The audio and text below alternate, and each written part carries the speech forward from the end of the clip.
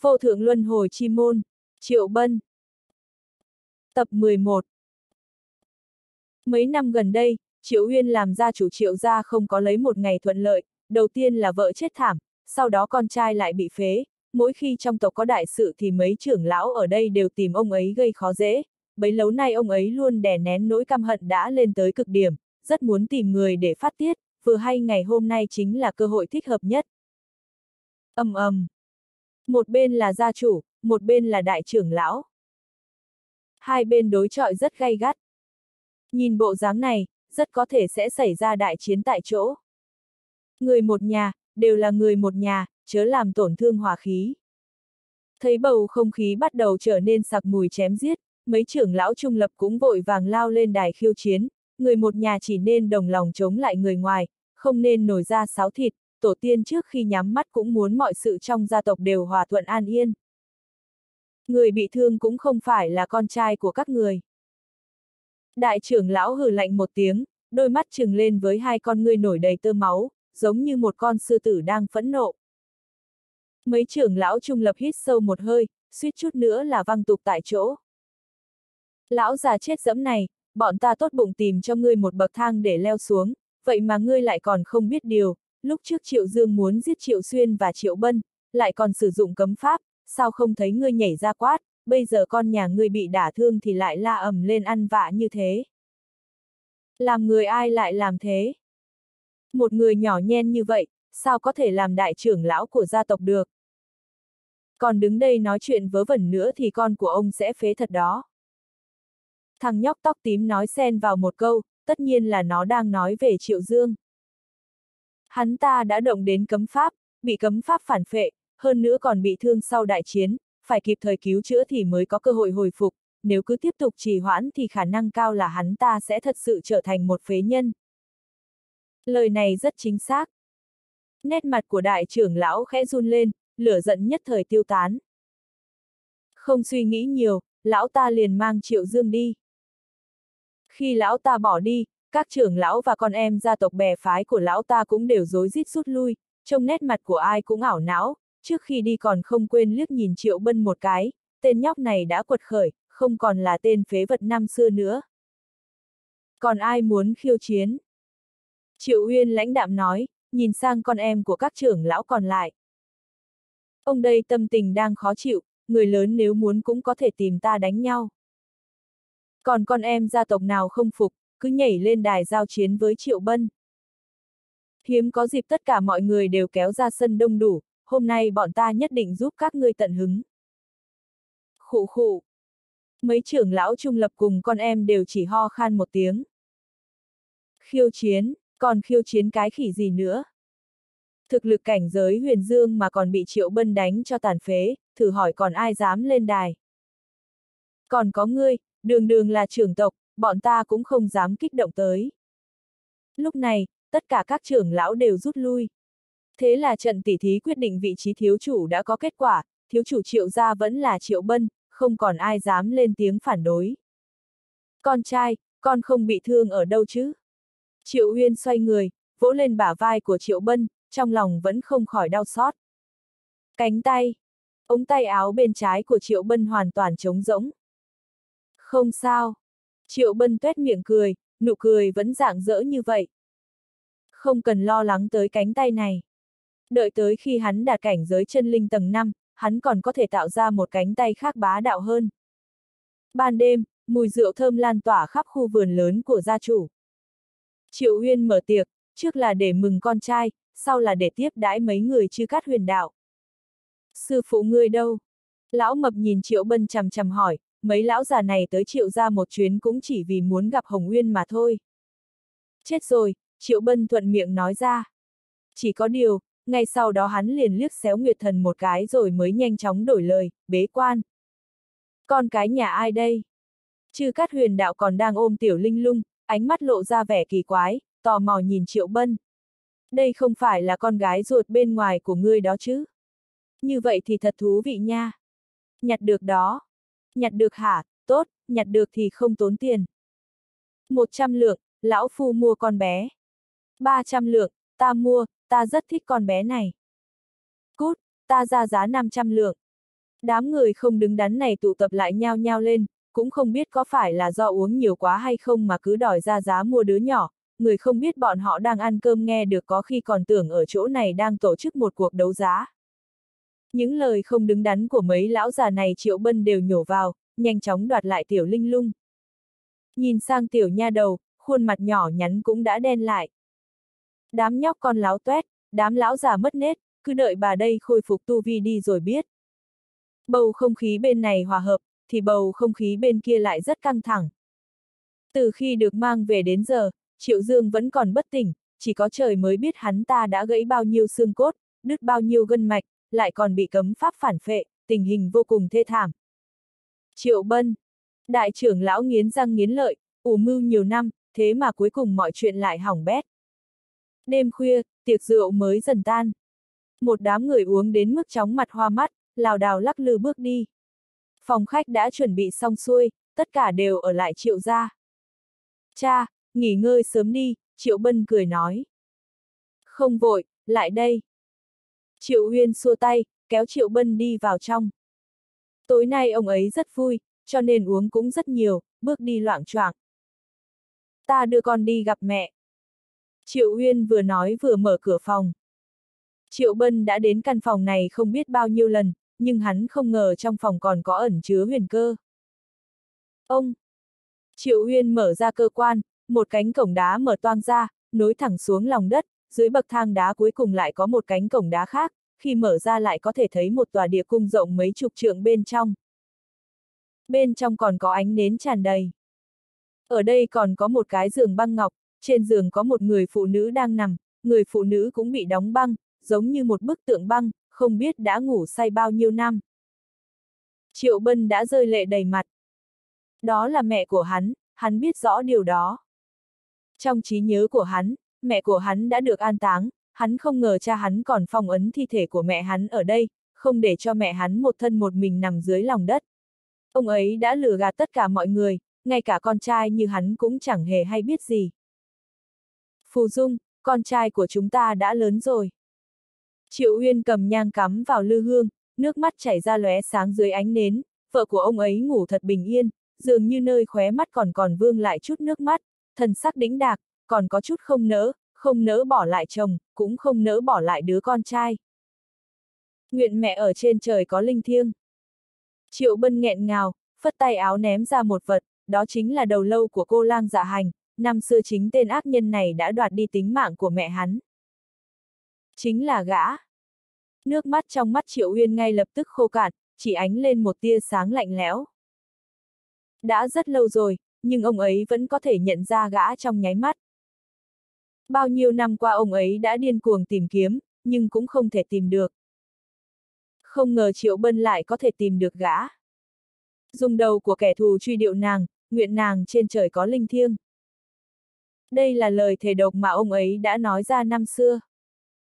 Gần 10 năm ông ấy không hoàn thành tâm nguyện, cuối cùng con trai đã thay ông ấy làm được. Tú Nhi, mẹ ta có thể sống lại được không? Triệu Bân tựa như nhớ ra điều gì, vội vàng lau khô nước mắt. Vậy thì còn phải xem đèn trường minh có cho hay không? Nguyệt thần cũng không mở mắt, ngay khi trở về đây cô ta đã sớm biết trong phòng của Triệu uyên có huyền cơ, cũng sớm biết bên trong địa cung này có một người phụ nữ đang bị đóng băng, khi đó cô ta liền có thể suy đoán được đây nhất định là vợ của Triệu uyên mẹ của Triệu Bân. Triệu Bân vội vàng đem đèn trường minh đặt trên giường băng ngọc.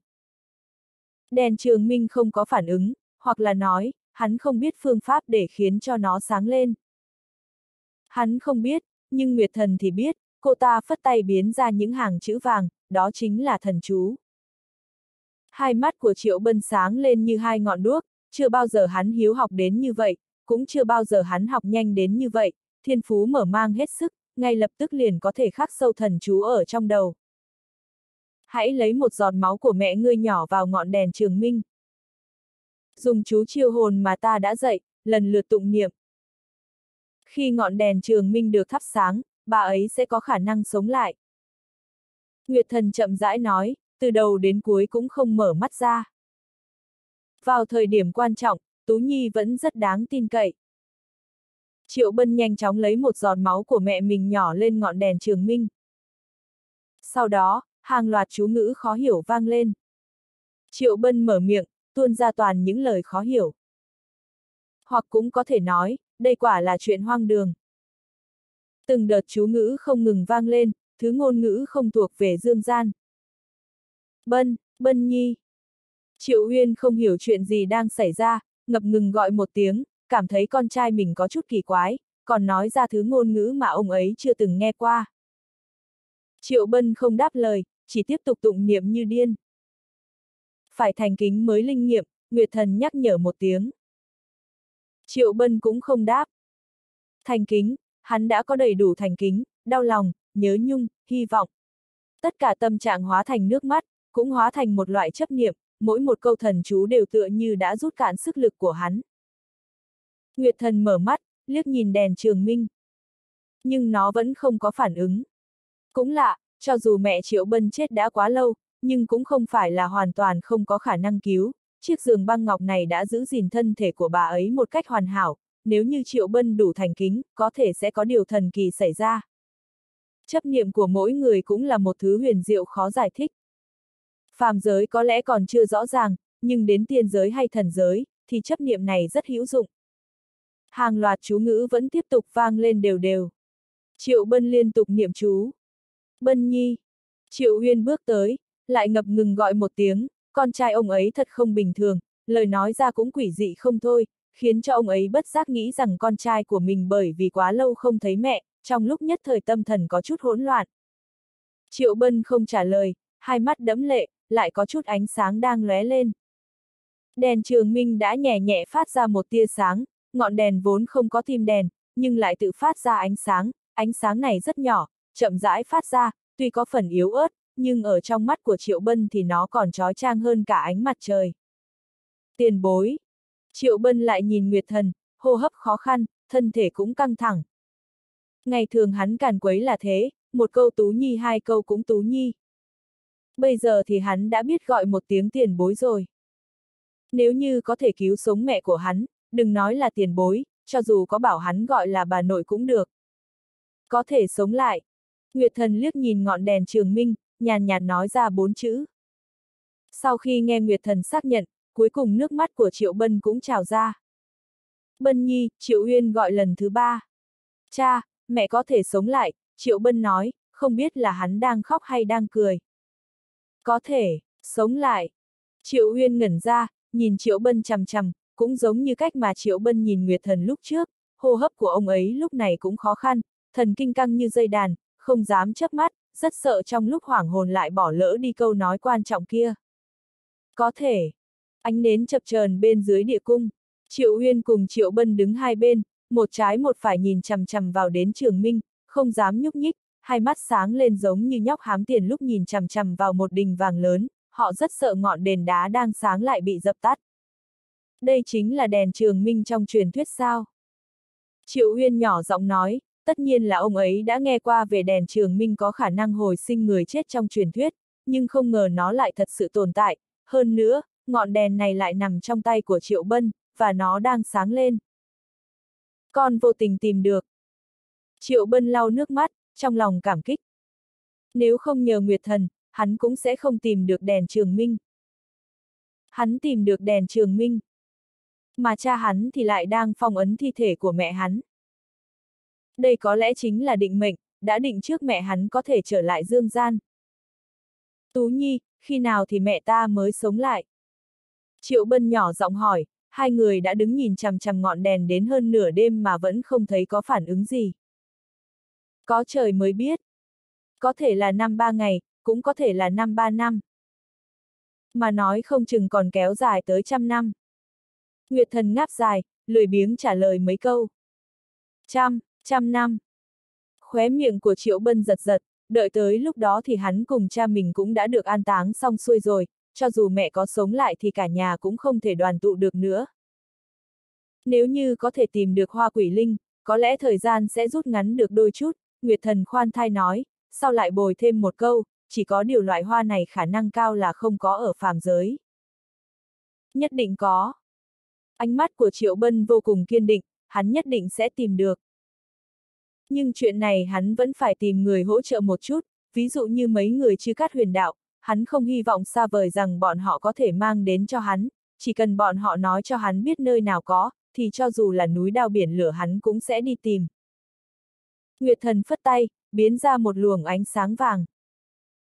Đây không phải là bí thuật, mà là một loại trận pháp, trận pháp dẫn linh tụ hồn, đối với việc chiêu hồn nhất định có công dụng, nhưng mấu chốt vẫn phải xem đèn trường minh có cho phép hay không.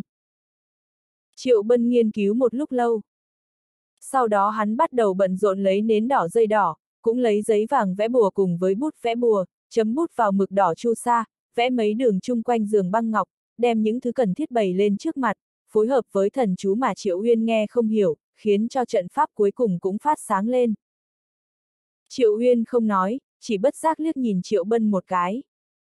Trong mắt của ông ấy, con trai của ông ấy càng lúc càng thần bí, có thể luyện khí, có thể thông linh, có thể ngự kiếm, có thể vẽ bùa, có đèn trường minh, lại có thể tụng niệm thần chú, nghe thì có vẻ hoàng đường. Tất cả những chuyện này khiến cho ông ấy không thể nào nhìn thấu được Triệu Bân. Con trai của ông ấy đã trải qua những gì trong thời gian qua? Hồng Uyên. Nhất định là Hồng Uyên. Suy nghĩ thật lâu, ông ấy mới nghĩ tới một lời giải thích hoàn mỹ nhất, Triệu Bân có thể lột xác, còn thông hiểu nhiều bí thuật huyền diệu như vậy, nhất định là do Hồng Uyên dạy, tương truyền rằng Đại Hạ Hồng Uyên đã tu luyện thành tiên, tất nhiên phương pháp của ông ta cũng phải thông thiên. Cha, con phải đi ra ngoài. Triệu Bân bố trí xong trận pháp, liền đứng dậy rời đi. Đi ra ngoài thì còn có thể làm gì nữa đây, đi gạt người chứ làm gì. Hắn sẽ tiếp tục dùng thân phận của Hồng Uyên đi gạt người, muốn mượn kinh nghiệm cùng quan hệ của mấy người chư cát huyền đạo trợ giúp hắn đi tìm hoa quỷ linh. Vẫn là câu nói cũ. Hắn không hy vọng xa vời rằng bọn họ có thể mang nó tới cho hắn, chỉ cần nói cho hắn biết nó đang nằm ở đâu là được rồi. Chạy được mấy bước, hắn lại vòng trở lại, đem một cái túi lớn kín đáo đưa cho Triệu Uyên. Xong chuyện thì hắn liền chạy mất tâm. Phía sau, Triệu Uyên mở cái túi ra, nhìn vào bên trong, suýt nữa không đứng vững. Bùa, có tất cả các loại bùa trong đó, bùa tốc hành, bùa nổ, bùa định thân, bùa lôi quang, không phải mỗi thứ một ít, mà là mỗi thứ một đống. Con trai ta là bùa chú sư sao? Thật lâu Triệu Uyên mới phản ứng được, số lượng bùa chú nhiều như vậy, có thể là do Hồng Uyên cho, cũng có thể là do Triệu Bân tự mình vẽ. Ông ấy nghĩ, khả năng Triệu Bân tự vẽ thì cao hơn. Cho con cá cũng không bằng cho cần câu, Hồng Uyên vừa thông hiểu phương pháp vẽ bùa, lại thu nhận con trai của ông ấy làm đồ nhi, nếu như ông ta truyền cho đồ nhi phép vẽ bùa thì cũng hợp tình hợp lý. Chỉ có điều, sự tình đáng kinh ngạc như vậy, cho đến nay ông ấy cũng không dám tin tưởng. Bên này, Triệu Bân đã đi ra khỏi địa cung, ở trong phòng mình dùng thuật biến thân, nuốt thuốc đổi giọng, nhưng hắn vẫn chưa yên tâm, lại đeo thêm một tấm mặt nạ ra người, gắn đè lên một cái tay giả, sau đó mới mặc áo choàng đen vào để che giấu thân phận, rồi lẻn ra khỏi phòng. Giờ phút này, sắc trời đã dần sáng. Hắn tìm tới một cái đình nghỉ mát, tự mang bình trà chén trà, nhàn nhã ngồi đó uống trà. Thấy thời cơ chín muồi, hắn mới bộc phát ra một tia khí tức cảnh giới thiên võ. Két, két. Ngay sau đó, liền nghe thấy thanh âm của mấy cánh cửa phòng mở toang ra, mấy đạo thân ảnh cũng phóng ra nhanh như cắt, đặc biệt là chư cắt huyền đạo cùng lão mập phóng ra nhanh nhất, xích hiên, thằng nhóc tóc tím, nhóc hám tiền cùng tiểu hắc mập cũng không chậm, trong ngực nhóc hám tiền còn đang ôm tiểu linh lung, đêm qua hơn phân nửa chính là cô nhóc ôm tiểu linh lung đi ngủ. Xin ra mắt hồng nguyên tiền bối. Một đám người ngày thường không có chút nào đáng tin cậy, giờ phút này ai cũng lộ ra vẻ cẩn trọng. Ha, tới rồi, để ta xem người bắt đầu biểu diễn thế nào. Tiểu Linh lung tuy không nói, nhưng ánh mắt liếc xéo đã nói lên tất cả. Chỉ cần liếc qua một cái thì cô ta biết ngay kẻ này là Triệu Bân. Bởi vì cô ta có thiên nhãn, không giống với người thường. Đã nói mà, tên nhóc này chắc chắn không biết an phận. Có thể bắt trước khí thế của cảnh giới thiên võ, đây cũng chính là bản lĩnh thông thiên, liền có thể dựa vào danh tiếng của sư phụ cô ta đi lừa gạt khắp nơi, hơn nữa, chắc chắn hắn không chỉ làm chuyện này một lần. Một điểm này, chỉ cần nhìn vào thần thái của mọi người liền có thể nhìn ra.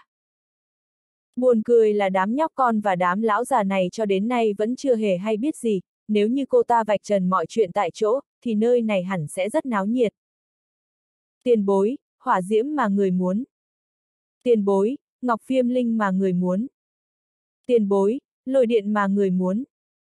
Tuồng kịch khai diễn, cũng đã tới lúc giao công. Ai nấy đều rất hiểu chuyện, hiếm khi mới có dịp vinh hạnh được nói chuyện với Hồng Uyên, vậy nên phải cố gắng tạo ra cảm giác tồn tại. Triệu Bân đã nói rồi, sư phụ của hắn ra tay rất rộng rãi. Người ta là nhân vật đệ nhất thiên hạ mà, chắc chắn là phải phóng khoáng, mỗi lần ra tay cũng phải mạnh hơn người. Có lòng quá. Triệu Bân ôn hòa cười một tiếng, phất tay áo thu hết đống bảo bối vừa được dâng lên. Bày ra nhiều chuyện như vậy, chính là muốn đợi tới ngày thu công mà. Ngồi một chỗ cũng có thể thu được bảo bối, chật chật. Tiểu Linh lung nhìn thấy vậy, trong lòng tặc lưỡi không dứt, kẻ mạo danh thần thánh, đi lừa gạt khắp thiên hạ cũng không sợ. Hơn nữa, kỹ thuật diễn xuất của kẻ này đúng là không tầm thường. Hù dọa người khác mà mặt không đỏ, hô hấp bình tĩnh lạ thường. Một khi thần diễn xuất đã nhập vào, thì người thân cũng không nhận. Đã hao tâm phí sức của các ngươi, lão phu cũng sẽ không lấy không của các ngươi. Triệu Bân cười nói, lại phất tay áo, mấy cuốn sách cổ bay ra ngoài. Những thứ này hắn đã chuẩn bị từ trước. Mọi người nhanh chóng nhận lấy, mở ra nhìn rồi ngay lập tức cảm thán, đây là bí tịch. Tên nhóc này lấy đâu ra nhiều bí tịch như vậy? Tiểu Linh lung liếc nhìn sang, đó đúng là bí tịch, hơn nữa phẩm cấp cũng rất cao, rất bất phàm, một tên nhóc cảnh giới chân linh như hắn đã cướp đống này từ bảo tàng của thiên tông hay sao? Đa tạ tiền bối. Mọi người vui vẻ ra mặt, nếu không phải do tình cảnh không đúng lúc, thì tất cả bọn họ đã phóng đi tìm chỗ tu luyện rồi, bí tịch mà Đại Hạ Hồng Uyên truyền cho chắc chắn bất phàm. Vèo, vèo.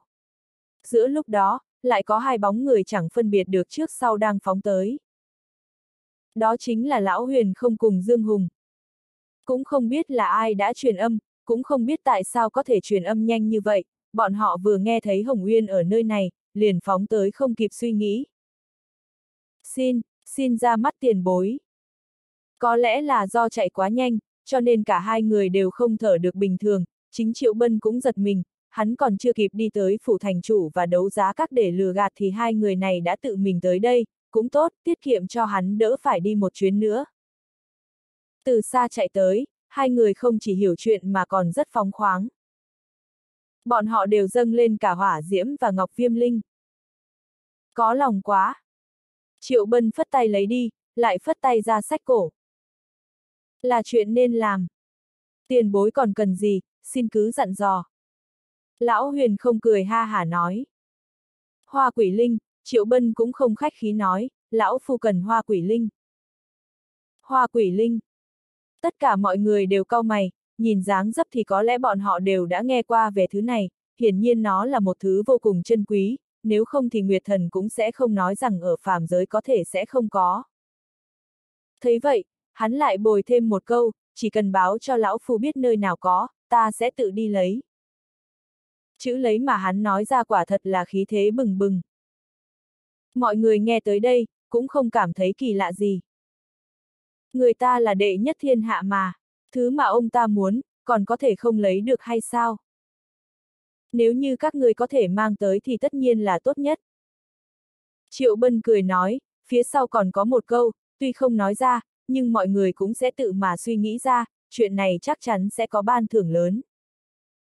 Vãn bối nhất định sẽ làm hết sức. Tất cả mọi người đều chắp tay, Hồng Uyên cũng đã tự mình lên tiếng, vậy thì còn nói gì được nữa. Vậy đi, có chuyện gì thì cứ tìm đồ nhi của ta. Triệu Bân đứng lên, phất tay áo rời đi, ngồi lâu ở đây không tốt chút nào, lỡ mà lộ ra sơ hở thì toi, mấy lão già này chắc chắn sẽ đập chết hắn. Tiểu Linh lung hít sâu một hơi, trong chớp mắt liền muốn nói ra chân tướng. Chỉ có điều, sau khi suy nghĩ một chút thì cô ta lại quyết định bỏ qua. Cho dù Triệu Bân không đàng hoàng, nhưng hắn cũng là ân nhân cứu mạng của cô ta, thôi thì cứ đi một bước tính một bước vậy. Ha ha, không tệ. Nét mặt của ai cũng tràn đầy vinh hạnh, không hoài nghi điều gì. Bí tịch được truyền xuống là thật, nên ai cũng mau lẹ đi tìm chỗ tu luyện. Triệu Bân đã tháo áo khoác đen ra, đóng chặt cửa phòng, hỏa diễm bay ra, hắn vận dụng đại hoang viêm quyết dung hợp chúng lại. Đáng tiếc, vẫn chưa thể dung ra thiên hỏa. Thiên lôi của hắn cũng rất khó lên cấp, muốn dung hợp phải có lôi điện cùng cấp bậc. Sau đó, đến lượt ngọc viêm linh. Hắn lấy khối ngọc viêm linh của linh lung các và mấy khối ngọc viêm linh của mọi người ra, sau đó đặt chiếc nhẫn ma lên trên mấy khối ngọc, để cho nó chậm rãi hấp thu tinh hoa. Hắn nhìn chằm chằm vào chiếc nhẫn. Tuy nhiên, cho đến khi mấy khối ngọc viêm linh đều hóa thành cho bụi mà chiếc nhẫn ma vẫn chưa hồi phục, từng tia ma khí quẩn quanh, sát khí của chiếc nhẫn ma lạnh như băng, khiến cho hắn không khỏi kích động. Khi hắn quay trở lại địa cung, Triệu Uyên vẫn còn ở đó. Ngay cả khi Triệu Bân đóng giả Hồng Uyên trong đình nghỉ mát, ông ấy cũng không hề hay biết, lúc này trong lòng của ông ấy chỉ có vợ mình, hy vọng vợ mình sẽ sống lại càng sớm càng tốt. Cha, nhàn rỗi thì luyện một chút.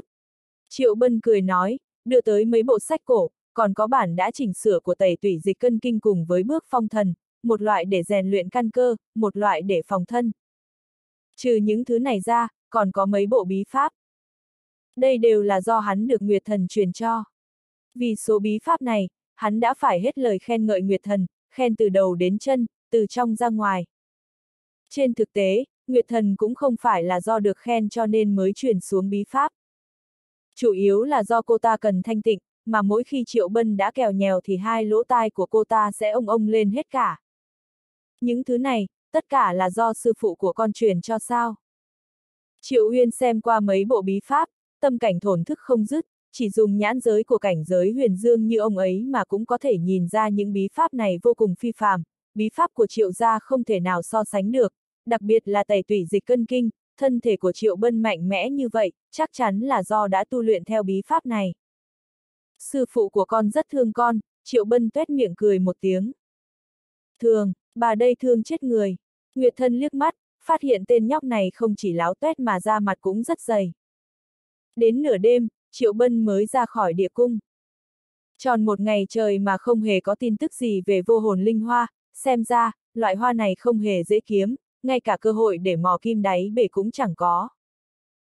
Triệu Uyên vẫn chưa bước ra ngoài, còn đang canh giữ bên cạnh giường ngọc. Nhưng ông ấy không hề nhàn rỗi chút nào, bởi vì ông ấy không để lãng phí mấy cuốn bí tịch mà Triệu Bân đưa cho mình, đặc biệt là tẩy tủy dịch cân kinh, nó có thể rèn luyện thân thể. Dù bây giờ đã ở cảnh giới huyền dương đỉnh cao, nhưng ông ấy vẫn cần củng cố thêm căn cơ thật chắc, tạp chất bên trong cơ thể có ảnh hưởng rất lớn. Chưa biết chừng có thể giúp đột phá tu vi. Thực tế đã chứng minh tẩy tủy dịch cân kinh đúng là vô cùng bá đạo, bởi vì thiên phú của Triệu Huyên cũng chỉ bình thường thôi nhưng đến ngày thứ hai sau khi Triệu Bân rời khỏi, không ngờ cảnh giới địa tạng hàng thật giá thật như ông lại trở nên rồi rào khí huyết như thế, vượt xa trước kia rất nhiều. Triệu Bân không hề quấy giày mà lặng lẽ rời khỏi. Màn đêm buông xuống, hắn tẩm bổ thân thể và linh hồn giúp liễu tâm như, sau đó ngồi khoanh chân trong vườn để tắm ánh trăng, lặng lặng tu luyện thân thể và hấp thu linh khí của thiên đế, dung hòa với ngọn lửa và sấm sét. Tu vi chân linh tầng thứ tư của hắn đã đạt tới đỉnh cao, nếu không ngoài ý muốn thì tối nay sẽ có thể đột phá, đồng thời có thể thành công chế tạo một cánh tay hoàn toàn mới cũng chính là cánh tay kỳ lân. Giờ phút này, nếu như trời đánh sấm vậy thì quá hay rồi. Đáng tiếc, đêm nay, hắn đã quan sát thiên tượng, mấy ngày tới, trời sẽ không đổ mưa, không thể nào mượn được uy lực của sấm sét, tất cả vẫn phải dựa hết vào bản thân, hiện giờ hắn chỉ thiếu duy nhất một cơ duyên mà thôi. Rắc, rắc. Trong đêm khuya, tiếng xương cốt va chạm không ngừng vang lên bên tai, nghe rợn cả người. Thuật luyện thể này bá đạo quá đi mất. Tiểu Linh lung cũng ở đó, đang bám vào cửa sổ mà nhìn lén. Khó trách sao cơ thể Triệu Bân lại mạnh mẽ tới vậy, hóa ra là hắn sở hữu loại bí thuật cao cấp này. Chính vì vậy nên cô ta lại càng kinh ngạc, rốt cuộc Triệu Bân là truyền nhân của nhà nào mà lại có nhiều bí tịch nghịch thiên tới vậy. Có một tiểu sư đệ như này cũng không tồi chút nào. Cô ta nói thầm một tiếng, trong lòng nghĩ, chờ đến khi khôi phục tu vi, cô ta sẽ dẫn Triệu Bân đi gặp sư phụ của mình. Một yêu nghiệt như thế này có đủ tư cách để trở thành đồ đệ của Hồng Nguyên, cũng bớt được việc sau này giả danh lừa lọc, quang minh chính đại biết bao. Phá! Trong lúc cô ta đang nhìn lén, chợt nghe thấy Triệu Bân hét lên một tiếng. Hắn đã đột phá đến tầng thứ 5 rồi. Chỉ trong giây lát, linh khí đất trời xáo động tạo thành một vòng xoáy linh khí, bao phủ xung quanh Triệu Bân. Mà thân thể của Triệu Bân lúc này cũng chẳng khác nào một cái động không đáy, cứ thế mạnh mẽ hấp thu hết thảy. Từng chút linh khí, linh tuyền đều lưu chuyển khắp toàn thân hắn. Tiếp tục. Triệu Bân thầm hô trong lòng, sau đó vận chuyển kỳ lân quyết. Rắc rắc. Ngay lập tức, tiếng xương cốt va chạm vang lên, nhưng đây không phải thuật luyện thể vừa nãy mà là đang tái tạo. Phần cơ bắp trên bả vai trái của hắn lúc này đang động đậy, máu tươi chảy tràn ra, có thể quan sát được bằng mắt thường, tuy rằng tốc độ không nhanh nhưng quá trình tái tạo lại xương cốt và mạch máu quả thật đang tiếp diễn. Nhóc con này đúng là yêu nghiệt thật sự. Vẻ mặt tiểu linh lung lộ rõ nét kinh ngạc, kể từ lúc nghe truyền thuyết về việc Triệu Bân chém nứt một cánh tay tới giờ, thời gian đã trôi qua hai tháng rồi. Đáng lẽ chỉ trong khoảng thời gian ngắn ngủi như thế không thể nào tái tạo lại được cánh tay mới đúng. Thế nhưng lúc này Triệu Bân lại làm được. Quá trình tái tạo cánh tay, xương cốt và máu thịt này, chỉ nhìn thôi cũng vô cùng đáng sợ. Dù đã đi theo sư phụ lâu như thế, nhưng đây vẫn là lần đầu tiên cô ta chứng kiến loại bí thuật kỳ lạ tới mức này, quả thật vô cùng bá đạo, khéo khi còn có thể tái tạo lại cả cái đầu bị chém nứt không chừng. Bởi vì vậy mà cô ta lại càng coi trọng Triệu Bân hơn nữa. Ở phàm giới này, không một ai có thể tu luyện được nguyên thần, một khi đầu bị chém nứt thì chết là cái chắc, nhưng Triệu Bân này quả thật nghịch thiên quá rồi, khiến cho cô ta xuất hiện một loại ảo giác. Growl, growl. Trong tiếng xương cốt vang lên răng rắc, bỗng nhiên lại có thể xuất hiện tiếng rồng gầm loáng thoáng. Triệu Bân vẫn đang tiếp tục quá trình tái tạo lại cánh tay trái. Lúc này trên tay hắn đã đầy máu, mỗi một vết máu đều có hơi thở loài rồng quẩn quanh, tất cả chỉ bởi vì hắn từng uống máu rồng, thế nên dưới sự chuyển vận của kỳ lân quyết, chỗ máu kia cũng được kích phát tới cực điểm. Nguyệt thần nói không sai chút nào, máu kỳ lân và máu thương long có thể thay thế lẫn nhau. Nhưng lúc này hắn đang vận chuyển kỳ lân quyết, thế nên tiếng rồng ngâm kia cũng dần bị thay đổi âm sắc, biến thành tiếng kỳ lân gào thét, có lẽ đây chính là điểm ảo diệu của kỳ lân quyết chăng? Bất kể sử dụng loại máu nào để thay thế, chúng cũng đều được chuyển đổi thành máu kỳ lân. Trên cánh tay Triệu Bân lúc này đang diễn ra cảnh tượng như thế, có một hình đồ cổ xưa đang chậm chậm khắc họa trên đó, vẽ nên từng đường vân một, cuối cùng trở thành một hình đồ án kỳ lân. Nhóc này giỏi đấy. Nguyệt thần từng mở mắt, không khỏi thầm than, trước đây. Cô ta từng nói, tới tầng 5 cảnh giới chân linh thì sẽ có năng lực tái tạo cánh tay, nhưng chưa bao giờ nghĩ rằng Triệu Bân có thể thành công ngay lần đầu tiên. Cũng đúng thôi, là do nền tảng của Triệu Bân này quá vững chắc, tất nhiên sẽ không thành vấn đề rồi. Ưm, Triệu Bân không ngừng rên rỉ, trên mặt lộ rõ nét đau đớn. Thật lòng mà nói, vận chuyển kỳ lân quyết còn đau hơn tẩy tủy dịch chân kinh nhiều lắm. Sự đau đớn của hắn phần lớn đều khắc sâu ở trên võ hồn. Loại cảm giác đau đớn này chẳng khác nào có người dùng thanh đao rắn chắc chém thẳng vào người, võ hồn càng đau đớn thì vết đao càng khắc sâu vào thân thể. Có thể thấy rõ thông qua việc thất khiếu của hắn đều đang chảy máu, ngay cả tiểu linh lung đang nhìn lén cũng bất giác che lấy miệng mình, dưới ánh trăng lúc này, hình dáng của triệu bân quả thực hơi đáng sợ. Ai rõ thì còn nhận ra đó là người. Còn không hiểu, khéo lại tưởng hắn ra là một con lệ quỷ từ đâu bò ra không chừng. Sắp xong rồi, chỉ còn thiếu chút nữa thôi. Triệu Bân cố cắn răng kiên trì, nếu trước đây hắn chưa tự rèn thành thói quen chịu đau cho mình, thì quá trình vận chuyển kỳ lân quyết này thôi cũng đã đủ để lấy mạng hắn luôn rồi. Người có võ hồn cũng chưa chắc đã chống chịu được, chứ đừng nói chi đến người có tinh thần cấp thấp hơn võ hồn, chỉ cần lơ đãng trong phút chốc là tâm thần sẽ sụp đổ tức khắc. Quả thật không chống đỡ nổi nữa, hắn mới giơ tay cầm lấy chiếc hồ lô nhỏ. Sau đó uống ực một ngụm, tinh thần lập tức quay về trạng thái phơi phới. Đến lúc Triệu Bân mở mắt, ánh mắt ấy cũng phát ra tia sáng đáng sợ, hắn lại nhanh chóng khởi động kỳ lân quyết, tiếp tục quá trình tái tạo. Vẫn nên nhanh chóng chấm dứt thôi, còn hơn để nỗi đau ấy kéo dài thêm. Vì hắn nổi giận nên tốc độ hình thành lại của cánh tay đột nhiên tăng nhanh. Lúc này đã lan đến cổ tay, sau đó là năm ngón tay. Trước tiên là xương cốt, sau đó là máu huyết và kinh mạch. Dưới tác dụng của kỳ lân quyết, từng ngón tay được đã lần lượt được hình thành, cuối cùng, cánh tay trái đã cụt hai tháng đã mọc ra hoàn chỉnh trở lại. Phù. Triệu bân thở phào, mặc dù có linh dịch bổ trợ nhưng sắc mặt hắn vẫn rất nhợt nhạt. Hết nửa canh giờ hắn mới đứng lên. Cảm giác lâu lắm rồi mới có lại. Dưới ánh trăng và ánh sao, hắn duỗi người, đặc biệt là cánh tay trái, dù là bộ phận mới nhưng nó lại rất phù hợp với cơ thể vì vốn dĩ nó được mọc ra từ cơ thể của hắn mà. Hắn cử động vài cái, hoàn toàn không có cảm giác lạ lẫm, bỗng chốc, cánh tay trái nhẵn nhụi liền xuất hiện biểu tượng kỳ lân. Một khi biểu tượng kỳ lân xuất hiện thì cánh tay của hắn sẽ có thêm một sức mạnh bá đạo nữa và cũng chỉ có ở cánh tay trái của hắn thôi. E rằng trong cùng cấp, sẽ không ai có thể đỡ được cú đấm từ cánh tay trái của hắn. Nguyệt thần thật sự không lừa hắn, cánh tay kỳ lân mới mọc ra thật sự rất mạnh mẽ, hèn gì người kế thừa lớn tuổi đó không tiếc chặt đứt cánh tay để tu luyện kỳ lân quyết. Mặc dù không có được thần lực bẩm sinh nhưng cánh tay đó cũng có sức mạnh rất phi thường. Không tồi. Triệu Bân cười hê hê, hắn đã không còn là người tàn tật nữa mà đã có đủ chân tay rồi. Định.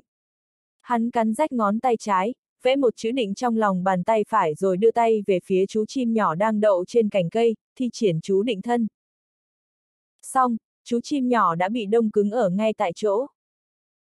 Một trận gió thổi qua, chú chim rơi từ trên cây xuống đất, đôi mắt nhỏ xíu liếc nhìn Triệu Bân, rõ ràng là có ý muốn nói mẹ kiếp, người bị điên rồi sao? Ta đã trêu chọc gì đến ngươi à? Dễ dùng lắm. Triệu Bân hé miệng cười rồi thu lại chú định thân. Chú chim nhỏ ở trên mặt đất lại vỗ mạnh đôi cánh nhỏ, nhanh chóng bay đi. Sau này sẽ không đến khu vườn nhỏ này nữa, đầu óc tên này không được bình thường. Cái gì hắn cũng biết sao. Tiểu Linh lung vuốt cái cằm nhỏ, cảm giác có vẻ không có gì là Triệu Bân không biết. Cả đêm không nói gì, chớp mắt thì trời đã sáng. Mới sáng sớm mà sân nhà đã náo nhiệt, mọi người đều vây lấy Triệu Bân. Cánh tay trái của ngươi. Cụt cũng hai tháng rồi mà vẫn có thể mọc ra được sao? Thật lạ kỳ. Không chỉ có nhóc ham tiền và tên mập mà đến cả mấy người lão huyền đạo cũng thấy vô cùng kinh ngạc. Là sư phụ đã nối lại cho ta. Gặp những tình huống thế này thì Triệu Bân luôn lôi sư phụ của mình vào. Chẳng vì điều gì cả, chỉ là muốn tâng bốc sư tôn của mình thôi. Đương nhiên cũng là để hù dọa người khác. Đúng thật là vậy, khi hắn nhắc đến sư tôn thì mọi người đều chật lưỡi, đệ nhất thiên hạ Hồng Nguyên đúng thật là không ngoa, có năng lực siêu phàm thật sự, vậy mà cũng có thể nối lại được. Người vui mừng nhất chính là Triệu Uyên. Lúc ông ấy gặp lại Triệu Bân thì lại càng vui mừng gấp bội, nói sao cũng muốn đích thân đến cảm tạ Hồng Uyên. Lần trước người ta đến, ông ấy phải bảo vệ vợ mình ở địa cung nên vẫn chưa đi được. Ta mà có sư phụ như thế thì tốt biết mấy. Tên mập chật lưỡi suýt xoa, có sư phụ là thiên hạ đệ nhất thật tuyệt. Thiếu chủ, các chủ đấu giá các có lời mời ạ. À. Lúc họ đang nói chuyện, có một thị vệ của nhà họ Triệu chạy lúc xúc tới. Được. Triệu Bân nhanh chóng quay người rời đi. Theo hắn thấy thì chắc là Lão Huyền không đã tìm ra được tin tức về hoa hồn linh rồi, không có chuyện gì quan trọng hơn chuyện này. Đi đây. Lão Huyền đạo vươn eo đầy mệt mỏi, mặc dù là trưởng lão danh dự của nhà họ Triệu nhưng ông ta cũng không định ở lại đó lâu, còn có cả mấy người lão mập, bọn họ cũng kéo nhau rời đi. Nói thật lòng thì sống ở cửa hàng binh khí vẫn thoải mái, tự tại hơn. Có điều, nếu Triệu Bân gặp khó khăn thì bọn họ vẫn sẽ không khoanh tay đứng nhìn. Bây giờ xem ra tình hình ở nhà họ Triệu cũng đã ổn định rồi. Triệu Bân đã giành được vị trí thiếu chủ, Triệu Uyên thì đã thăng cấp lên cảnh giới địa tạng, nếu đã như vậy mà còn không khống chế được cục diện nữa thì họ thật sự phải nghi ngờ năng lực của Triệu Uyên. Phe của đại trưởng lão cũng đã yên phận. Lúc này, đại trưởng lão cũng không còn tâm trạng quan tâm cho chuyện khác mà chỉ một lòng muốn chữa lành cho Triệu Dương, hắn ta bị thương quá nặng, vẫn còn đang nằm liệt giường, căn cơ đã bị tổn hại nghiêm trọng. Còn về phần những trưởng lão khác, đương nhiên những người trung lập thì không cần phải nói, những người bất hòa với Triệu Uyên thì cũng vô cùng ngoan ngoãn, gia chủ là cảnh giới địa tạng, e rằng khó có thể lung lay địa vị của ông ấy nên chỉ đành nằm im chờ đợi cơ hội thôi. Bên này, bọn lão huyền đạo đã ra khỏi phủ nhà họ Triệu. Còn Triệu Bân thì đã chạy mất tâm từ lâu. Những người khác thì bình thường nhưng nhóc ham tiền thì cứ liên tục ngoảnh đầu lại suốt dọc đường đi, cứ cảm thấy có người đang âm thầm theo dõi mình, cứ thấy ớn lạnh sau lưng. Mấy ngày trước vẫn còn một cánh tay, sao giờ lại mọc ra một cánh tay nữa thế kia? Triệu Bân kỳ lạ thật, một, hai tháng rồi mà vẫn còn có thể mọc ra được sao? Cứ thấy kỳ lạ làm sao ấy.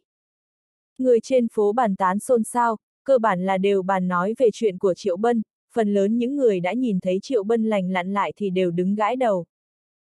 Mọi người về lại cửa hàng binh khí. Khô Sơn đang ở đó, nhìn thấy mọi người mặt mày cười tươi dạng dỡ thì thấy hơi khó hiểu, nhặt được tiền rồi sao? Sao lại vui đến thế? Sao lại không dắt lão phu theo với? Sao lại không dắt theo ông ta thế? Thằng nhóc tóc tím thấy hơi hối hận, mải lo đến nhà họ triệu xem náo nhiệt mà lại quên mất khô sơn, nếu lúc Hồng Nguyên đến mà tên này cũng có mặt thì chắc là biểu cảm sẽ rất đặc sắc. Dù đã đưa thuốc giải cho ông ta, dù đã trả lại tự do cho ông ta nhưng chắc chắn ông ta sẽ không chịu đi, có đuổi cũng không đuổi đi được. Cùng lắm thì giả làm Hồng Nguyên lần nữa thôi. Triệu Bân không quá đặt nặng chuyện này. Còn mấy ngày nữa là hết hạn một tháng, ông ta không vội.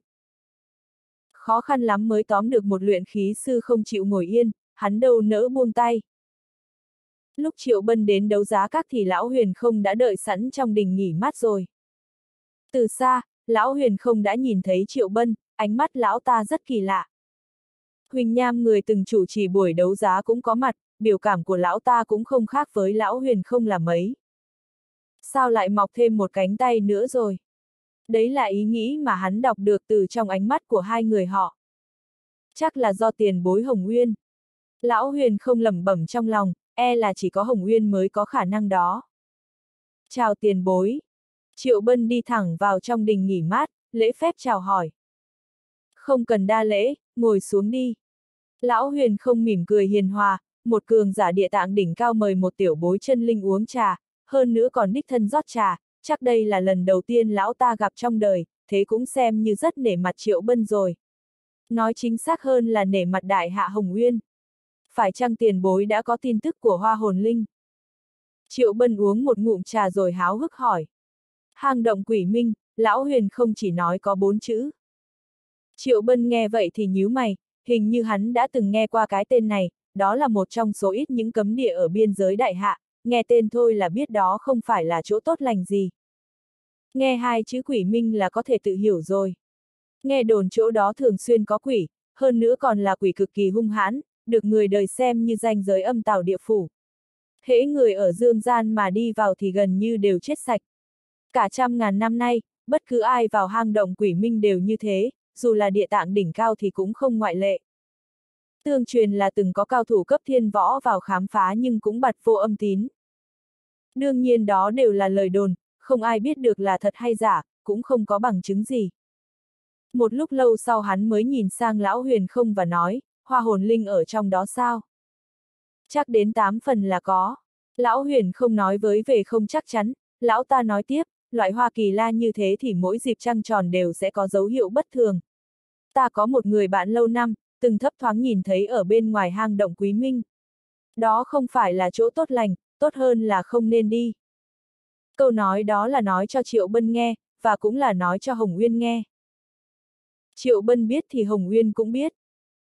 Dù là cảnh giới thiên võ vào trong đó thì cũng chưa chắc có thể sống sót trở ra, một thiên hạ đệ nhất đang yên ổn, không thể bỏ mạng ở đó được. Cảm ơn tiền bối đã nhắc nhở. Triệu Bân đứng dậy, chắp tay hành lễ rồi quay người định bỏ đi. Tiểu Hữu xin dừng bước. Tiền bối còn có chuyện gì sao? Cũng không phải chuyện lớn gì, chỉ là muốn mượn sấm sét của tiểu hữu dùng thôi. Lão huyền không cười he he, nhẹ nhàng xé ống tay áo. Lúc này Triệu Bân mới nhìn thấy một bên cánh tay của Lão Huyền không có một chú văn màu đen, toát lên ánh sáng mờ ảo, lúc ẩn lúc hiện. Phu chú Triệu Bân nhích mày.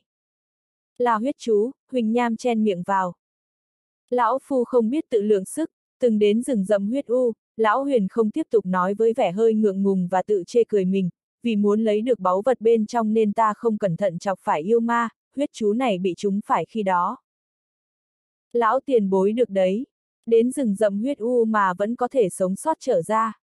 Triệu Bân vừa suýt xoa vừa chật lưỡi, hắn không để tâm đến huyết chú, vừa nghe thấy rừng rậm huyết u thì liền thấy lạnh người. Chỗ đó cũng là một cấm địa, hiểm hóc không kém gì hang động quỷ minh, thật không ngờ, lão huyền không đã từng đến đó, hơn nữa còn sống sót trở ra. Lão huyền không có thể làm các chủ đấu giá các thì đúng là không chỉ có hư danh. May mắn thôi, sấm sét của ta có thể có thể giúp tiền bối giải trừ huyết chú sao?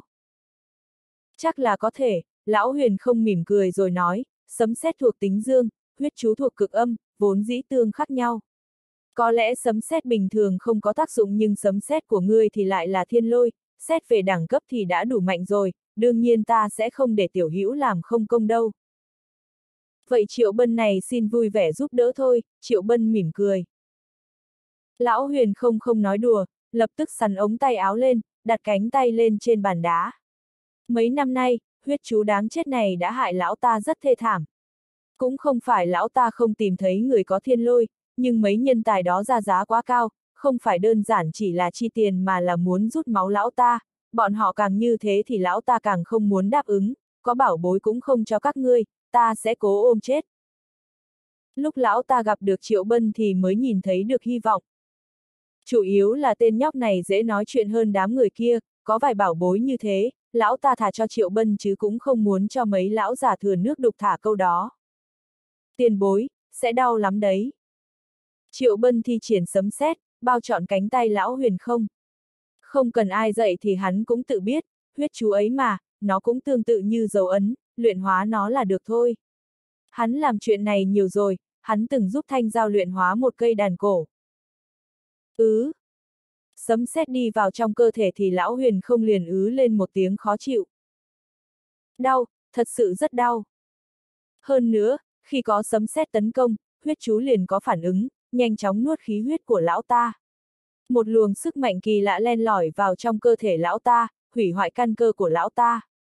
Mặc dù huyết chú nằm trên cánh tay nhưng xương khớp tứ chi đều đau đớn vô cùng. Ấn chú mạnh thật đấy. Triệu Bân khẽ lẩm bẩm, sấm sét cấp thiên mà vẫn không lung lay được nó. Nào! Lão huyền không vừa nói vừa nhét một chiếc khăn tay vào miệng. Ý của lão ta rất rõ ràng, muốn hắn mạnh tay hơn. Triệu Bân hít một hơi, tăng sức mạnh từng chút một, chỉ sợ dùng lực quá mạnh sẽ làm cánh tay của lão huyền không bị thương. Xem ra thì huyết chú đã hợp lại làm một với cánh tay của lão ta rồi, cực kỳ khó luyện hóa. Lúc hắn luyện huyết chú thì đồng thời cũng sẽ làm bị thương lão huyền không. Ư. Ừ. Lão huyền không lại rên lên một tiếng khó chịu, gân xanh nổi cồm cộm lên trên trán, đôi mắt già nua nổi đầy gân máu, chiếc khăn tay đang ngậm trong miệng cũng thấm máu tươi từ răng, trở thành màu đỏ. Từ đó có thể thấy được, lão ta đau đớn đến mức nào, chắc cũng không thua tẩy cốt luyện thể là mấy. Triệu Bân không nói gì, vẫn đang tiếp tục tăng sức mạnh của sấm sét. A! À, lão huyền không đau đớn tới nổi hiện rõ lên mặt, không ngừng rên lên khó chịu. Mỗi lần Triệu Bân tăng thêm sức mạnh thì lão ta lại ghi giọng hừ một tiếng đau khổ, khuôn mặt già nua vốn hồng hào giờ đã vô cùng nhợt nhạt. Cứ thế kéo dài hết một ngày. Đến khi màn đêm buông xuống, không chỉ có mình lão huyền không hừm lên khó chịu mà chính Triệu Bân cũng chẳng chịu nổi nữa, có lẽ là tiêu hao quá nhiều sức nên sắc mặt hắn cũng dần dần nhợt nhạt đi, hơi thở cũng không còn đều đặn như thường nữa. Ngồi luyện hóa huyết chú đúng thật là còn mệt hơn cả đánh nhau. Nhưng huyết chú vẫn không có dấu hiệu bị giải trừ. Đó không phải là huyết chú bình thường. Nguyệt thần thong dong đáp, chắc hẳn đã bị tiếng hừ của lão huyền không đánh thức. Thiên lôi có luyện hóa được không? Triệu Bân hỏi. Thế thì phải xem là thiên lôi của ai, Nguyệt thần vươn vai, người có thiên lôi ở cấp chân linh, dù luyện đến chết cũng không luyện hóa được lá huyết chú kia. Triệu Bân khẽ ho khan, ngụ ý thì đương nhiên hắn cũng hiểu chứ, là do tu vi quá thấp, chèn ép sức mạnh của thiên lôi. Nếu hắn sở hữu tu vi ở cảnh giới địa tạng thì chắc hẳn sẽ dễ dàng luyện hóa hơn. Không thể nào đưa thiên lôi của mình cho lão huyền không chứ. Như thế thì lão huyền không may mắn quá, còn hắn thì khổ rồi, sẽ bị tổn thương căn cốt. Thiên lôi giống như huyết chú của lão huyền không vậy, nó hòa vào làm một với võ hồn của hắn. Nếu bóc tách thiên lôi ra, chẳng khác nào chém đứt một cánh tay của hắn cả. Còn cách nào khác không, Triệu Bân hỏi. Dùng chiếc nhẫn ma, Nguyệt Thần thản nhiên đáp, sát khí trong chiếc nhẫn ma có thể giảm bớt sức mạnh của huyết chú, chưa biết chừng còn có thể nuốt nó luôn. Sao cô không nói sớm? Triệu Bân nhanh chóng ngồi vững, quệt mồ hôi, sau đó thu lại thiên lôi, cẩn trọng dè dặt luyện hóa suốt một ngày. Mẹ kiếp, người bổ cho ta một nhát đao quá ư là mới mẻ và thoát tục. Có thời gian rảnh như thế, ta đi vẽ bùa chẳng tốt hơn à. Ở phía đối diện, lão huyền không lấy ra chiếc khăn tay mà lão ta ngậm trong miệng, máu me be bét. Luyện cả một ngày cũng không luyện hóa được. Không phải vì thiên lôi không đủ, mà vì tu vi của Triệu Bân quá thấp. Hay! Lão huyền không thở dài một tiếng, sau đó đứng dậy. Đi đâu hả? Triệu Bân giơ tay, lại túm lão huyền không trở về. Thiên lôi không được, ta sẽ đổi cái khác. Còn phương pháp nào khác sao? Có chứ, Triệu Bân lôi chiếc nhẫn ma ra, nó có một màu đen rất thuần túy. Ma! Lão huyền không và Huỳnh Nham nheo mắt lại, đương nhiên họ có thể nhìn ra được một chút sát khí lộ ra trên chiếc nhẫn ma, lạnh lùng mà tàn bạo, vừa nhìn đã biết là vật tà ma. Sư phụ thưởng cho đấy. Triệu Bân cười cười, lấy chiếc nhẫn ma ra đặt trên huyết chú. Cảnh tượng thần kỳ lập tức xuất hiện, huyết chú thấy nhẫn ma bỗng trở nên cực kỳ sao động, thậm chí còn dao động hơn lúc được thiên lôi luyện hóa. Lá huyết chú vốn đen thùi lùi dần dần ảm đạm từng tấc từng tấc một dưới ánh mắt chăm chú của ba người. Hay nói cách khác, sức mạnh của huyết chú bị chiếc nhẫn ma hấp thụ rồi, huyết chú ảm đạm còn nhẫn ma thì rung lên khe khẽ, vui vẻ như một người đã đói rất lâu bỗng được ăn no căng bụng. Chưa đầy 15 phút, huyết chú đã biến mất không còn tâm tích. Thế là, mất rồi à? Huỳnh Nham nhìn xong mà sững sờ, dùng thiên lôi luyện cả một ngày trời, huyết chú vẫn là huyết chú, chẳng có tác dụng quái gì cả. Lấy một chiếc nhẫn ma ra, đặt lên trên đó, chỉ một khắc đã xong việc rồi. Có thứ tốt như thế sao không lấy ra từ sớm? Coi ngươi mệt thế nào kìa, coi ngươi làm các chủ của ta đau thế nào kìa. Chiếc nhẫn quỷ dị quá. Lão huyền không lầm bầm, huyết chú gây đau đớn cho lão ta bị phá vỡ dễ dàng như thế. Sống mấy chục năm trên đời, lần đầu lão ta thấy được vật kỳ dị như vậy, có khả năng hút cả huyết chú. Bảo bối đấy. Triệu Bân thu chiếc nhẫn về, hà một hơi rồi lấy tay áo lau lau. Có thể hút được huyết chú, đây chính là năng lực của chiếc nhẫn ma. Hay nói cách khác, chỉ là một trong số nhiều năng lực của nó. Cuối cùng cũng phá rồi. Lão huyền không quát lên một tiếng, khí huyết dồn ứ trong lòng vọt ra qua tiếng giống, có lẽ vì quá phấn khích nên khí thế đỉnh cao của cao thủ địa tạng bỗng chốc bộc phát ra ngoài. Các chủ, xin hãy bình tĩnh. Huỳnh Nham ho khẽ một tiếng, lúc này đã đứng không vững nữa. Lão ta còn đỡ, chứ Triệu Bân mới đúng là xấu mặt. Tên này đã không còn ở trong đình nghỉ mát nữa. Hắn đứng ở hòn non bộ phía đối diện, đang cúi đầu lau chiếc nhẫn, nào ngờ lão huyền không đột nhiên bộc phát khí thế, đã vậy còn không trở lại chút nào, trong lúc không để ý, hắn bị hất lộn ra ngoài, hòn non bộ đang yên ổn cũng bị đánh cho tan tác. Lúc này hắn còn đang ho ra máu kia kia. Hắn vừa ho ra máu vừa cào bới trong đống đá vụn, như thể đang tìm gì đó. Tìm gì nè? Tìm cái nhẫn ma của hắn, nó cũng bị bắn ra ngoài rồi. May mà vẫn tìm được nó, không hề tổn hại gì, nếu không thì đúng là chuyện hề. Tiểu Hữu Lão Huyền không bước ra khỏi đình nghỉ mát, phen này quá xấu hổ luôn. Cũng trách lão ta phấn khích quá, nghiễm nhiên ngó lơ cảm nhận của Huỳnh Nham và Triệu Bân. Tiền bối, lần sau nhớ đánh động trước một tiếng. Triệu Bân không kịp điều chỉnh hơi thở, lại ọc ra một búng máu. Hắn không hề diễn mà thực sự đã bị thương, may mà căn cốt rất vững vàng, chứ nếu là cảnh giới chân linh bình thường chắc đã bán thân bất toại, chưa biết chừng còn tới chỗ Diêm Vương điểm danh luôn. Lỗi của lão phu. Lão huyền không vội vàng lấy ra một viên đan hai vân. Thế này thì ngại lắm. Triệu Bân không khách sáo, hắn không ăn mà nhét vào trong hồ lô, còn lắc qua lắc lại. Mỗi lần có đan dược, hắn đều làm như vậy, có thể tăng cường dược lực của linh dịch. Loại bỏ được huyết chú, ân này lão phu sẽ nhớ mãi. Lão huyền không nói rất chân thành, còn tiện tay nhét cho hắn một túi tiền. Chuyện nhỏ nhặt thôi. Triệu Bân cười khà khà, ai tặng quà cũng không từ chối. Túi tiền này nặng trịch, e rằng không chỉ có ngân phiếu mà còn cả dược hoàn và đan dược nữa, các chủ quả nhiên là người hào phóng. Không thể làm không công được, kiểu gì cũng phải cho hắn chút lợi lộc chứ. Triệu Bân ra khỏi đấu giá các đã là nửa đêm. Mệt mỏi cả một ngày nhưng bội thu, lão huyền không hào phóng hơn Dương Hùng rất nhiều, chỉ riêng đan dược hai vân đã tặng ba viên, các loại dược hoàn khác cũng không ít, cộng thêm 30 vạn lượng. Nếu sớm biết có chuyện tốt như thế này, hắn đã đi tìm lão huyền không nói chuyện sớm hơn. Thứ tốt. Triệu Bân liếc nhìn túi càn khôn, càng nhìn chiếc nhẫn ma kia càng thích. Nguyệt thần nói nó là bảo bối, vậy thì chắc chắn là bảo bối, đã vậy còn là bảo bối lớn.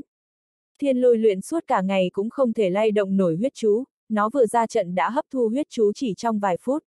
Mấy thứ tà vật này quả nhiên rất khác biệt. Hang động quỷ minh. Đợi khi thu hồi tầm mắt, Triệu Bân hít thở sâu một hơi. Nếu ở nơi cấm địa đó thực sự có hoa hồn linh, hắn sẽ không ngại đi một chuyến. Quỳnh. Khi hắn đang đi thì đột nhiên nghe thấy một tiếng nổ lớn. Có lẽ vì đường phố vào ban đêm quá yên tĩnh nên tiếng động kia cực kỳ vang vọng. Triệu Bân nhíu mày. Bởi vì tiếng nổ kia xuất phát từ phía cửa hàng binh khí, từ xa, hắn trông thấy mái ngói xanh bay tứ tán, một nửa cửa hàng binh khí đã đổ sụp, mười mấy bóng người lộn ra, có thể nhìn thấy nhóm người lỗ máng, cũng có thể thấy tên nhóc tóc tím và xích hiên. Xoạt! Hắn chưa kịp phản ứng, một bóng đen khác cũng chuồn khỏi cửa hàng binh khí đổ nát. Đi đâu hả? Tiếng chửi bới vang lên ngay sau đó, hóa ra là lão mập đuổi theo bóng đen kia lên mái nhà, thân pháp của hai người rất cổ quái, đến Triệu Bân cũng khó lòng dõi theo. Quỳnh! Đồng thời, bóng đen thứ hai cũng vọt ra. Đến rồi mà còn định đi. Chư cát huyền đạo quát ẩm ý, xông thẳng lên mái nhà, đuổi theo người thứ hai. Cảnh giới địa tạng. Mấy người kia nhanh như gió, hai mắt của Triệu Bân gần như nheo thành đường thẳng. Hai bóng đen kia là cảnh giới địa tạng hàng thật giá thật, chẳng trách tên nhóc tóc tím và xích hiên chật vật như thế, cũng chẳng trách. Họ dám quậy phá cửa hàng binh khí mà không hề kiêng nể gì. Soạt. Không đợi hắn tới nơi, bóng đen thứ ba đã lẻn vào cửa hàng binh khí. Đùng, binh. Chưa đầy một khoảnh khắc, bóng đen đó đã trốn ra rồi. Nhìn lại, trong tay kẻ này còn sách theo một thiếu nữ mặc đồ trắng, chính là nhóc hám tiền. Thế nhưng, cô nhóc đã hôn mê. Soạt. Bóng đen kia cực kỳ nhanh nhạy, có một con huyết điêu tiếp viện cho hắn ta. Bắt được Bạch Nhật Mộng, tên này lao thẳng lên trời. Điệu hổ ly sơn. Triệu Bân nghiến răng, lập tức triệu hồi đại bằng đuổi theo tên áo đen thứ ba. Hai tên áo đen đằng trước chỉ là cái cớ, lần lượt dẫn dụ lão mập và chư cát huyền đạo đi mất. Mục đích thực sự của chúng là nhóc hám tiền cơ. Soạt. Đại bằng được gắn thêm bùa tốc hành nên tốc độ cũng không thua kém. Mà Triệu Bân cũng không mong mỏi bản thân cứu được Bạch Nhật Mộng, tranh thủ thời gian là được. Động tĩnh lớn như vậy, thành vong cổ chẳng thể nào không phát giác. Bị khùng hả? Nửa đêm nửa hôm, ăn no rừng mỡ phải không? Ý, là cửa hàng binh khí triệu ra. Rất nhiều người ló đầu ra, thấy tình trạng thảm thương của cửa hàng binh khí mà nhớn mày. Mẹ kiếp, có người phá triệu ra nè. Hơn nửa cửa hàng đã bị hỏng hóc, binh khí rơi lả tả đầy đất, cực kỳ chật vật. Lá gan to nhỉ. Tiếng quát lớn nhanh chóng vang lên, đến từ phía phủ thành chủ, lập tức có từng đội thị vệ chạy tới. Hai bên đều có động tĩnh của đại chiến, bèn chia thành hai nhánh để ngăn chặn. Đội quân đóng ở bên ngoài thành thấy ánh lửa tín hiệu từ thành chủ nên vội vàng bao vây lại. Xoạt, xoạt. Ở đầu kia của thành vong cổ, một con huyết điêu xẹt ngang qua bầu trời. Tên mặc áo đen thứ ba bắt Bạch Nhật Mộng đi mất ngôi ngay bên trên, không nhìn rõ dung mạo, nhưng dưới ánh trăng, có thể nhìn thấy một đôi mắt âm u và nham hiểm, không hề ham đánh đấm, cứ bắt được người là đi ngay. Còn về phía hai người chiến hữu, hắn ta không hề lo lắng. Cả hai đều là cao thủ địa tạng, thủ đoạn rất nhiều, có thể đào tẩu trước khi quân đội tiến vào thành. Chuyện này đã được lên kế hoạch sẵn rồi. Đến cả đường lui cũng được sắp xếp sẵn, tốc chiến tốc quyết. Cạc cạc. Đại bằng kêu la ẩm ý, nó cũng sượt ngang qua bầu trời. Triệu Bân đứng trên lưng đại bằng, thần sắc rất khó coi. Từ lâu hắn đã biết nhóc hám tiền tới đây lánh nạn, chắc hẳn bây giờ kẻ thù của gia tộc cô nhóc đã tìm tới nơi, mục đích bắt người cũng rất rõ ràng, không chỉ để báo thù, chắc chắn còn có cả uy hiếp. Một tên võ tu chân linh quèn. Tên áo đen từng liếc mắt một lần, sau khi thấy kẻ phía sau, ánh mắt lộ rõ vẻ khinh miệt. Hắn ta không dừng lại. Hay nói cách khác, hắn ta ngó lơ luôn. Một võ tu chân linh tầm thường, hắn ta thực sự không để mắt tới, chuyện bé như con mũi thôi. Hắn ta lười để tâm, đi sớm cho xong chuyện. Triệu Bân không nói gì, dán thêm mấy lá bùa tốc hành nữa, chắc chắn bản thân sẽ không bị huyết điêu bỏ xa. Ngoài ra, hắn liên tục vung bùa chú dọc đường. Là bùa nổ, chúng nổ hết lá này đến lá khác, nhưng không phải để công kích, mà để tạo động tính thu hút sự chú ý của thành vong cổ, đồng thời dùng nó để chỉ hướng. Đây chính là ý nghĩa khi hắn đuổi theo. Ngoài bùa nổ ra, còn có cả bùa lôi quang. Trong đêm đen, từng lá bùa lôi quang nổ tung, ánh sáng cực kỳ chói mắt. Khỏi nói chứ, cách này thực sự hữu dụng. Lão mập không đuổi theo được tên áo đen, đứng trên nóc nhà mà trông ra xa. Ở bên khác, chư cát huyền đạo cũng nhíu mày. Động tính trong thành không nhỏ, bên ngoài thành dường như cũng rất náo nhiệt, nhìn ánh lửa chói mắt và nghe từng tiếng nổ chấn động này, chắc hẳn là bùa nổ và bùa lôi quang. Chúng bắt mất nhóc hám tiền rồi. Tên mập đen thùi lùi ôm lấy vết thương trên vai, lảo đảo chạy tới. Audio điện tử võ tấn bền. Triệu Bân đã đuổi theo. Tên nhóc tóc tím cũng loạn choạng, không ngừng ho ra máu. Chết tiệt! Hai người hừ một tiếng rồi chạy thẳng ra ngoài thành. Đến giờ họ mới hiểu ra, mẹ kiếp, chúng kế điệu hổ ly sơn rồi. Không từ mọi giá, phải bắt được chúng.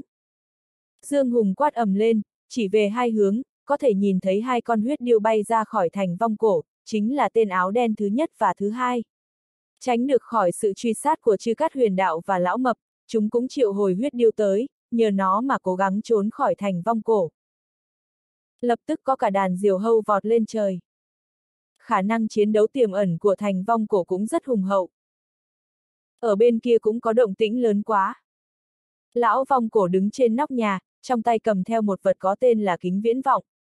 Sắc trời quá tối, không thể nhìn ra bóng người, nhưng cũng chính vì trời tối mới có thể nhìn thấy ánh lửa và lôi quang lóe sáng ngập trời, cũng chính là bùa nổ và bùa lôi quang. Là Triệu Bân và một tên áo đen khác.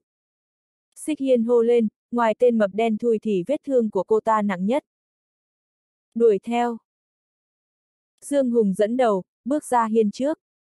Có một con diều hâu bay đến đón lão ta, cửa hàng binh khí của Triệu gia xảy ra chuyện thì không quan trọng, nhưng nếu như đến cả Triệu Bân mà cũng xảy ra chuyện theo thì Đại Hạ Hồng Nguyên sẽ nổi đóa lên mất.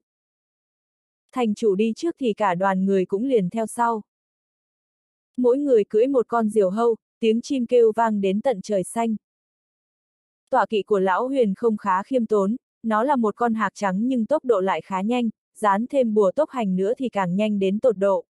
Triệu Bân là ân nhân cứu mạng lão ta, đương nhiên lão ta không thể nào quên ân tình đó, cộng thêm việc thân phận của Triệu Bân quá đặc biệt nên hắn tuyệt đối không thể để có sơ sót gì. Chuyện này là sao thế? Người trên phố bị giật mình, ai nấy cũng ngước mắt nhìn lên, họ thấy có rất nhiều chim lớn bay ngang qua. Nếu không phải họ tận mắt nhìn thấy thì họ cũng không biết trong thành vong cổ lại giấu nhiều tòa kỵ đến thế. Quả nhiên vẫn cần thành chủ ra mặt. Dù không phải là thời chiến nhưng vẫn có khả năng kêu gọi rất cao. Có người đến cửa hàng binh khí triệu ra gây rối. Những người biết sơ về sự tình xì sầm bàn tán. Câu đó vừa được nói ra thì rất nhiều người đều cho mày, vẻ mặt đầy cảm xúc. Đến làm loạn ở cửa hàng binh khí triệu ra thôi lại còn gây ra thanh thế lớn như vậy, chắc là tác phẩm của gia tộc lớn rồi. Triệu gia hắn ta cũng có ngày hôm nay à? Rất nhiều người cười lạnh lùng, chẳng hạn như liễu thương không, vương liêu hay thế lực chống đối triệu gia, bọn họ đều vô cùng sung sướng, bao nhiêu ngày qua, chỉ có tối nay là vui nhất. ầm, um, bùm, ầm. Um. Triệu Bân vẫn chưa dừng lại, liều mạng giải bùa nổ khắp dọc đường. Sức chiến đấu của cảnh giới chân linh thật sự không là gì, nhưng nó lại rất có ý nghĩa, vì những hành động đó của hắn sẽ chỉ đường cho bọn chư cát huyền đạo. Hay cho một tiểu bối. Người áo đen hừ một tiếng lạnh lùng, khi hắn ta cảm nhận được là có rất nhiều người đang đuổi đến thì mới hiểu được dụng ý của Triệu Bân. Tên tiểu võ tu này là một người dẫn đường. Có hắn chỉ đường thì đằng sau sẽ là một đống rắc rối. Hắn ta nghĩ đến đây thì liền đưa tay lên, tung ra một luồng kiếm khí, nó vút lên như sát kiếm với uy lực cực mạnh, xé rách không khí, toát lên ánh sáng lạnh buốt. Trốn đi, tiếng triệu bân vang lên lanh lảnh. Cần gì hắn nói, đại bằng cũng xải cánh bay lên cao, né khỏi kiếm khí đó bằng một pha đầy nguy hiểm, khổ nỗi kiếm khí quá mạnh, mặc dù không bị đánh trúng nhưng vẫn bị dư âm của nó làm bị thương, cơ thể bị rách một đường chảy máu, có điều không đáng ngại. Đã đánh giá thấp ngươi rồi. Tên áo đen số một nhếch miệng cười rồi lại vung cánh tay lên. Lần này là một vùng kiếm khí, phải giết chết thằng nhóc đó, vì nếu có hắn thì phương hướng sẽ bị lộ, hắn ta không muốn bị mấy lão già kia để mắt đến đâu. Nhưng hắn ta lại một lần nữa đánh giá thấp Triệu Bân và Đại Bằng. Chủ nhân và thú thông linh tâm ý tương thông với nhau, không chỉ né được kiếm khí mà còn bám giết đuổi theo đối phương. Rồi không chỉ đuổi theo mà còn liều mạng giải bùa lôi quang, bùa nổ khiến người áo đen nhìn thôi cũng thấy khiếp. Một tên cảnh giới chân linh nhỏ bé mà lấy đâu ra lắm bùa nổ và bùa lôi quang thế không biết. Còn nữa, từ khi nào mà cảnh giới chân linh có được tiềm lực mạnh đến thế? Dùng nhiều bùa chú đến vậy, mỗi lá bùa đều cần tiêu hao chân nguyên, chân nguyên của hắn là vô hạn sao? Chân nguyên có mà đầy. Đó sẽ là câu trả lời của Triệu Bân. Hắn có linh dịch, linh dịch có tiên lộ bên trong, có thể bổ sung chân nguyên trong thời gian ngắn. Nếu đổi lại là tiểu bối chân linh bình thường thì chắc đã sớm bị hút thành cái xác khô rồi. Triệu Bân, người áo đen số một lẩm bẩm. Hắn ta cũng đã đến thành vong cổ được mấy ngày rồi, từng nghe rất nhiều lời đồn đại về thiếu chủ triệu gia, không chỉ có thể thông linh mà còn là cao thủ dùng bùa nổ. Số lượng bùa nổ rất lớn, với tình hình này thì người đang đuổi theo hắn ta chắc là triệu bân của triệu gia rồi. Huyết y môn. Triệu bân cũng lẩm bẩm, giây phút hắn cách đối thủ chỉ có mười mấy trượng thì hắn đã ngửi thấy hơi thở từ trên người đối phương, nó vô cùng quen thuộc, hắn đã từng gặp trên đường đến thành xích dương. Thật không ngờ chúng lại đến thành vong cổ của hắn. Hơn nữa, còn nhằm vào nhóc ham tiền. Từ đó có thể thấy, huyết y môn là kẻ thù của tộc Bạch Thị. Thiên đường có lối ngươi không đi, địa ngục không lối ngươi lại đâm đầu vào. Tên áo đen số một cười lạnh lùng, vùng cánh tay áo một cái thì mây đen liền lập tức cuồn cuộn kéo đến, muốn nhấn chìm Triệu Bân và Đại Bằng. Đó không phải là mây mù thông thường mà bên trong có chứa cổ trùng, một khi nó xâm nhập vào trong cơ thể thì sẽ không có kết cục tốt đẹp. Xoẹt! Triệu Bân hét lên, thi triển thuật độn gió, muốn thổi bay mây đen. Nhưng đạo hạnh của hắn không đủ, đứng trước đám mây đen đó, thuật độn gió của hắn chẳng khác nào một cơn gió nhẹ, không chỉ không thổi tan được mà ngược lại còn làm gia tăng khí thế của mây đen. Hắn vẫn chưa bị nhấn chìm hoàn toàn nhưng ngọn lửa đang cháy trong cơ thể có vẻ sắp lụi tàn, không phải vì cấp bậc của ngọn lửa quá thấp mà là vì mây đen quá đáng sợ. Cũng chỉ trách đạo hạnh của tên áo đen số một quá cao, dù chỉ là một bí thuật bình thường nhưng cũng đủ để khiến hắn phải khó chịu đến buồn nôn. Có điều, hắn cũng sẽ không ngốc đến nỗi bị nuốt chừng. Hắn không ngốc, đại bằng cũng đâu ngu, lúc mây đen đến trước mặt, cả hai cố gắng đổi hướng, rồi như một tia sáng màu đen, vút thẳng lên trời cao, né khỏi đám mây đen đó. Mặc dù đã né được nhưng cũng bị dính phải cổ trùng và đã có một con cổ trùng chui vào trong cơ thể hắn. Diệt! Triệu Bân lạnh lùng hét lên một tiếng, lửa và sấm sét tụ lại, dốc hết sức giết chết cổ trùng, nhưng đáng tiếc cổ trùng sống quá dai, cũng rất khó nhằn. Mặc cho lửa thiêu đốt, mặc cho sấm sét tôi luyện, nó vẫn cứ ở lì trong cơ thể của hắn, gặm nhấm xương thịt của hắn. Dù sao thì, có nói sao cũng không ra. Gặm nhấm cho hắn đứt hết kinh mạch, xem thử hắn có còn ngông nữa không. Ừ. Triệu Bân khó chịu rên lên một tiếng, có một con trùng ở trong cơ thể, gặm nhấm xương thịt của mình từng giây từng phút mà có thể dễ chịu mới lạ, ngặt nỗi, hắn không thể làm gì con cổ trùng đó. Vẫn là vấn đề về đạo hạnh. Vì đạo hạnh của tên áo đen đó quá cao, cổ trùng do hắn ta nuôi và tế luyện rất lâu rồi nên sống khá dai, đừng nói gì đến cấp chân linh như hắn, dù cho là cấp huyền dương đụng phải thì cũng sẽ không làm gì được. Nhẫn ma để đấy trương thôi à. Nguyệt thần đang nhắm mắt giả vờ ngủ bỗng dựng lên tiếng, cô ta thật sự không thể nhìn thêm được nữa. Nhẫn ma. Mắt triệu bân sáng lên, sao hắn lại quên bén thứ đó đi mất. Hắn không nghĩ nhiều, giơ tay, rút nhẫn ma ra, đặt lên chỗ tâm mạch, gần với tim, vì con cổ trùng đó đã chui đến chỗ đấy và đang chuẩn bị cắn đứt tâm mạch của hắn. Xoẹt xoẹt. Khi nhẫn ma được đặt vào đó thì cổ trùng lập tức dùng mình, không ngờ nó lại bị hút ra. Đã nói rồi mà, vẫn là nhẫn ma hữu dụng. Ta cho mày ăn này. Triệu Bân bắt lấy nó, dùng sức mạnh đáng sợ của tay trái, cưỡng chế bóp nát nó. Đúng là hàng tốt. Hắn lại một lần nữa phải thẳng thốt vì nhẫn ma, nó có thể nuốt huyết chú, cũng có thể hút cổ trùng, thứ đồ chơi này chuyên khắc chế mấy thứ tả ma âm tính sao. Theo hắn thấy thì chiếc nhẫn này không chỉ đơn giản như thế, nếu không vì bây giờ không phải lúc thích hợp thì nhất định hắn sẽ tìm Nguyệt Thần bàn kỹ về chuyện này. Soạt. Phía trước, tên áo đen số 1 và tọa kỵ của hắn là huyết điêu đã băng qua một vùng núi. Quạc. Đại bằng sải cánh, đuổi theo vào trong. Lúc nó đuổi theo, Triệu Bân vẫn giải bùa bổ và bùa lôi quang xuống, huyết điêu bay quá nhanh, chắc chắn hắn không thể đuổi kịp nên chỉ có thể chỉ đường cho những người ở phía sau. Nhớ đến cứu binh, hắn bất giác quay đầu lại nhìn. Nói thật, khoảng cách không phải bình thường, chủ yếu là vì bị chúng kế điệu hổ ly sơn nên đã đánh mất cơ hội, ngay từ khi bắt đầu hắn đã bị tên áo đen số một bỏ xa lại phía sau. Âm hồn không tan. Tên áo đen số một cười nham hiểm rồi đột ngột rẽ hướng ngoạn mục, quay lại tấn công hắn. Hắn ta hét lên giận dữ, chấn động cả bầu trời, tiếng hét giống như tiếng hú của một con sói đầy cao ngạo. Đó là một loại bí pháp sóng âm bá đạo. Theo hắn ta đoán thì mặc dù khoảng cách khá xa nhưng cũng đủ khiến cho Triệu Bân và con chim dại đó choáng váng. Đúng thật là vậy, tiếng hét đó của hắn ta rất khủng khiếp. Đại bằng trao đảo, suýt chút rơi xuống, nó kêu lên một tiếng thảm thiết. Ú! Triệu Bân cũng khẽ hừng lên, đầu óc choáng váng, giây phút đó, hai tai hắn đã mất hết cảm giác, hai mắt hắn tối đen, hắn đứng không vững trên lưng đại bằng, suýt chút là rơi xuống đất. Hắn bị tiếng hét đó làm cho thất khiếu chảy máu, đầu óc choáng váng. May là hắn có võ hồn nên có thể chống đỡ được. Và cũng may là đại bằng không phải là thú thông linh bình thường, tiềm lực của nó cũng cực kỳ mạnh. Chỉ trong chớp mắt, bọn họ đã lấy lại được thăng bằng. Nhưng, chống đỡ được đòn tấn công của sóng âm thì vẫn còn thứ khác đáng sợ hơn.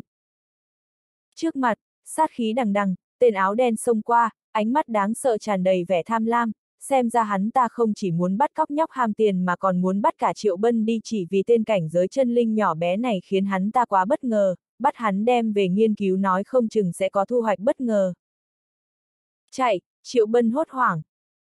Đại bằng vẫn vậy, không cần hắn nói thì nó cũng lập tức rẽ hướng, chạy còn nhanh hơn cả thỏ, cộng thêm bùa tốc hành thì cứ như một tia sáng màu đen, vụt qua bầu trời.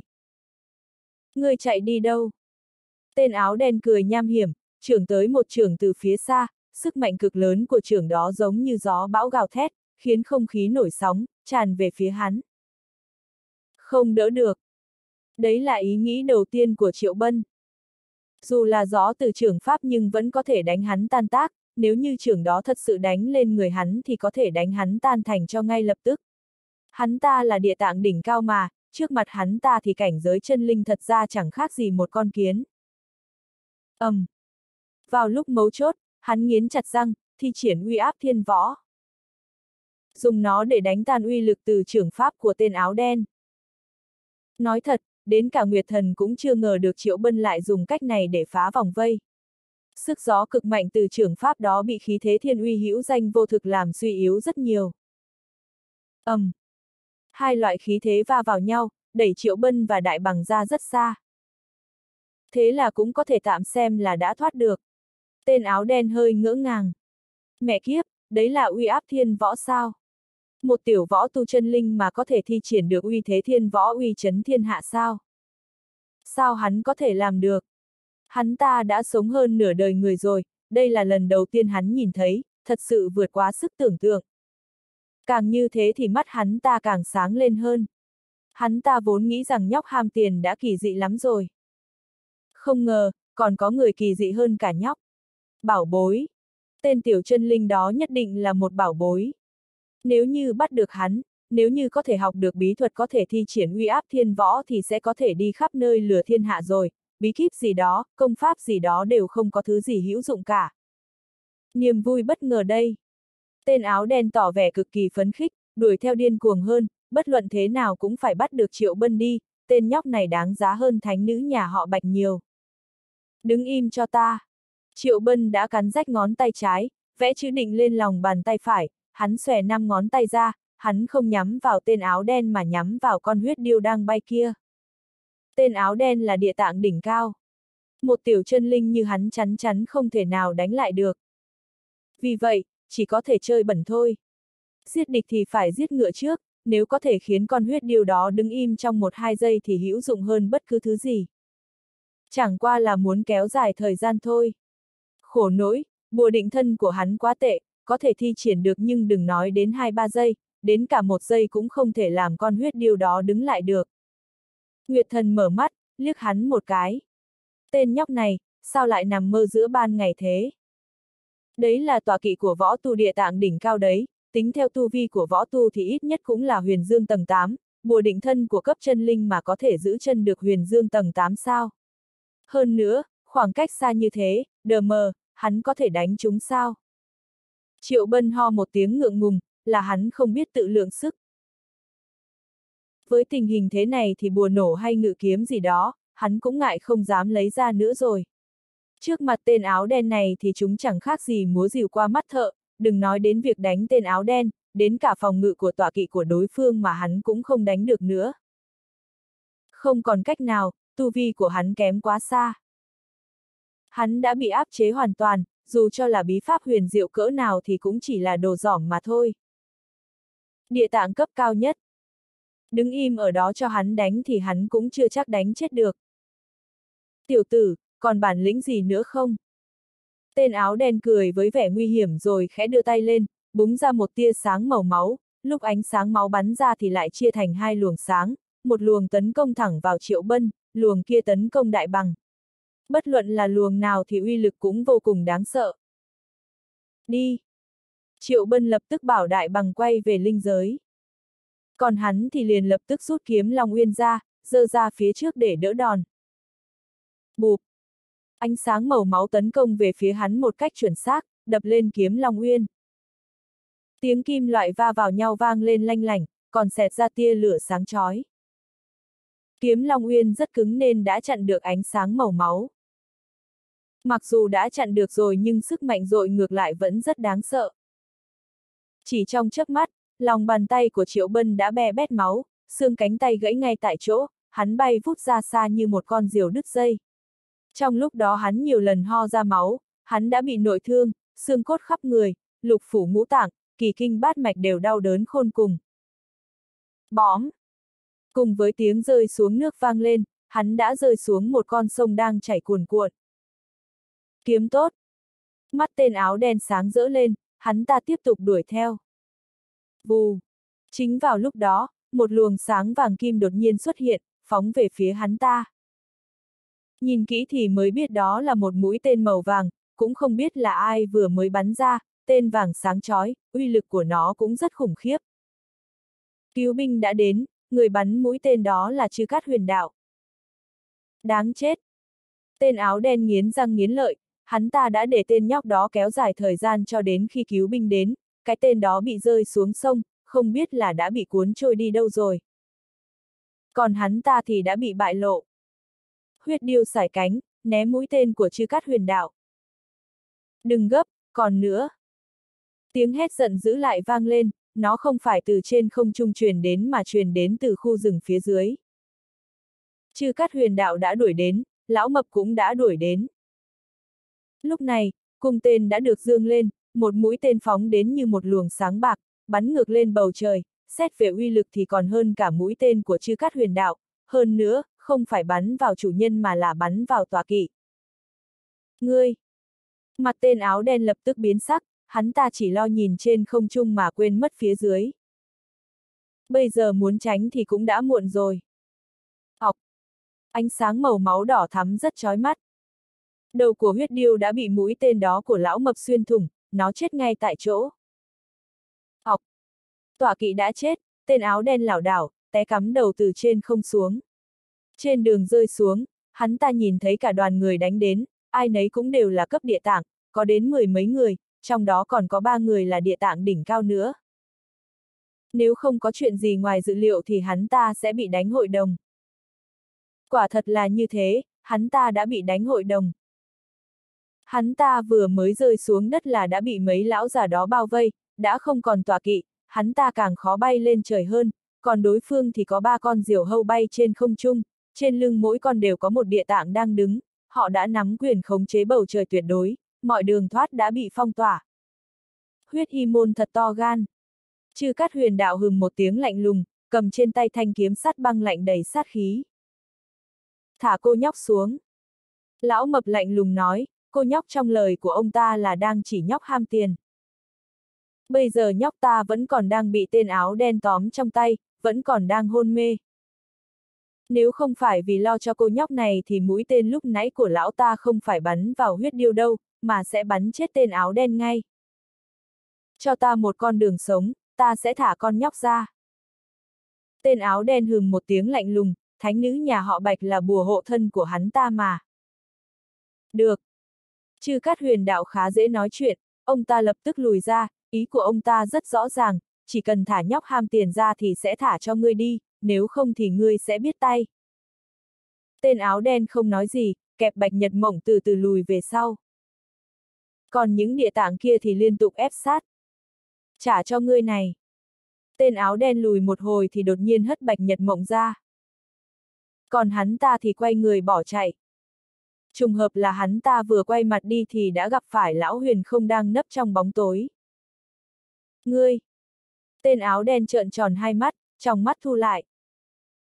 Cái lão già nhà ngươi, không ngờ lại nấp kỹ như thế, khiến ta không hề phát giác ra. Không phát hiện được là đúng rồi. Lão huyền không cũng là một người dứt khoát, không mang theo binh khí gì trong tay, chỉ có một ngón tay với ánh sáng màu tím vây quanh trên đầu, lão ta chỉ vào giữa hai chân mày của tên áo đen là đã chọc ta một lỗ máu, thản nhiên giết chết hắn ta chỉ bằng một ngón tay. Tên áo đen khụy xuống. Cú quỷ đó của hắn ta cực kỳ tủi nhục. Vì quá tham lam, bắt được thánh nữ nhà họ Bạch chưa đủ, còn muốn bắt cả Triệu Bân. Giờ thì hay rồi, không bắt được ai còn mất luôn cả cái mạng già. Bị người cùng cấp tiêu diệt chỉ với một chiêu, thử nói xem có xấu hổ hay không. Tìm, tìm thật kỹ đi. Một mặt khác, Dương Hùng đứng bên bờ sông, không ngừng hét lên. Phần lớn người của phủ thành chủ đều nhảy xuống sông, thuận theo dòng chảy để tìm Triệu Bân. Ngặt nỗi, nước sông quá mạnh, họ phải tìm rất khó khăn. Không dễ tìm cũng phải tìm, người trong thành vong cổ của lão ta, ai cũng có thể có chuyện nhưng chỉ có mình Triệu Bân là không thể, sư phụ của hắn là Đại Hạ Hồng Uyên, là thiên hạ đệ nhất thật sự, nếu như đồ đệ chết thì người này không nổi điên mới là lạ. Sơ suất rồi. Chư Cát Huyền Đạo hít một hơi thật sâu, sắc mặt của lão mập cũng rất khó coi. Cũng phải trách huyết y môn đến quá đột ngột. Bị tấn công quá bất ngờ, dù là hai người họ thì cũng khó mà phòng bị được. Rào rào. Ý thức của Triệu Bân mơ mơ hồ hồ, dường như có thể nghe được tiếng nước chảy rất mạnh. Cho tới khi hắn mở mắt, hắn mới biết đó là âm thanh của một thác nước, mà hắn lại đang nằm trên một dạng đá nhô ra ngoài vách đá gần đó, toàn thân ướt sũng, đầu óc đau nhói, khắp người cũng đau dữ dội, đặc biệt là hai cánh tay của hắn dường như đã mất đi cảm giác. May là căn cơ của hắn đủ hùng hậu. Hắn nuốt xuống hai ngụm linh dịch, thương thế được khôi phục, cảm giác như được sống lại. Đây, là đâu? Đợi đầu óc tỉnh táo lại, Triệu Bân mới ngước nhìn lên trên, sau đó nhớ lại chuyện đã xảy ra trước đó, hắn bị một bị tia máu của người áo đen đánh bay, ngã xuống dòng sông, có lẽ đã theo dòng chảy trôi đến thác nước, đúng lúc vướng lại chỗ rặng đá nhô ra này. Chắc chắn là hắn đã trôi đi rất xa so với vị trí ban đầu. Con sông này rất rộng, không chỉ có sóng lớn mà còn có quá nhiều phụ lưu. Chỉ có quỷ mới biết là hắn đã bị trôi ra tới nơi nào. Tú Nhi, đã qua bao lâu rồi? Triệu Bân nhìn về phía Nguyệt Thần hỏi. Không lâu, ba ngày thôi. Nguyệt Thần lười biếng nói, cũng không thèm mở mắt. Ba ngày. Triệu Bân lẩm bẩm, thế mà hắn vẫn còn sống, thật đúng là mạng lớn. Dưới nước cũng có rất nhiều nguy hiểm, giống như đá ngầm hay thủy quái, nhưng thật may là hắn không bị đám thủy quái bắt được. Không biết nhóc hám tiền có được cứu hay không? Triệu Bân lẩm bẩm, đánh nhau với cảnh giới địa tạng đỉnh phong lâu như vậy đã là cực hạn của hắn, nếu còn không cứu được, thì chính là số mạng rồi. Nguyệt thần mở mắt, liếc nhìn Triệu Bân. Thành thật mà nói, có lẽ cô ta đã xem thường tâm cảnh của tên này, dám đọ sức với cảnh giới địa tạng đỉnh phong mà vẫn giữ lại được cái mạng, đúng là không thể nào tìm ra được một kẻ thứ hai giống như hắn. Trở lại. Trong lòng Triệu Bân khẽ quát lên một tiếng, sử dụng thuật ngự kiếm, muốn triệu hồi kiếm Long Uyên. Kiếm Long Uyên đã bị thất lạc. Có lẽ nó cũng đã bị rơi xuống lòng sông. Gọi mấy lần mà nó cũng không có phản ứng, không biết đã bị vướng lại ở chỗ nào. Nghĩ tới đây, hắn liền muốn nhảy xuống khỏi dạng đá. Kiếm Long Uyên làm từ vẫn thiết quý giá đó. Nếu mất đi thì hắn sẽ đau lòng lắm. Dừng. Nguyệt thần nhàn nhạt nói một tiếng, dường như cố ý nói đúng thời điểm Triệu Bân đang lưng chừng nhảy xuống, khiến cho hắn phải nhanh chóng lượn trở lại, cái eo già nua của hắn vì bị bẻ lại đột ngột cho nên nhói lên một cái, nhưng hắn cũng không quan tâm, bởi vì mỗi lần Nguyệt Thần nói chữ rừng thì nhất định hắn sẽ tìm được bảo bối. Bên trái, ba trượng, Nguyệt Thần nói. Triệu Bân liếc mắt nhìn sang, liền thấy ở chỗ nước sâu lại có một cái hang động, vì đêm tối cho nên tầm mắt của hắn bị hạn chế, nếu không chú ý thì cũng sẽ không nhìn thấy. Không suy nghĩ nhiều, hắn lập tức nhảy tới đó. Đây dường như là một động phủ, ngẩng đầu có thể nhìn thấy một tấm bảng hiệu được khắc bằng đá, trên tấm bảng có khắc mấy chữ cổ, trông rất dày dặn có lực. Động, chết, người. Triệu Bân đọc từng chữ thành tiếng. Nguyệt thần liếc hắn một cái. Tên gì mà kỳ cục? Triệu Bân lẩm bẩm, rồi đi vào trong động phủ. Vừa bước tới hai bước, hắn lại vòng trở lại, ngửa đầu nhìn bảng hiệu. Con mợ nó, có phải ta đã đọc ngược rồi hay không? Nhìn ánh mắt Nguyệt Thần nhìn hắn, hiển nhiên là hắn đã đọc ngược. Triệu Bân ho khan. Cái này cũng không trách hắn được. Muốn trách thì cũng phải trách cái vị chủ nhân của động phủ này, lại đi viết chữ lắt léo. Nghịch ngợm. Triệu Bân đứng bất động. Đọc ngược, cảm thấy ớn lạnh. Mà đọc đúng thì cũng cảm thấy rất khiếp người. Động người chết. Vừa nghe tên là đã biết đây không phải là chỗ tốt đẹp gì, nói không chừng bước vào còn gặp nguy hiểm chết người. Nguyệt thần không đáp lại, vậy tám chín phần là không có vấn đề gì. Triệu Bân thầm nghĩ, cho dù bước vào có gặp nguy hiểm thì chắc chắn cũng sẽ nằm trong giới hạn mà hắn có thể ứng phó được. Bấy lâu nay hắn vẫn rất hiểu cách làm việc của Nguyệt Thần. Đi sâu vào mới có mười mấy trượng, hắn liền thấy một cánh cổng đá cản đường, nhìn giữa cánh cổng đá có dán hai mảnh vải đan chéo lại, giống như dấu hiệu niêm phong của quan phủ. Bùa chú phong ấn đặc biệt. Triệu Bân bước tới, dấu niêm phong này rõ ràng rất không bình thường. Nhìn một chút, hắn liền tháo nó ra. Ông! Đột nhiên, cánh cổng đá phát ra tiếng động, khiến cho hắn giật mình cả kinh, suýt nữa tè ra quần. Lạch cạch, lạch cạch. Đứng bên ngoài cánh cổng đá, có thể nghe thấy tiếng xích sắt kéo lê bên trong động phủ, khiến cho người bên ngoài bất giác cho rằng bên trong động phủ có một sự tồn tại đáng sợ nào đó đang muốn thoát khỏi gông xiềng. Có thứ sống trong đó. Triệu Bân bất giác lùi lại một bước, liếc nhìn Nguyệt Thần. Mở cửa. Tuy Nguyệt Thần không nói lời nào, nhưng ánh mắt đã nói lên tất cả. Triệu Bân không chần chừ nữa, hai tay đưa ra, dẫn động chân nguyên xô ngã cánh cổng đá, ở phía đối diện, hắn liền cảm thấy một luồng không khí cổ quái mang theo khí thức cực kỳ lạnh lẽo tràn ra, cho dù hắn có địa hỏa hộ thể thì cũng cảm thấy ớn lạnh tột độ. Có vẻ như tên của động phủ này đọc ngược lại cũng không sai. Lạnh, thật con mẹ nó quá lạnh. Cảnh giới chân linh tầng 4 bình thường chắc chắn đã bị đông cứng thành tảng băng rồi. ầm, um, hắn sử dụng hỏa diễm xua tan khí lạnh, tiến thêm một bước vào động phủ.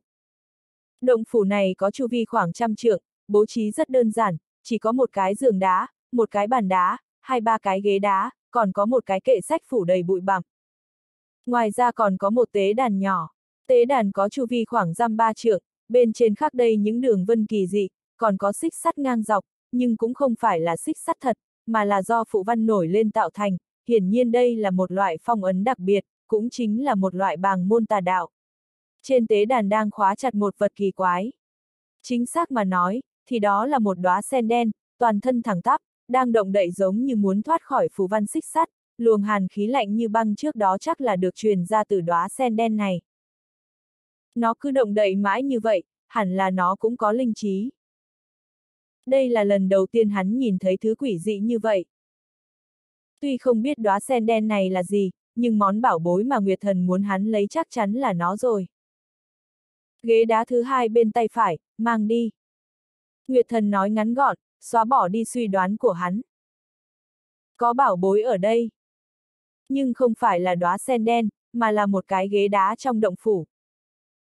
Triệu Bân không nhìn tế đàn nữa, đến gần cái ghế đá mà Nguyệt Thần nói trước, liếc nhìn từ trên xuống dưới, nhìn sao cũng không giống bảo bối, khiến cho hắn càng nghiêng về đóa sen đen trên tế đàn hơn. Nhưng Nguyệt Thần đã nói như vậy thì hắn cũng phải mang thứ này đi. Cái ghế đá khá nặng, khoảng chừng mấy trăm cân, nếu dùng để đập người khác thì chắc chắn là rất tốt. Vậy đóa sen đen kia là thứ gì? Sau khi dọn ghế đá đi, Triệu Bân lại nhìn lên tế đàn hỏi. Cũng là bảo bối. Ta đã nói mà, nó nhất định là bảo bối. Tới đó phá phòng ấn đi. Được. Triệu Bân sắn ống tay áo, tiến lên xé đứt một mảnh phù văn. Sau khi làm xong, hắn liền phải ngước đầu lên. Sau khi phòng ấn bị phá, đóa sen đen không còn bị thứ gì áp chế, nhanh chóng biến thành hình người, thân thể cao lớn hùng vĩ, ở trước mặt nó Triệu Bân chỉ giống như một đứa trẻ 3 tuổi, muốn nhìn cũng phải ngước đầu lên thật cao. Tú Nhi, đây là một con người. Ừm. Sư đồ hai người này nói chuyện với nhau lúc nào cũng ngắn gọn dễ hiểu. Đóa sen đen vừa hóa hình người đã cụp mắt xuống nhìn Triệu Bân. Đôi mắt của nó to không thể tả, lại đục ngầu tràn đầy những tơ máu, trông vô cùng tàn ác. Khéo quá! Triệu Bân ngước đầu, không ngừng cười ha hả. Thành thật mà nói, khi hắn bị đóa sen đen hóa hình người nhìn chằm chằm, hắn lại có chút mắc tè. Vừa cười ha hả, hắn vừa quay đầu bỏ chạy, cái tên khổng lồ này chắc chắn không dễ chọc vào. Ông! Hắn còn chưa kịp chạy trốn ra ngoài thì cánh cổng đá của động phủ đã khép lại. Mở ra cho ta. Triệu Bân hừ lạnh một tiếng, cánh tay kỳ lân bên trái đánh ra một quyền, nguồn năng lượng đáng sợ tràn ngập. ầm, um. Hắn đánh ra một quyền, tuy quyền kình bá đạo nhưng cũng không thể đánh sập cánh cổng đá. Lạch cạch.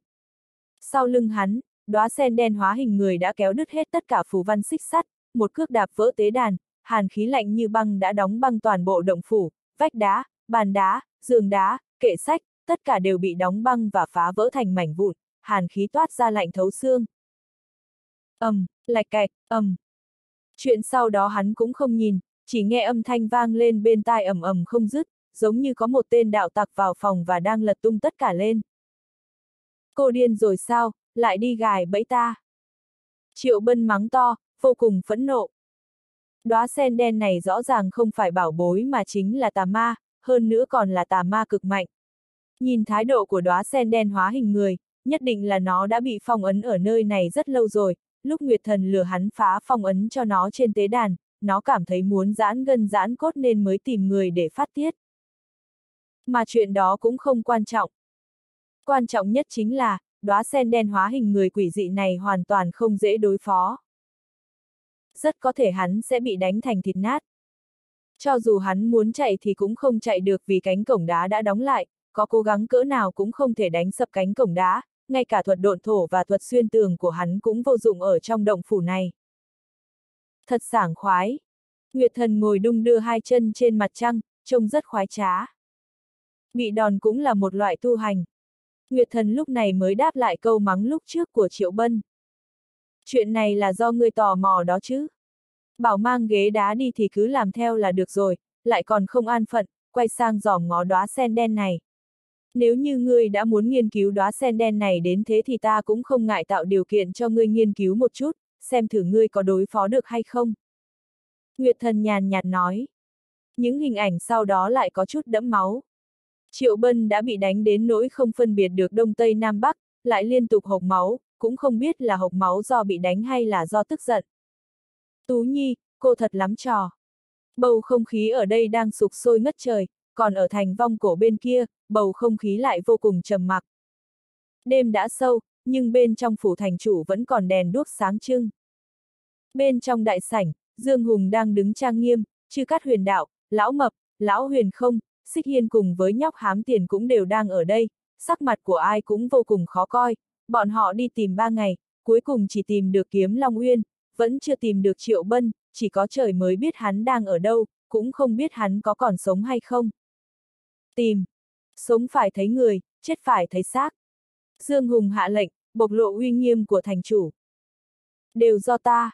Nhóc hám tiền ôm đầu, hôm nay cô nhóc không hề đếm bạc, chỉ ôm đầu tự trách, đêm đó cô nhóc bất tỉnh, có rất nhiều chuyện mà cô nhóc không biết, sau khi tỉnh lại nghe người khác kể, cô nhóc liền cảm thấy rất có lỗi với Triệu Bân, hắn vì cứu mình mới bị lôi vào rắc rối. Chuyện xảy ra quá đột ngột.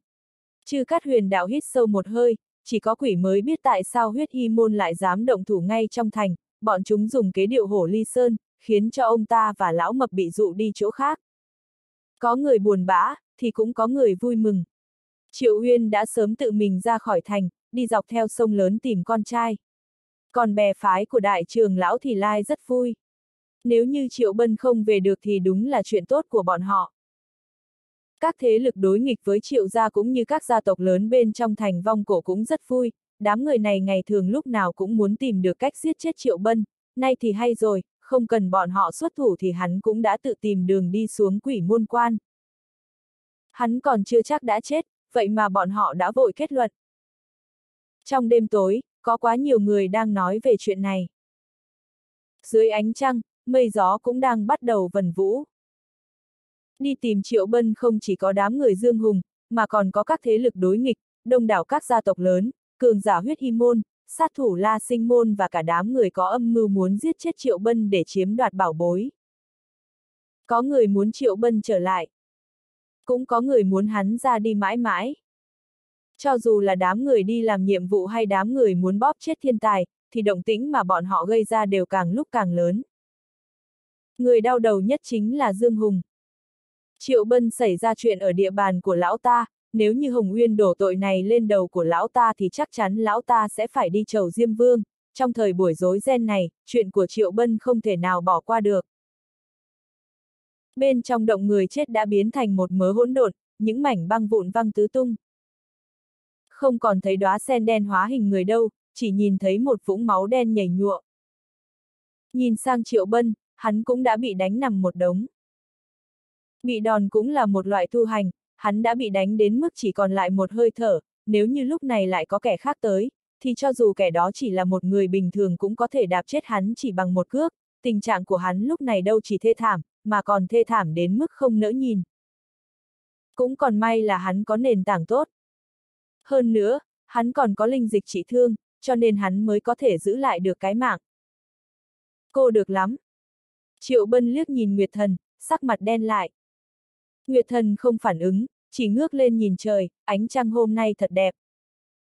Triệu Bân không nhìn Nguyệt thần nữa, chỉ nhìn về phía đóa sen đen hóa hình người đã biến thành một vũng máu. Chuyện này cũng không phải do hắn gây ra, mà là trong lúc đang rượt đuổi, đóa sen đen đột nhiên tự mình phát nổ, cũng không biết vì sao nó lại tự phát nổ, có lẽ là do nó mang quá nhiều tà ma ác nghiệp, tất cả bị kích động trong lúc nó rượt đuổi, khiến cho ngay cả chính nó cũng không thể chịu đựng được, trong lúc không chú ý liền phát nổ. Phát nổ cũng tốt, nó phát nổ rồi hắn mới có thể giữ được mạng. Nếu như còn đánh tiếp nữa, thì kẻ bị đánh nát thành vũng máu chắc chắn chính là hắn. Đây cũng là công lao của Nguyệt Thần, cô ta không hại thì thôi, một khi đã hại thì luôn dắp tâm muốn hại chết hắn. Phá! Hắn quát lên một tiếng, làm vỡ nát đống băng trên đất. Ngoài ra, hắn còn dùng thuốc bột hóa thi dọn dẹp đống thi thể máu me bầy nhầy kia. Cuối cùng, hắn mới lấy cái ghế đá vừa nãy ra. Cái này mà cũng có thể là bảo bối sao. Triệu Bân ngồi trồm hổm dưới đất lẩm bẩm, liếc nhìn từ trên xuống dưới, còn đưa tay gõ gõ lên cái ghế đá mấy cái, nó không khác gì những cái ghế bằng đá thông thường, có lẽ điểm khác lạ duy nhất là cái ghế đá này cực kỳ nặng nề, chắc nó được làm bằng một loại vật liệu đá đặc biệt. Ăn đi. Nguyệt thần lên tiếng nói. Ăn. Triệu bân nhíu mày, đây là đá đó, bắt ông đây ăn kiểu gì? Bên trong có một vật, ăn nó đi. Nguyệt thần lại nói, trước đó mới chỉ nói một nửa, bây giờ mới bổ sung. ầm. Um. Triệu bân giơ tay lên, một trường đập bể ghế đá. Bên trong đống đá vụn hiện lên một thứ sáng lấp lánh, hình như là một khối tinh thạch, hình dáng không đều, chỉ to bằng móng tay nhưng phát ra ánh sáng màu vàng kim lóa mắt, mặc dù trông nó rất nhỏ nhưng nặng tới gần 50 cân, khiến cho hai mắt của Triệu Bân sáng lên. Đây là gì? Tinh kim phượng thể. Đây chính là tinh kim phượng thể sao? Triệu Bân kêu lên một tiếng kinh ngạc, hắn đã đọc qua điều này trong thiên thư huyền môn, tương truyền nó đã được ngưng tụ thành từ một tia tinh hoa của Phượng Hoàng, qua thời gian hấp thu tinh hoa nhật nguyệt, được linh khí thiên địa bồi bổ, cuối cùng trở thành một loại tinh thể quý giá. Đó chính là tinh kim phượng thể. Hắn lần đầu tiên nhìn thấy một vật trong truyền thuyết, vật này quả thật rất phi thường. Những vật quý giá như thế này là nguyên liệu rất tốt cho việc luyện binh khí. Chắc là lâu quá rồi cho nên tinh hoa bên trong khối tinh kim này cũng đã bị cạn kiệt gần hết, Nguyệt thần nhàn nhạt nói, cũng xem như là ngươi còn may mắn, bên trong vẫn còn sót lại một tia tinh túy, nếu như ngươi nuốt vào bên trong cơ thể để luyện hóa thì sẽ đạt được cơ duyên không tưởng. Món này có thể ăn sao? Triệu Bân ho khan nói, ta thấy luyện hóa nó vào binh khí còn đáng tin hơn, đây chính là một khối tinh kim, ta sợ không tiêu hóa nổi. Sao, ngươi không muốn mở ra thiên nhãn sao? Nguyệt thần liếc nhìn Triệu Bân, cười tủm tỉm nói. Cô không nói thì ta cũng quên mất. Triệu Bân vội vàng đứng dậy, dùng hết sức mới có thể mở cánh cổng đá của động phủ ra. Khi hắn bước ra ngoài động phủ, thì ánh ban mai đã ngập tràn khắp bầu trời. Hôm nay chính là ngày nắng trói trang nhất trong 100 năm trở lại đây, lúc trước đã từng nói, ngày hôm nay sẽ là ngày quyết định cho việc hắn có mở ra thiên nhãn được hay không, bởi vì ánh mặt trời ngày hôm nay rất đặc biệt. Chuyện mở thiên nhãn có liên quan đến chuyện nuốt tinh kim phượng thể sao? Triệu Bân nhìn Nguyệt Thần bằng ánh mắt nghi hoặc, quả thực không thể nghĩ ra giữa hai chuyện này có gì liên quan với nhau. Tinh kim phượng thể có tác dụng hấp thu thần quang, Nguyệt Thần giải thích, luyện hóa nó vào bên trong cơ thể, người có thể hấp thu tối đa ánh mặt trời, có thể nhanh chóng mở ra thiên nhãn. Cứng quá! Nguyệt Thần vừa mới dứt lời thì Triệu Bân đã nuốt tinh kim phượng thể vào người. Khối tinh kim này vô cùng cứng. Hắn không thể nào cắn bể, cho nên đành phải nuốt thẳng xuống. Hự! Ngay sau đó, hắn đã phải ôm bụng kêu rên lên vì đau đớn. Cũng đúng, hắn vừa nuốt thẳng một khối tinh kim nặng 50 cân vào trong bụng, có thể không đau đớn mới là lạ, giống như vừa nuốt vào bụng một quả cân vậy, cảm giác như lục phủ ngũ tạng đều đã nổ tung. Luyện hóa nó, Nguyệt Thần nói ngay. Không cần cô ta nói, Triệu Bân cũng đã vận chuyển công pháp, dẫn động hỏa diễm cùng lôi điện, cố hết sức luyện hóa tinh kim phượng thể, theo như lời Nguyệt Thần nói, hắn phải luyện hóa nó vào bên trong cơ thể. Răng rắc, ngay cả trong bụng, hắn vẫn có thể nghe thấy âm thanh giãn nứt. Đó chính là tiếng tinh kim phượng thể vỡ ra, từng chút một dung hợp vào bên trong cơ thể Triệu Bân. Chuyện đáng sợ còn ở phía sau. Luyện hóa tinh kim vào cơ thể cũng không thành vấn đề, nhưng sau khi Triệu Bân luyện hóa xong thì tinh kim lại kết tinh lần nữa trong máu thịt, khiến cho máu thịt của hắn như cũng đang hóa thành tinh kim vậy. Chuyện này, Triệu Bân không khỏi biến sắc, mỗi lần hắn động đậy đều vang lên thành tiếng. Hắn không muốn bị hóa đá. Chỉ có trời mới biết tại sao sau khi luyện hóa tinh kim phượng thể vào bên trong cơ thể lại xảy ra chuyện vô lý như thế này. Hắn nhìn về phía Nguyệt Thần, thấy cô ta vẫn rất bình tĩnh. Cô ta đã sớm dự đoán được chuyện này, người thường chắc chắn không thể tiêu hóa nổi tinh kim phượng thể, cho nên hóa đá cũng là chuyện bình thường, nói cho chính xác thì hắn đang bị tinh kim đồng hóa, giống như bị đoạt xác vậy, một khi hóa đá thì sẽ rất khó hồi phục. Suy cho cùng. Chỉ trách triệu bân đạo hạnh không đủ, không thể chịu nổi tinh kim phượng thể. Chỉ có điều, vấn đề cũng không lớn. Triệu bân có thiên phú dị bẩm, còn chưa đợi Nguyệt Thần nhắc nhở thì hắn đã vận chuyển dịch cân kinh, khiến cho máu thịt ngưng kết tinh, sợ rằng chỉ có luyện thể mới có thể phá vỡ được cục diện này, vừa ngưng tụ vừa luyện thể, hắn vẫn có thể luyện thành một cơ thể máu thịt bình thường. Phương pháp này của hắn rất có tác dụng. Hắn chỉ luyện thể một tiểu chu thiên thì lục phủ ngũ tạng vừa bị ngưng tụ lúc nãy cũng đã bình thường trở lại, gân cốt máu thịt cũng đều được tôi luyện, hấp thu tinh hoa tối đa. Tinh kim này mặc dù có thể trở thành nguyên liệu tốt cho việc luyện binh khí, nhưng khi dung hợp vào bên trong cơ thể cũng thu được rất nhiều lợi ích. Lợi ích lớn nhất chính là thể chất của hắn đã được tăng cường.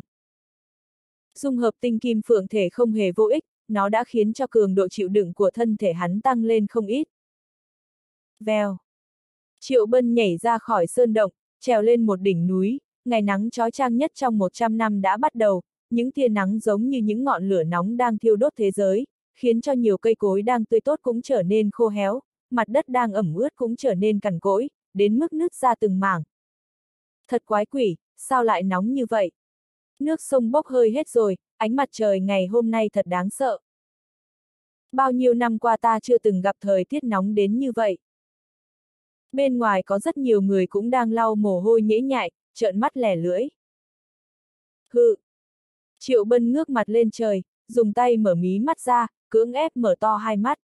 Ánh mặt trời khiến cho hai mắt của hắn nóng rát vô cùng, giống như bị ném vào lò lửa nung nóng, không chỉ đau đớn khó nhịn, mà còn có cảm giác như hai mắt sắp biến thành cho bụi.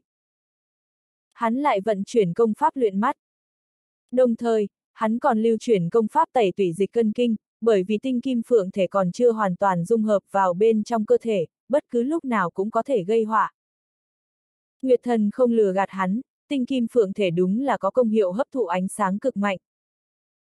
Ánh mặt trời chiếu sáng thiêu đốt khắp nơi, khiến cho quần áo của hắn cũng bị cháy đen, đáng sợ nhất là đôi mắt của hắn đã đỏ ngầu những tơ máu, khóe mắt còn chảy ra dòng máu đen nhánh, sau đó đôi mắt của hắn lại giống như đã hóa thành vầng thái dương, từng tia nắng nóng cực độ chiếu thẳng vào bên trong, khiến cho luồng ánh sáng như khắc sâu vào đôi con ngươi. Đúng là một tên nhóc quá may mắn. Hôm nay Nguyệt Thần không ngủ, chỉ ngồi trên mặt trăng lặng lẽ quan sát. Nếu không có tinh kim phượng thể, Triệu Bân sẽ không luyện ra thiên nhãn. Bây giờ có được tinh kim phượng thể rồi thì hắn nhất định sẽ luyện thành, cho dù không luyện thành một đôi thì vẫn có thể luyện thành một bên mắt, là mắt trái hay mắt phải, tất cả đều tùy thuộc vào bản thân của Triệu Bân. Hự! Triệu Bân gầm lên, cảm giác vô cùng thống khổ. Hôm nay ánh mặt trời quá kinh khủng, hắn đứng ở trên đỉnh núi, thân thể cũng bị nướng khét, ngay cả khí huyết cũng đều bị bốc hơi, cho dù hắn có công pháp luyện mắt nhưng vẫn cảm thấy vô cùng đau đớn, máu tươi từ hai tròng mắt tràn ra, vương ra khắp mặt mũi. Hắn đã trải qua một ngày vô cùng khó khăn. Hắn đang tôi luyện máu thịt, cũng đang tôi luyện hai tròng mắt. Không đủ. Nguyệt thần nhìn sắc trời rồi khẽ lắc đầu, mặt trời đã dần dần lặn xuống đằng Tây, ánh sáng đã dần suy yếu, ngày cực dương trăm năm mới có một lần cũng không đủ để giúp cho Triệu Bân luyện ra được một đôi thiên nhãn, chỉ có điều cũng có thể miễn cưỡng luyện ra được một bên. Trên thực tế, Triệu Bân đã làm được. Hắn đang biến đổi, truyền năng lượng cực dương từ mắt trái sang mắt phải.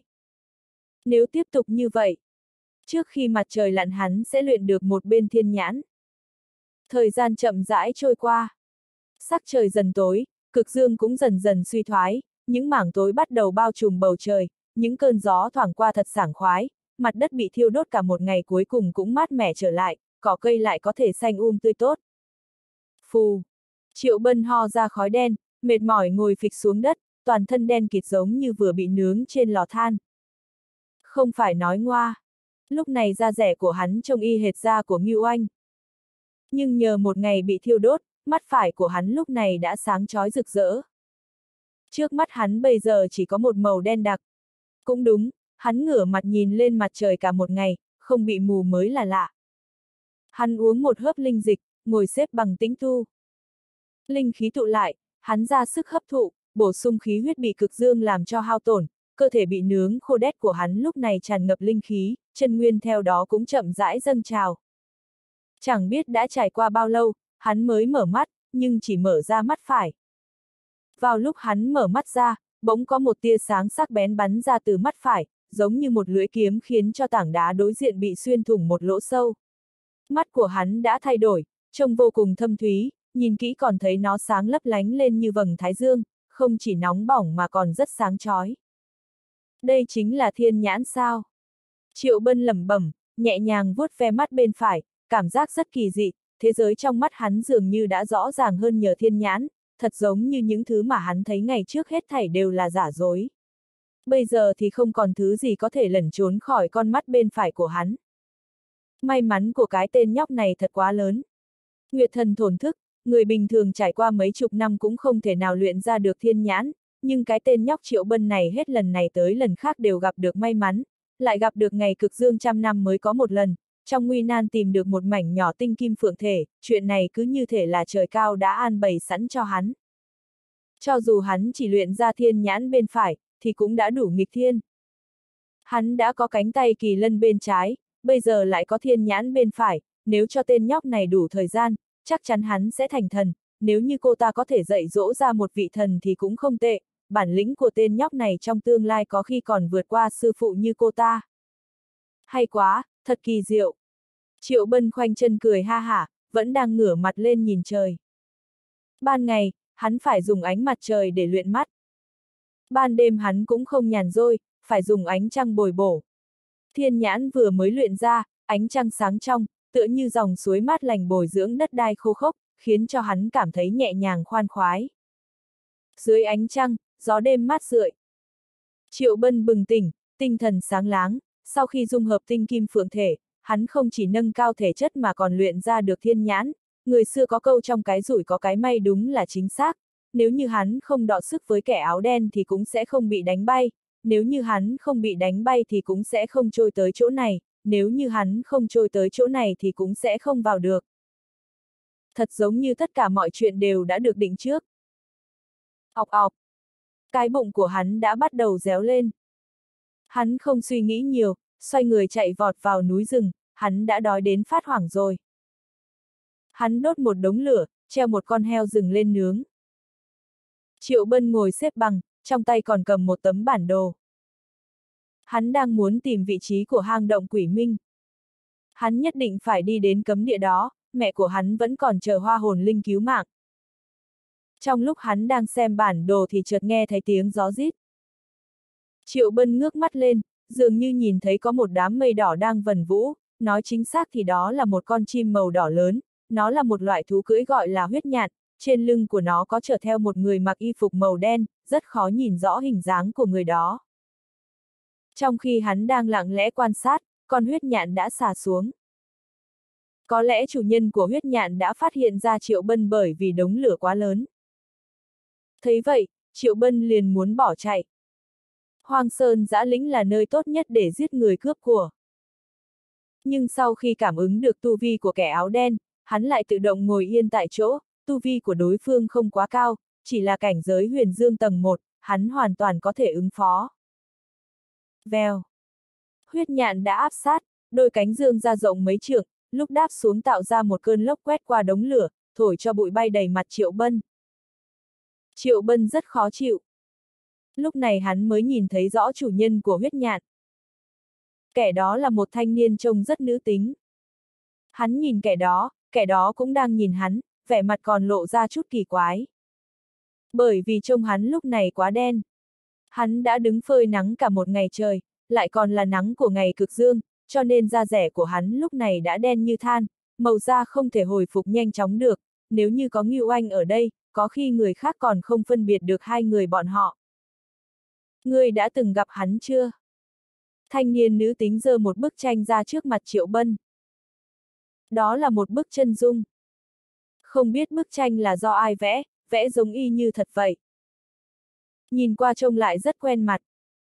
Nhìn kỹ lại, đó chẳng phải là Triệu Bân hay sao? Triệu Bân hơi nhíu mày. Hắn vẫn có thể tự nhận ra chân dung của chính mình. Sau khi xem xét bức chân dung, hắn lại liếc nhìn lên thanh niên nữ tính. Vị huynh đệ này, mắt người hỏng rồi sao?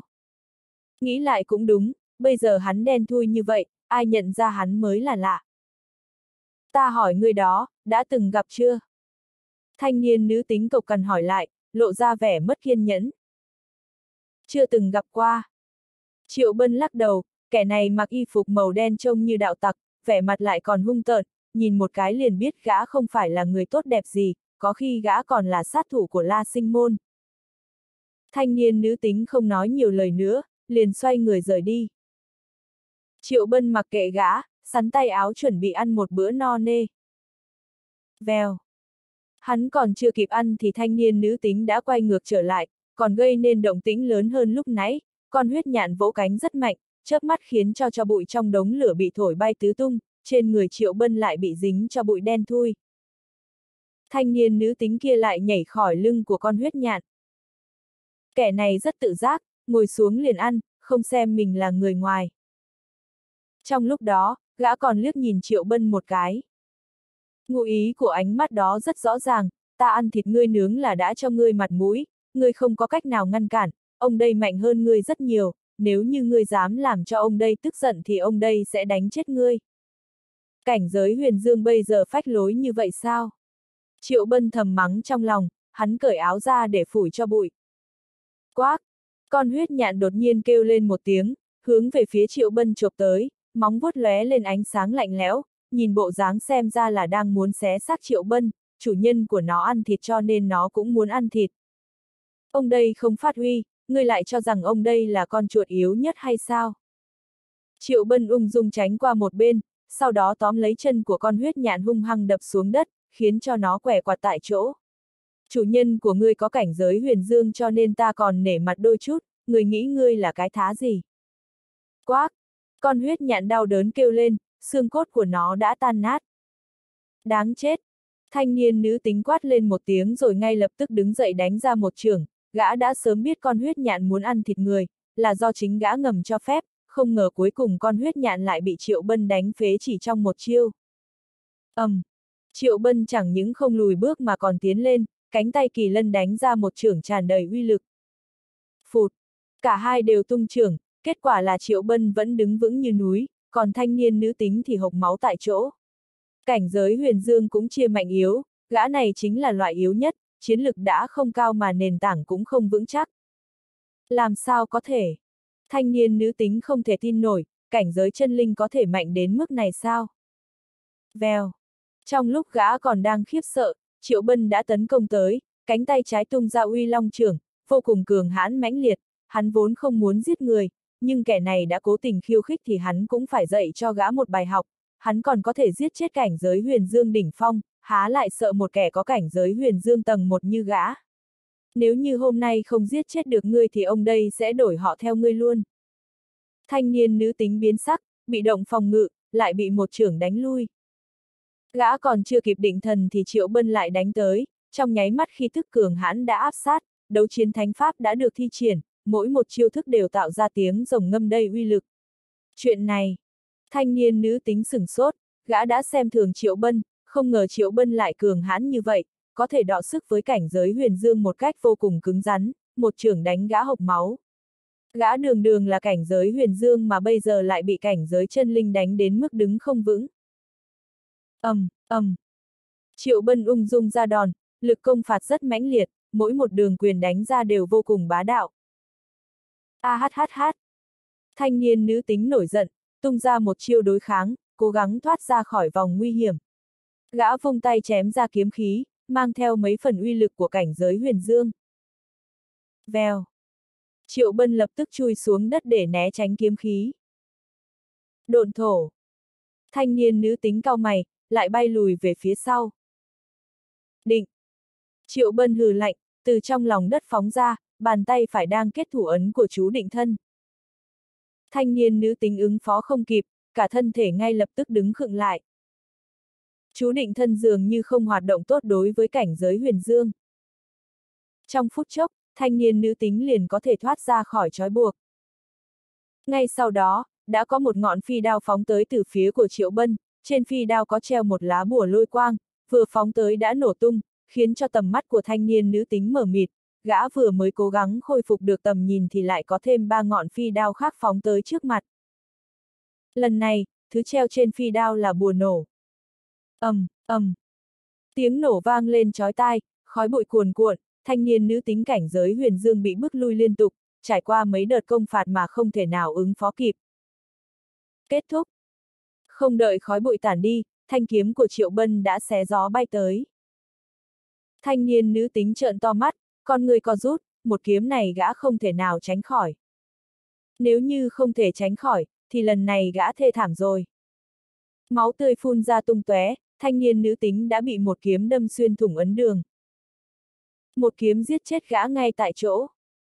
Đến tận lúc chết thì nét mặt của thanh niên nữ tính vẫn tràn đầy phiền muộn, mà không chỉ phiền muộn, gã còn rất hối hận, bị một tên cảnh giới chân linh giết gọn, gã thậm chí còn không có cơ hội chuẩn bị, vốn tưởng rằng bản thân gặp được một tên nhóc dễ sơi, cuối cùng lại bị một kiếm giết chết, đã không bắt được người mà còn bị đá xuống quỷ môn quan. Ra tay nặng quá. Triệu Bân ho khan một tiếng, đáng ra trước khi giết chết thì phải hỏi gã vì sao lại muốn tìm hắn. Thế mà hắn lại không kiềm chế được, ra tay nặng như vậy. Nếu để cho thanh niên nữ tính kia biết hắn chính là Triệu Bân thì chắc chắn gã sẽ tức giận đến mức chửi cha mắng mẹ ngay. Gã đã ở ngay trước mặt Triệu Bân mà lại không nhận ra chỉ vì hắn quá đen, hơn nữa còn bị Triệu Bân giết ngược. Cho nên mới nói, không có bản lĩnh thì đừng có đi khiêu khích kẻ khác. Không điều tra rõ ràng thực lực của Triệu Bân mà còn dám chạy tới bắt người, không giết người thì giết ai. Triệu Bân thu dọn đồ đạc, tiêu hủy xác chết. Đêm nay dường như rất dài. Trên trời có rất nhiều chim chóc đang lượn qua, hầu hết đều là thú cưỡi, trên lưng con nào cũng có một bóng người đang đứng thẳng xem xét xung quanh, giống như đang tìm kiếm thứ gì đó. Tìm thứ gì, tất nhiên là tìm Triệu Bân rồi. Cấp trên đã hạ lệnh, cho dù là sống hay chết, chỉ cần mang được Triệu Bân về là có thể lĩnh thưởng. Không phải là hắn đã chết thật rồi đó chứ. Cho dù chết rồi thì cũng phải tìm được xác của hắn mang về, đều có thể được ban thưởng. 10 vạn lượng bạc đó. Người truy tìm không ít, tụ tập lại thành nhiều nhóm nhỏ dăm ba người, trong lúc truy tìm còn không quên nói chuyện phiếm. Đáng tiếc, Triệu Bân đã không còn ở đây nữa. Những người truy tìm hắn cảm thấy rất bối rối, bởi vì khi bọn họ đến đây thì Triệu Bân đã đi từ lâu rồi. Có quá nhiều thế lực tham dự vào việc này, có người muốn hắn sống thì cũng có kẻ muốn hắn chết, mất công tới đây tìm kiếm nhưng nhân vật chính đã chạy mất tâm mất dạng. Hắt xì. Triệu Bân đang ngồi trên lưng đại bằng đột nhiên lại hắt xì một cái. Chắc là có người đang nhớ hắn. Mà cũng có thể là có người đang tụ tập lại mắng hắn.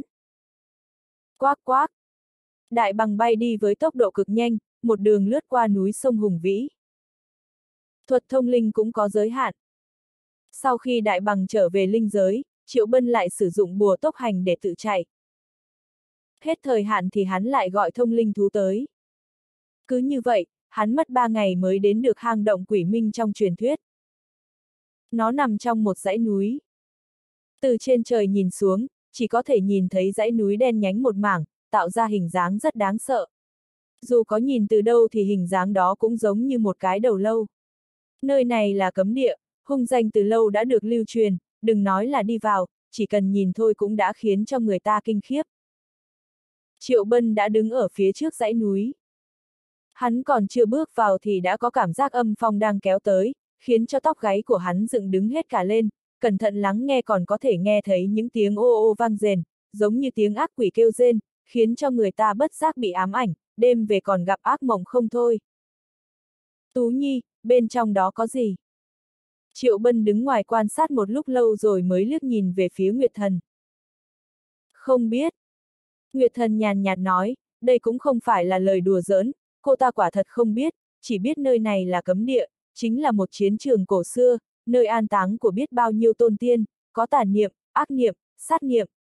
Bao trùm toàn bộ dãy núi, ngay cả cô ta cũng không thể nào nhìn thấu.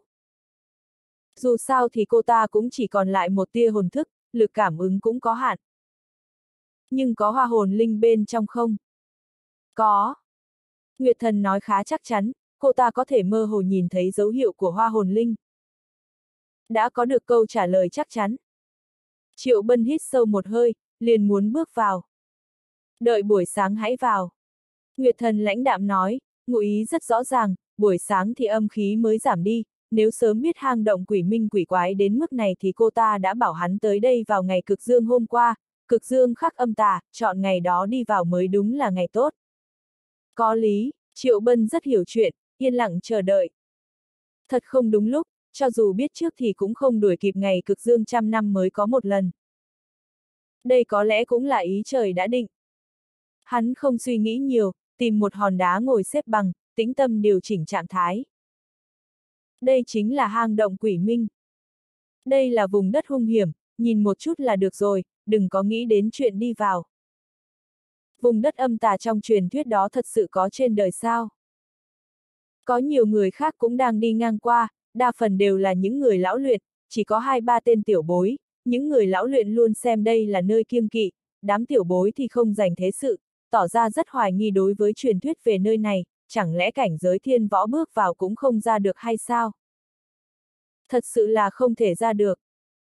Nguyệt thần trả lời, hang động quỷ minh là cấm địa không tầm thường, liên quan đến tôn tiên cùng với những tồn tại khác hết sức đáng sợ, ngay cả cảnh giới thiên võ cũng không có cách nào chống lại được, cho dù cô ta không ngăn cản Triệu Bân bước vào, nhưng vẫn phải hết sức cẩn thận, hy vọng sẽ không có chuyện gì xảy ra.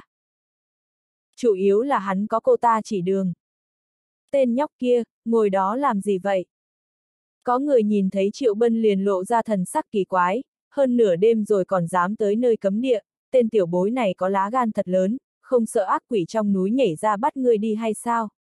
Trước giờ cũng đã từng có chuyện đó xảy ra rồi, chỉ cần đi ngang qua thôi cũng có thể gặp phải bất chắc.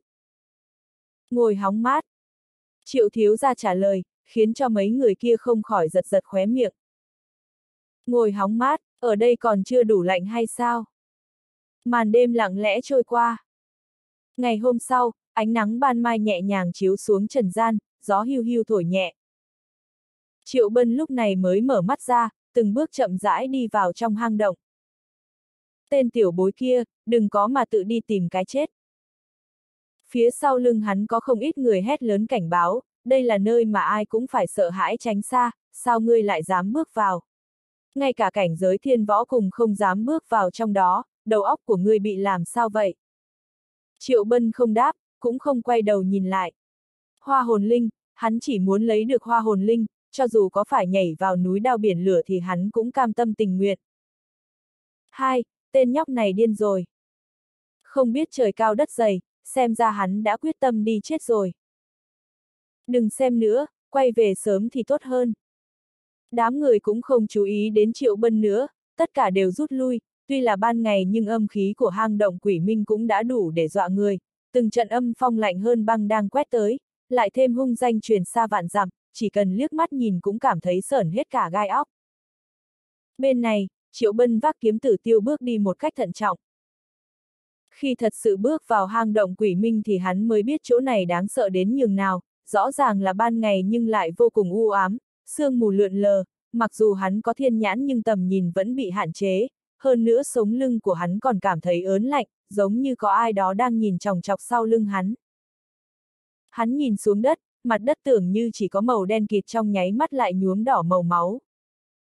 Trong bùn đất có rất nhiều hài cốt nằm lăn lóc, chắc hẳn là của những người đã từng bước vào cấm địa trước hắn, không biết là đã chôn thân ở đây từ lúc nào.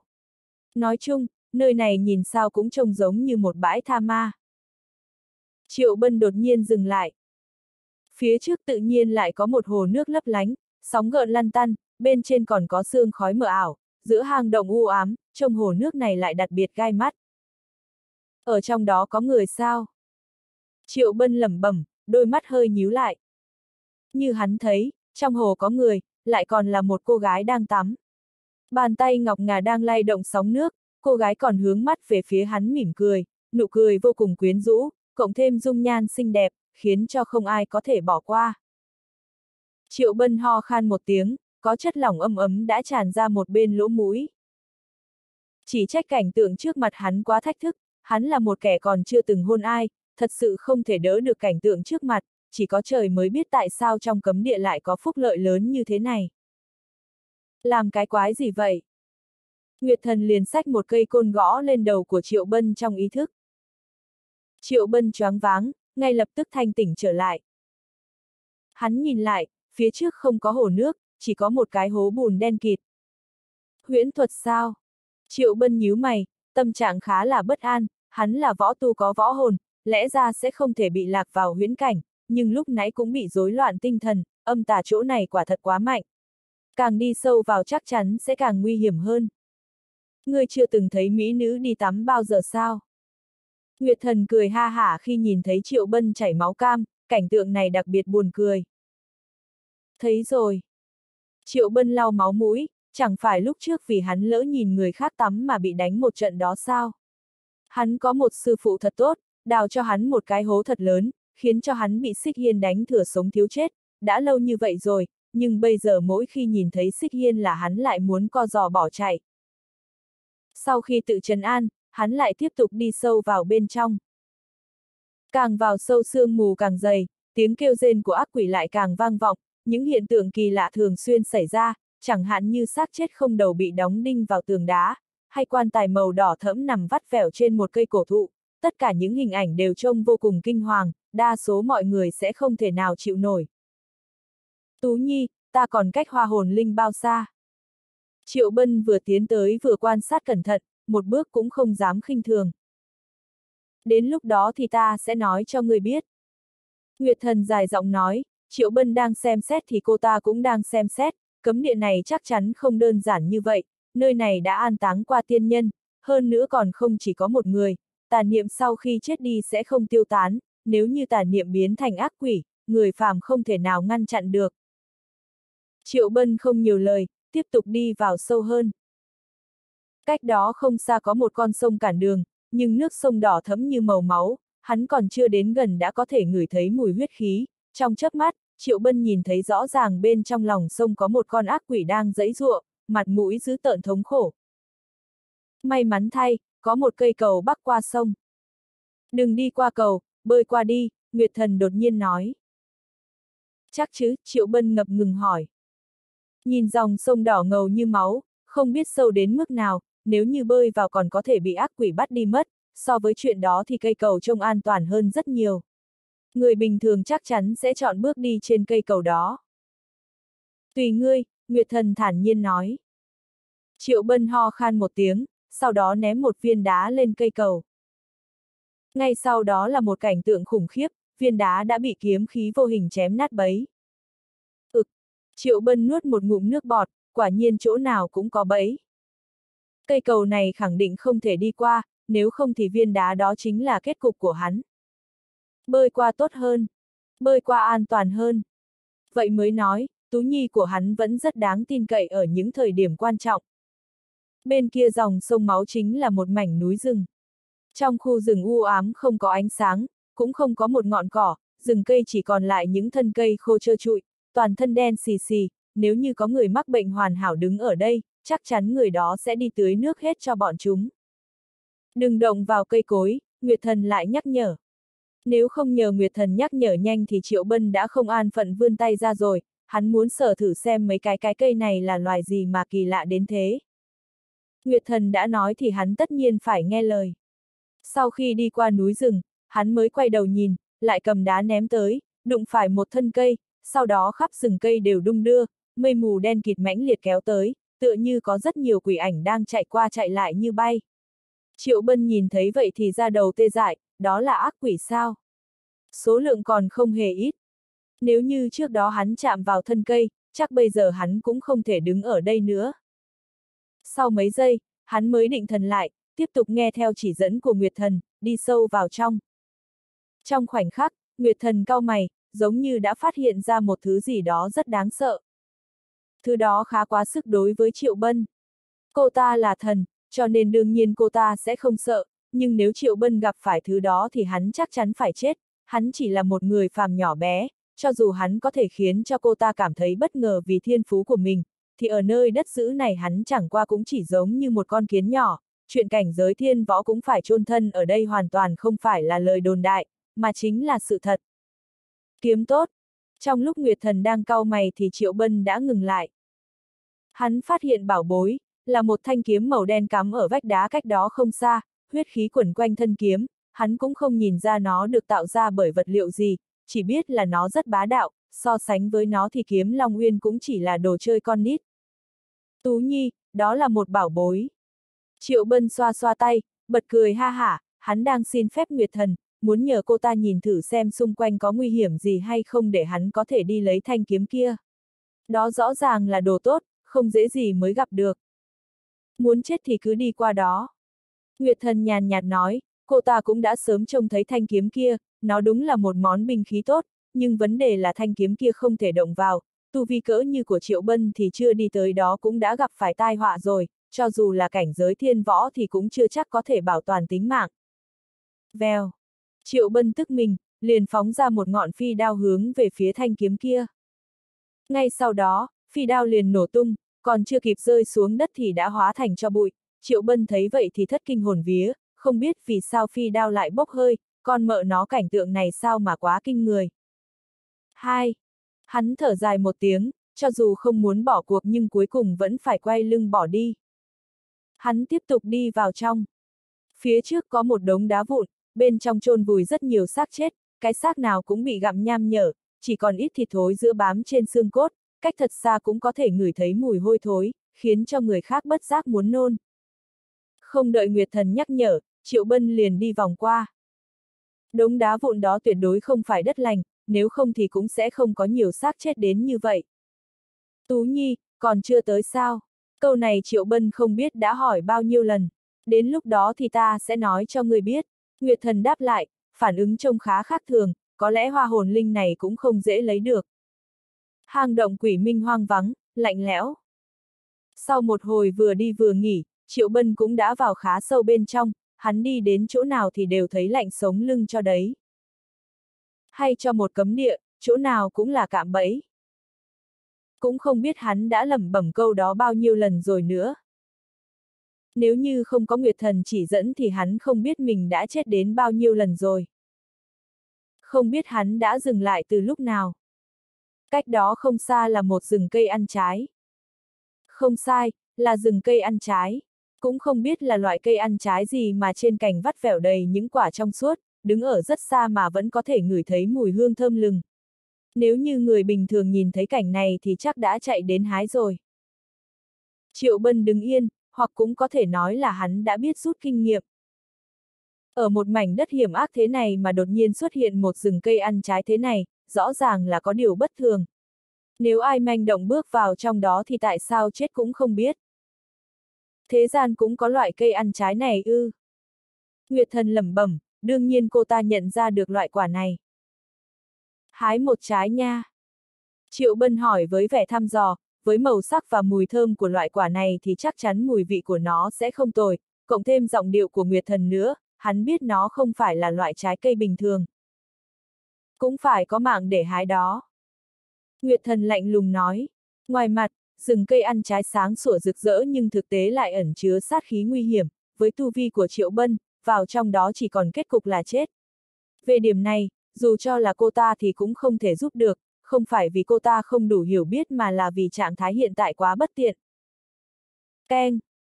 Triệu Bân không chịu an phận, ném một thanh phi đao vào rồi dùng linh hồn điều khiển, định chém một quả xuống.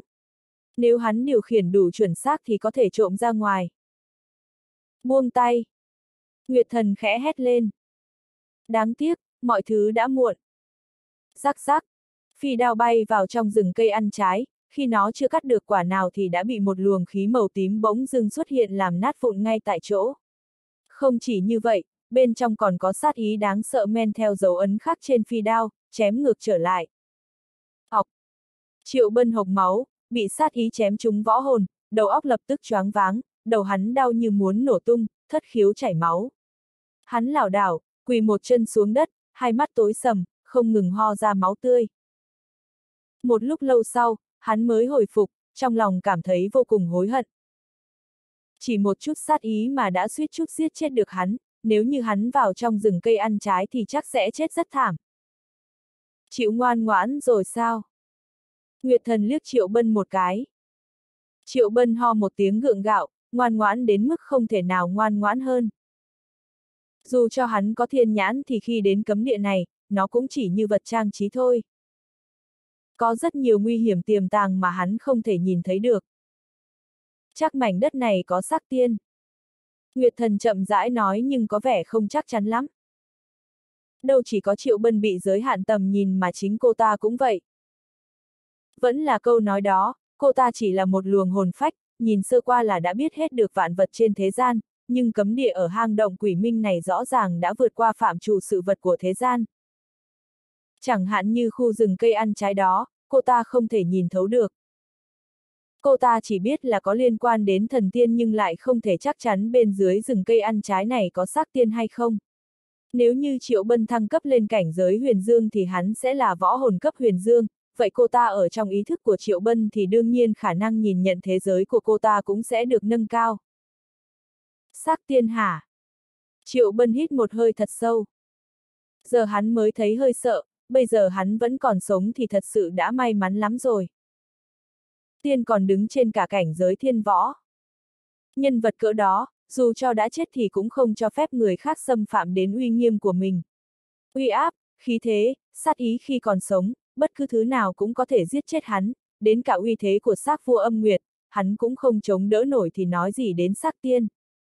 Triệu bân thầm lẩm bẩm một mình. Vua âm nguyệt đã đáng sợ đến mức đó rồi, nếu như dắt theo cả xác tiên đi đánh nhau nữa thì sẽ càng uy phong hơn. Nguyệt thần liếc Triệu Bân đến sắp lé cả mắt. Đến xác thiên võ còn không khống chế được mà đòi khống chế xác tiên sao. Triệu Bân vuốt mũi, cười gượng gạo, tự giác đi vòng qua rừng cây ăn trái. Bẫy vẫn nhiều như thế. Vào thời khắc quan trọng thì Nguyệt thần vẫn rất đáng tin. Triệu Bân suýt xoa. Càng đi vào sâu thì cạm bẫy càng nhiều, hắn nhờ có Nguyệt thần chỉ dẫn, dựa vào hiểu biết của Nguyệt thần để né tránh nguy cơ từ trước, nhưng người khác thì rất khó nói, e rằng những người đến đây tìm báu vật đều không có ai có thể sống sót trở ra. Chuyện này thì chỉ cần nhìn xương cốt ở đây là biết được. Xương cốt ở cấm địa nhiều không kể xiết, cũng không biết là của nhà nào. Hắn đi mãi, đi mãi, đột nhiên nhìn thấy một thứ phát ra ánh sáng kỳ lạ. Hoa hồn linh. Mắt Triệu Bân lập tức sáng rỡ lên, rồi nhìn sang Nguyệt Thần. Nguyệt Thần không nói gì, xem như thầm thừa nhận. Triệu Bân có được đáp án chắc chắn thì lập tức bước thật nhanh. Đừng động. Nguyệt Thần lạnh lùng nói khiến cái chân đang bước tới của Triệu Bân dừng lại giữa chừng trên không trung. Cô ta vừa dứt lời thì liền nghe thấy một trận gió tà thổi đến. Gió tà mang theo mùi xác chết thối giữa.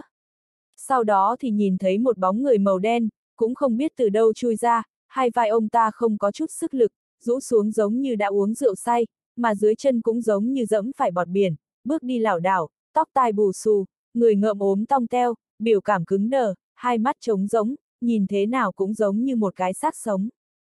Tộc ám giả, Triệu Bân hơi nheo mắt, hắn không nhận ra người áo đen nhưng lại nhận ra ký hiệu in trên áo của ông ta, đó là một vòng bạc màu đen, là ký hiệu mà dù là trong cả đại hạ cũng như trên mảnh đất này, chỉ có tộc ám dạ mới có, đó là biểu tượng của họ. Hắn đã tự ưng gặp qua người của tộc ám dạ. Lúc bán đấu giá ở thành vong cổ, Doãn hồn đánh nhau với lâm tà chính là thiếu chủ của tộc ám dạ. Có lẽ người áo đen đã biến thành xác sống này là tổ tiên của tộc ám dạ, vì quần áo của ông ta có vẻ hơi cũ kỹ, chắc cũng tầm mấy trăm năm rồi. Nói không chừng ông ta cũng là người ở thời chiến quốc. Nếu ngược về thời chiến quốc vậy thì đó đã là vương hầu rồi. Ở thời chiến quốc, tộc ám giả cũng là vương triều một phương. Nếu thật là như vậy, không chừng người này là vua ám giả trong truyền thuyết, cảnh giới chuẩn thiên đỉnh cao chân chính. Người chỉ xếp sau thiên võ chính là ông ta. Triệu Bân mất bình tĩnh, nghe đồn trước khi quốc gia diệt vong, vua ám giả đã biệt vô âm tín. Thật không ngờ là ở hang động quỷ minh này, ông ta chỉ thiếu bước nữa là đạt đến cảnh giới thiên võ mà cũng phải bỏ mạng ở cấm địa này. Nếu như tộc ám dạ biết được thì không biết họ sẽ có cảm nghĩ gì. Chớp mắt, vua ám dạ đã bay tới như du hồn. Đúng là ông ta đã chết thật rồi, chỉ là xác không bị phân hủy thôi. dáng vẻ đó rõ ràng là xác chết vùng dậy mà. Triệu Bân nín thở, nếu đã là xác chết vùng dậy thì không thể để ông ta ngửi thấy hơi người sống được. Trong huyền môn thiên thư đã viết như thế. Vua ám dạ vẫn bước đi lảo đảo, lúc đi ngang qua Triệu Bân, ông ta còn đột ngột dừng lại, thậm chí còn quay đầu sang nhưng vô cùng khó khăn. Đôi mắt trống rỗng đó đầy sự chết chóc, khuôn mặt đã thối giữa, còn có côn trùng bò lổm nhổm bên trên, vốn dĩ không thể nhìn ra được khuôn mặt tôn quý ngày xưa. Trong miệng còn có chất dịch nhầy màu máu chảy từ miệng ra, hôi không chịu nổi. Nói thật lòng là rất đáng sợ. Giây phút đó, Triệu Bân chỉ cảm thấy mình muốn đi xả nước ngay, đấy là cảnh giới chuẩn thiên đỉnh cao đấy. Nếu muốn tiêu diệt hắn thì người ta chỉ cần dùng một ngón tay thôi. Hắn không dám dục dịch, chân vẫn còn ở trên không trung. Hắn dùng biện pháp hít thở quy thức để nín thở và dừng nhịp tim nhằm giúp mình giống như một bức tượng đá. Vào giây phút ngàn cân treo sợi tóc này, nếu như bị xác chết phát hiện ra thì sẽ phải chết rất thê thảm.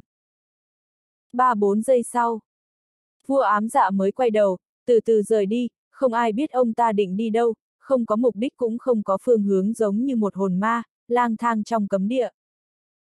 Phù. Đến khi không còn thấy bóng dáng vua ám dạ đâu thì Triệu Bân mới từ từ thở phào, lúc này hắn mới thả chân đang giữ im trên không trung xuống. Chân hắn đã tê dại, cảm giác mắc tiểu càng dữ dội hơn. Đều là xác chết. Nếu vua ám dạ gặp vua âm nguyệt thì cục diện sẽ thế nào? Liệu có đánh nhau không? Triệu Bân tò mò hỏi, trong đầu đã tưởng tượng ra cảnh đó. Nếu không có gì bất ngờ thì vua ám dạ sẽ bị đập, dù sao thì vua âm nguyệt cũng là cảnh giới thiên võ. Ngươi rảnh rỗi lắm sao? Nguyệt thần duỗi lưng đầy mệt mỏi. Quên mất chuyện chính. Triệu Bân nói xong thì đi thẳng vào sâu bên trong, lúc hắn nhấc chân lên, mắt còn nhìn sang Nguyệt Thần. Đừng thấy cô ta điềm tĩnh và ung dung. Thật ra trong lòng cô ta cũng rất hoảng loạn, giống như lúc nãy, nếu như hắn thật sự bị vua ám dạ trưởng cho một phát chết toi thì Tú Nhi đó cũng sẽ phải bồi táng theo. Gần tới, sắp đến rồi. Triệu Bân nhìn mãi về phía phát ra ánh sáng kỳ lạ đó. Hắn đã nghĩ kỹ rồi. Sau khi lấy được hoa hồn linh thì sẽ rời đi ngay, chỗ này đáng sợ quá. Có lẽ vì hắn qua chú ý hướng đó nên đã quên mất để ý nhìn dưới chân. Hắn đã dẫm vào một mảnh lầy lội, đất có màu đen ngòm, còn lẫn vài vệt máu đỏ, có nhiều xác chết đã chìm xuống một nửa còn một nửa lộ ra bên ngoài. Rắc rắc. Mãi cho đến khi âm thanh đó vang lên, Triệu Bân mới phát hiện ra. Hắn bất giác đưa mắt nhìn xuống, vì chân vừa dẫm phải một bộ xương, lực đạp quá mạnh nên đã làm nát xương sọ của người ta.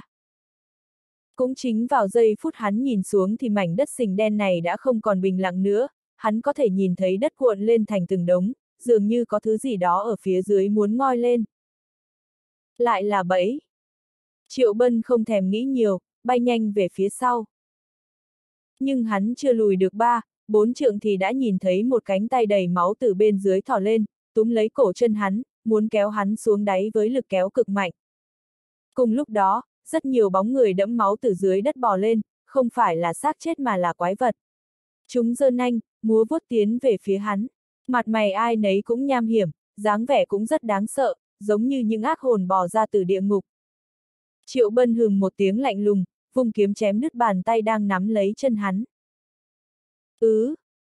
Bốn, năm người dính đầy máu cùng nhào đến, hoảng loạn ứ lên. Cút! Triệu bân hét lớn lên, vung ra một tia kiếm khí rồi bay ngược về sau. Học, học, học. Đám quái vật dính đầy máu ngã như dạ, kẻ thì bị kiếm khí chém chúng, tên bị kiếm khí đâm thủng nhưng chúng lại không cảm nhận được đau đớn, dù cho mất cánh tay hay cẳng chân thì cũng vẫn ùn ùn xông tới. Nhìn xuống dưới chân thì càng có nhiều cánh tay máu dơ lên hơn, số lượng nhiều đến mức khiến da đầu người ta tê dại, đừng nói đến việc thật sự nếm trải, chỉ tưởng tượng thôi cũng đã thấy đáng sợ rồi. Cũng vì những cánh tay vươn ra quá nhiều nên tốc độ của Triệu Bân đã đột ngột giảm sút. Hắn bị mấy cánh tay đó tóm được vài lần, máu dính trong lòng bàn tay chúng có độc sắc chết cực mạnh, có thể làm xương thịt thối giữa, nếu không phải vì Triệu Bân có địa hỏa hộ thể thì chắc chất độc đã xâm nhập vào cơ thể rồi. Cút đi! Triệu Bân cầm kiếm tử tiêu tấn công liên tục. Đám quái vật dính đầy máu bị chém ngã xuống rất nhiều nhưng rồi lại có càng nhiều tên lao đến hơn. Nói sao nhỉ, càng giết thì càng xuất hiện nhiều hơn. Có trời mới biết bên dưới mảnh đất sình cháy đen này đã chôn bao nhiêu người, chẳng khác nào bãi tha ma, quá đáng sợ. Nhưng lại không thể giết chết chúng, những cánh tay bị chém đứt trên mặt đất vẫn cứ đang bò ở đó, bò một hồi thì lại có thể gắn lại vào cơ thể như cũ. Ép ta cho nổ tung à. Triệu bân ham dọa rồi rắc bùa nổ ra, lập tức thoát khỏi vòng vây. ầm, um, bùm, ầm. Tiếng nổ liền vang lên, xác chết của những người dính đầy máu đó bị nổ văng khắp nơi, nào là đầu, nào là chân, nào là xương cốt, tất cả đều bị nổ tung, còn có huyết tương nồng nặc bắn khắp nơi như mưa rơi, tất cả đều có độc xác chết. Cảnh tượng đó không chỉ máu me mà còn rất gớm ghiếc. ầm, um, bùm, ầm. Um. Tối nay hang động quỷ minh rất náo nhiệt. Có người đứng ở cách hang núi không xa thì không chỉ nghe thấy được vô số oan hồn than khóc mà còn nghe thấy tiếng nổ ầm ầm, người ta còn tưởng rằng có người đang đánh nhau bên trong. Có người sống sao? Phần lớn những người đi ngang qua cấm địa quỷ minh đều đột ngột dừng bước với biểu cảm kỳ lạ. Chắc là cao thủ lớn gan nào đó lại chạy vào trong tìm kiếm báu vật.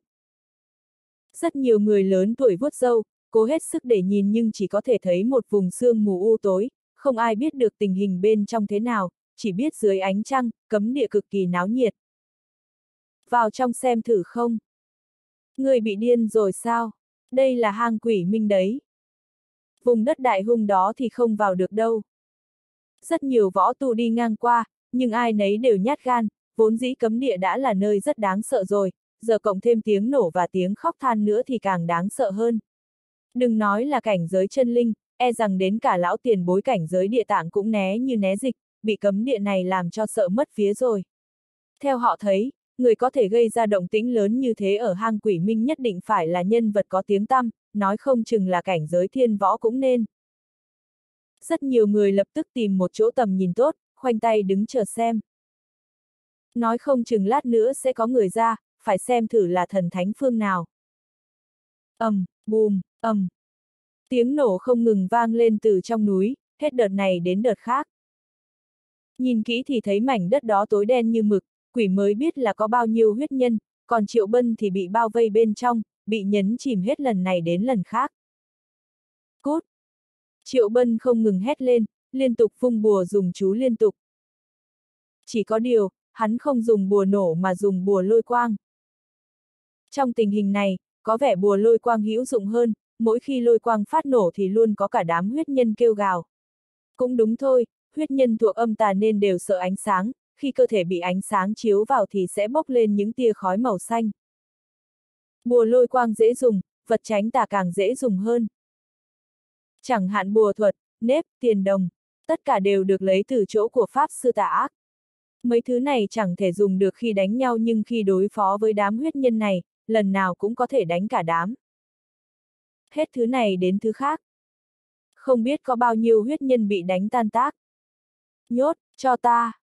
Triệu Bân hét lớn lên, một tay bấm ấn quyết, một lá bùa ảo ảnh lớn tầm 3-4 trượng từ trên trời rơi xuống, phủ lên mặt đất. Loại bùa chú không có chút uy lực gì với võ tu này lại vô cùng bá đạo ở đây, những cánh tay đầy máu đều thu về lại, còn nghe thấy được tiếng than khóc văng vẳng truyền từ dưới đất lên. Nửa tiếng sau hắn mới chạy ra ngoài. À, không đúng, là bò ra ngoài. Hắn rất giỏi đánh nhau, nhưng không thể đánh lại nhiều huyết nhân như thế. Những vết thương be bét máu khắp người đều do móng vuốt sắc nhọn của bọn chúng cào ra, mỗi vết thương đều dính chất dịch màu xanh lá, đó là độc xác chết và hơi thở xác chết, chúng dính vào máu của hắn thì lại biến thành bọt trắng, kêu lên sẹt sẹt, nghe cứ như đã bị dính bột hủy xác. Phụt! Triệu bân cắn răng, lôi ngọn lửa ra, từng tia lửa chui vào trong kinh mạch, tràn vào lục phủ ngũ tạng, bao trùm lấy toàn thân hắn, đốt cháy độc xác chết, đánh tan hơi thở xác chết. Những vết thương còn lại đều là chuyện nhỏ. Không có vết thương nào mà linh dịch tiên lộ không thể trị khỏi. Đừng đùa nữa được không hả? Triệu Bân ngồi bệt xuống dưới gốc cây cổ thụ, liếc Nguyệt Thần một cái. Hắn chắc chắn cô nàng này biết mảnh đất đó có huyết nhân, vậy mà cũng không thèm nhắc nhở hắn một tiếng, may mà hắn mạng lớn, nếu không thì đã bỏ mạng trong đó thật rồi. Chỗ này là hang động quỷ minh đấy, cô không sợ ta bị giết chết hả? Đấy cũng là một kiểu tu hành. Câu trả lời của Nguyệt Thần đúng như những gì Triệu Bân đoán.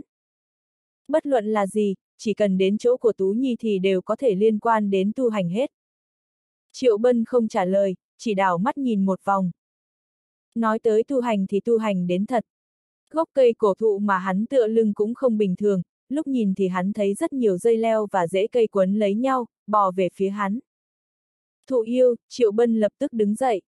Hắn vẫn chưa chạy khỏi đó thì đã bị dây leo quấn lấy, hết vòng này đến vòng khác, trói chặt hắn. Nó siết chặt đến mức xương tay xương chân đều kêu lên kít kít, suýt chút là lục phủ ngũ tạng đều bị nôn ra hết. Nhìn đi, không hổ là cấm địa, chỗ nào cũng có bẫy. Chém. Triệu bân hừng một tiếng lạnh lùng, cơ thể đã bị trói chặt nên hắn đã dùng hồn điều khiển kiếm, chém về phía dây leo. Nhưng hắn đã đánh giá thấp độ cứng của dây leo. Mẹ nó, chém một nhát mà không đứt. Chém không đứt thì căng rồi đây, dây leo siết chặt đến cực độ, còn cái miệng trên cành cây của cây cổ thụ thì đã há to ra. Đúng thật là thụ yêu, nó đã nuốt chửng hắn vào trong.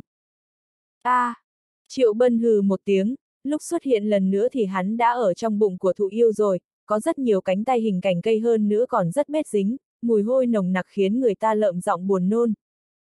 Đốt chết ngươi! Triệu bân lớn tiếng mắng rồi lôi địa hỏa ra, bao trùm lấy toàn bộ cơ thể. Cây đều sợ lửa. Hắn nghĩ không sai, những nhánh cây như cánh tay đụng phải lửa thì lập tức rụt lại. Ăn ta hả, cho ngươi ăn ta này. Triệu bân thi triển thần uy, ngọn lửa cũng bao trùm tử tiêu, kiếm chém loạn xạ. Trước đó tử tiêu chém dây leo không đứt nhưng bây giờ có thêm lửa và sấm sét thì cực kỳ sắc bén, đi tới đâu là chém tới đó. A, à, cảnh tượng sau đó cực kỳ đã mắt thụ yêu thét lên, nó nuốt triệu bân nhưng lại không tiêu hóa được hắn, còn rất khó chịu, cái tên tiểu võ tu đó rất không an phận, đang đại náo trong bụng nó. Xẹt, Triệu Bân chém một nhát tạo thành một vết rách rối thoát ra ngoài. Bùm! Sau khi chạy ra thật xa thì hắn mới thở phào. Hắn đã ra ngoài nhưng để lại rất nhiều bảo bối trong bụng thụ yêu. Ừ, cũng tức là bùa nổ đó. Tiếng bùa nổ vang lên liên tiếp, tiếng sau còn to hơn cả tiếng trước, nổ gãy hết cành cây của thụ yêu, dây leo vung đầy trời nhưng vẫn không khống chế được uy lực của bùa nổ. Đến khi tiếng nổ dứt hẳn thì thế giới cũng trở nên yên tĩnh. Chỗ này không nên ở lại lâu. Triệu bân bĩu môi, quay người định bỏ đi. Đi đâu đó? Nguyệt thần lạnh lùng nói.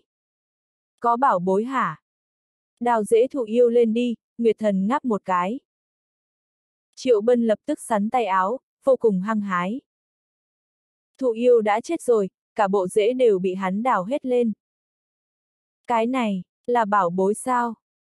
Triệu bân lẩm bẩm, rễ cây dài và to nhưng phần lớn đều đã bị khô héo rồi, đem về làm củi đốt thì chắc sướng lắm, nhìn thế nào cũng không giống đồ tốt. Đốt đi. Nguyệt thần cũng rất thẳng thắn. Không cần cô ta nói thì Triệu Bân cũng lấy ngọn lửa ra. Địa hỏa cháy dữ dội. Nhìn bằng mắt thường cũng thấy được là rễ cây vốn không còn sự sống đó cực kỳ khô. Vù. Lúc đang đốt, đột nhiên có một luồng khí phóng ra.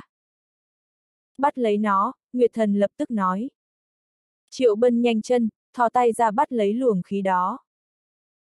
Đây là khí huyền hoàng. Thật hay giả thế, Triệu Bân nâng luồng khí đó, nhìn tới nhìn lui. Đương nhiên là hắn đã từng nghe nói đến khí huyền hoàng, trong huyền môn thiên thư cũng có giới thiệu đôi chút, nó là khí căn nguyên, có liên quan với hồng môn tử khí có từ thời thiên địa sơ khai. Nghe đồn loại khí này có uy lực rất khủng khiếp, kinh thiên động địa, khiến thần ma cũng phải khóc. Nhưng luồng khí mà hắn đang nắm trong tay làm gì có uy lực bá đạo đến mức đó. Nếu thật sự là khí huyền hoàng thì hắn đã không thể bắt được rồi. Căn nguyên đã bị tiêu hao gần hết rồi, Nguyệt Thần nói, nếu đem tôi luyện thì chắc uy lực sẽ không tầm thường, đặt nó vào đan điền, dùng chân nguyên nuôi dưỡng, sẽ có lúc cần dùng đến thôi. Nếu như thật sự có thể bảo toàn được chút căn nguyên đó thì đến xẻ núi cũng chỉ là chuyện nhỏ. Được. Triệu Bân cười he he, cẩn thận đặt nó vào đan điền. Dù cho nó có yếu thì cũng là khí huyền hoàng. Nếu tế luyện được đến mức tinh tế thì nhất định có thể đập đá phá núi. Nhưng tiền đề là hắn phải có đủ năng lực, nếu như tu vi không đủ thì dù cho có lấy được thần khí cũng không thể nào phát huy được uy lực, về điểm này thì chỉ cần nhìn thiên lôi là biết, là hắn đã khống chế uy lực của thiên lôi.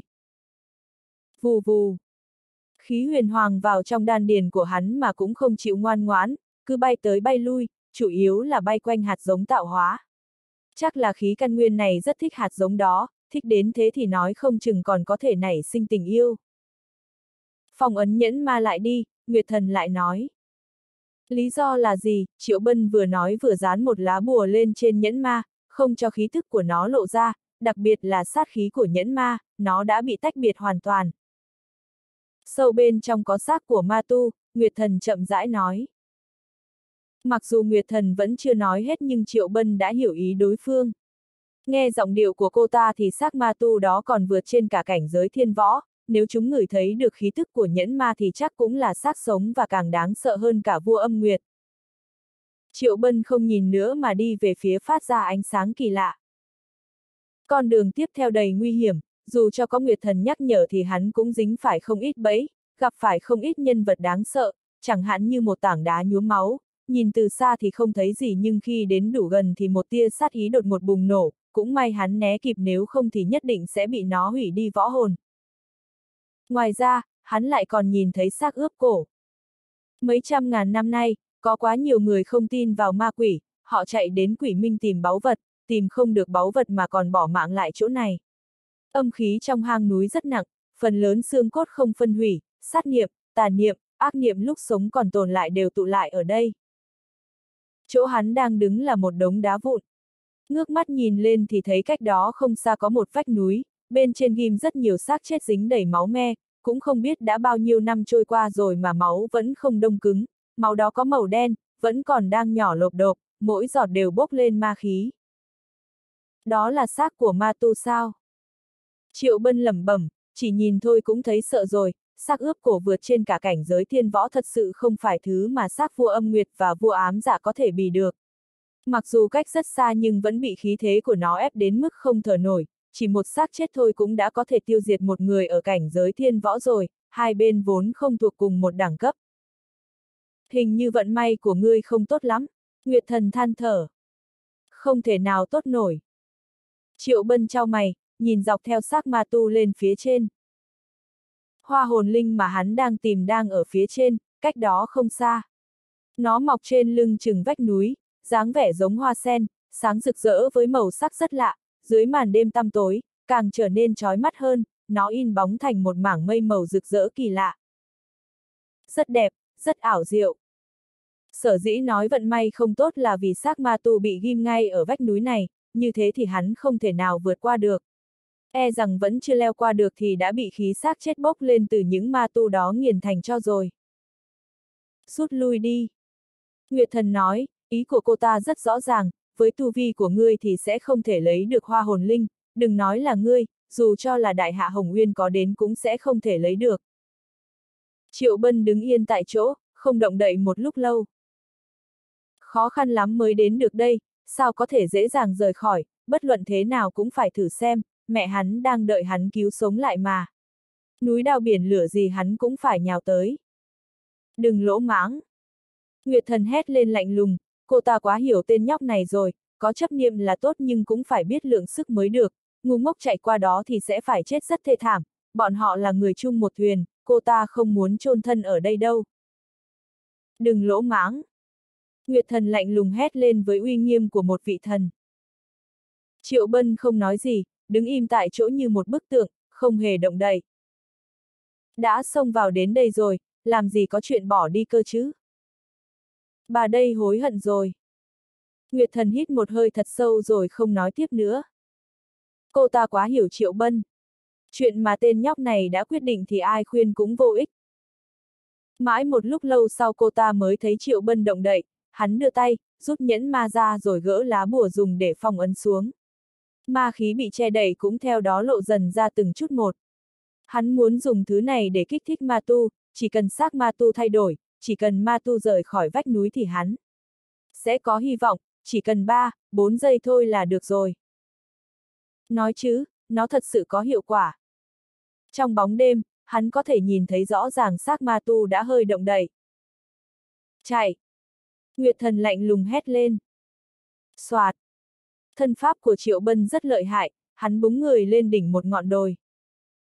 Sau đó, hắn rút một thanh phi đao ra, treo nhẫn ma lên trên rồi dùng linh hồn điều khiển phi đao, để nó bay lòng vòng cách vách núi không xa, tiếp tục kích thích ma tu. Theo Nguyệt Thần thấy thì tên nhóc này đang dạo trước quỷ môn quan. Vù! Cây giáo ghim xác ma tu rung lên ù ù. Ma tu cũng ngẩng đầu lên một cách cứng đờ, đôi mắt đen kịt, chắc cũng vì trời tối nên khi mới nhìn vào, người ta còn tưởng là hai cái hốc nữa cơ. Nếu như nói nhẫn ma chỉ toát lên một chút ma khí thì ma khí xung quanh xác ma tu phải nói là cuồn cuộn tuôn trào. Triệu bân lảo đảo, suýt chút bị ma khí đánh bay. Ma khí thế của ma tu thì càng lúc càng mạnh, trong ma khí còn có ma than quỷ khóc như ma chú, khiến người ta thấy hoang mang, uy áp mang tính hủy diệt làm chấn động cả ngọn núi, đá vụn nối đuôi nhau lăn xuống, tất cả mọi hiện tượng đều đang ám chỉ một chuyện là tên đại ma đầu đó đã sắp tỉnh lại rồi, tỉnh lại ở đây không phải là sống lại mà là xác sống, nhẫn ma đã kích thích ông ta, khiến xác chết biến đổi. Keng! Triệu Bân điều khiển phi đao, mang theo nhẫn ma bay về phía xa. Bước đầu tiên đã thành công, tiếp theo là dụ ma tu đi chỗ khác để hắn tiện lấy hoa hồn linh. Nếu hắn hành động đủ nhanh, chân chạy đủ nhanh thì có thể sống sót trở ra được. Theo hắn thấy thì dùng nhẫn ma để đổi lấy hoa hồn linh cũng xứng đáng. U.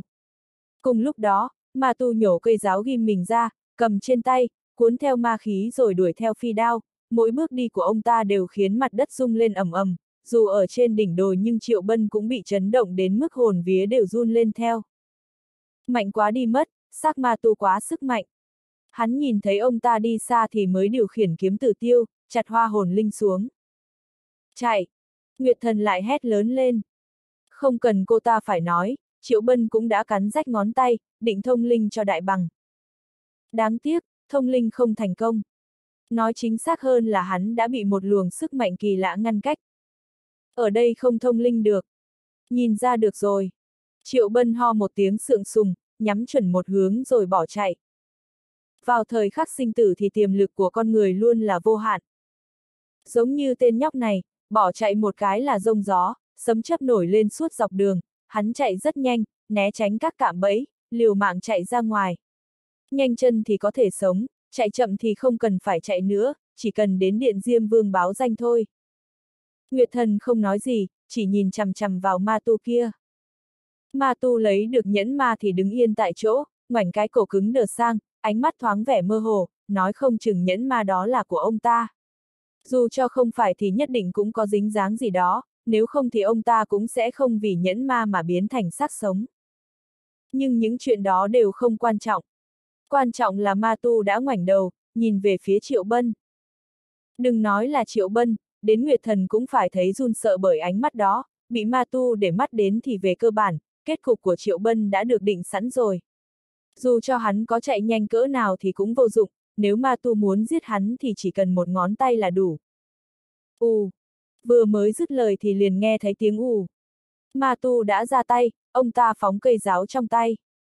Cây giáo như một tia sáng màu đen, bên trên dính một vệt máu đỏ, uy lực cực kỳ bá đạo với sức hủy diệt cực mạnh, những chỗ mà nó bay qua thì những tảng đã lớn đều bị nát ra thành bột, mà mục tiêu của nó chính là Triệu Bân. Ma tu với thân xác biến đổi đâu có quan tâm ai là ai, không nhận thân bằng quyến thuộc. Triệu Bân không dám quay đầu, chỉ cảm thấy toàn thân lạnh toát, mặc dù cây giáo còn cách hắn rất xa nhưng da thịt sau lưng đã bị sát ý xé toạc. Máu tươi đang chảy ra, không phải vì năng lực của hắn không đi mạnh mà là vẻ sát sống của ma tu quá đáng sợ. Hắn không kịp nghĩ nhiều, lập tức phung bùa nổ ra. Mục đích hắn làm như vậy rất rõ ràng, hắn muốn dùng bùa nổ để thay đổi đường đi của cây giáo. Dù cho chỉ lệch một tấc thôi thì cũng có thể tránh được nguy hiểm. Hắn đâu có ngốc. Nhưng dường như không có tác dụng gì. Mặc dù bùa nổ nhiều nhưng cũng không thể làm cây giáo lung lay, thế càng đừng nói gì đến việc làm lệch đường đi của nó, đáng ghét hơn là, thuật độn thổ của hắn cũng đã mất hiệu lực, vì bị cây giáo khống chế nên phép thuật thần thông gì cũng không dùng được, sát ý của ma tu quá nặng. Liều thôi. Triệu Bân đột ngột xoay người, cầm túi càn khôn lên rồi mở ra tại chỗ, hướng miệng túi về phía cây giáo, hắn định dùng nó hút cây giáo vào trong, nói không chừng có thể hóa giải được nguy cơ. Mẹ kiếp, ngươi đúng thật là nhân tài mà.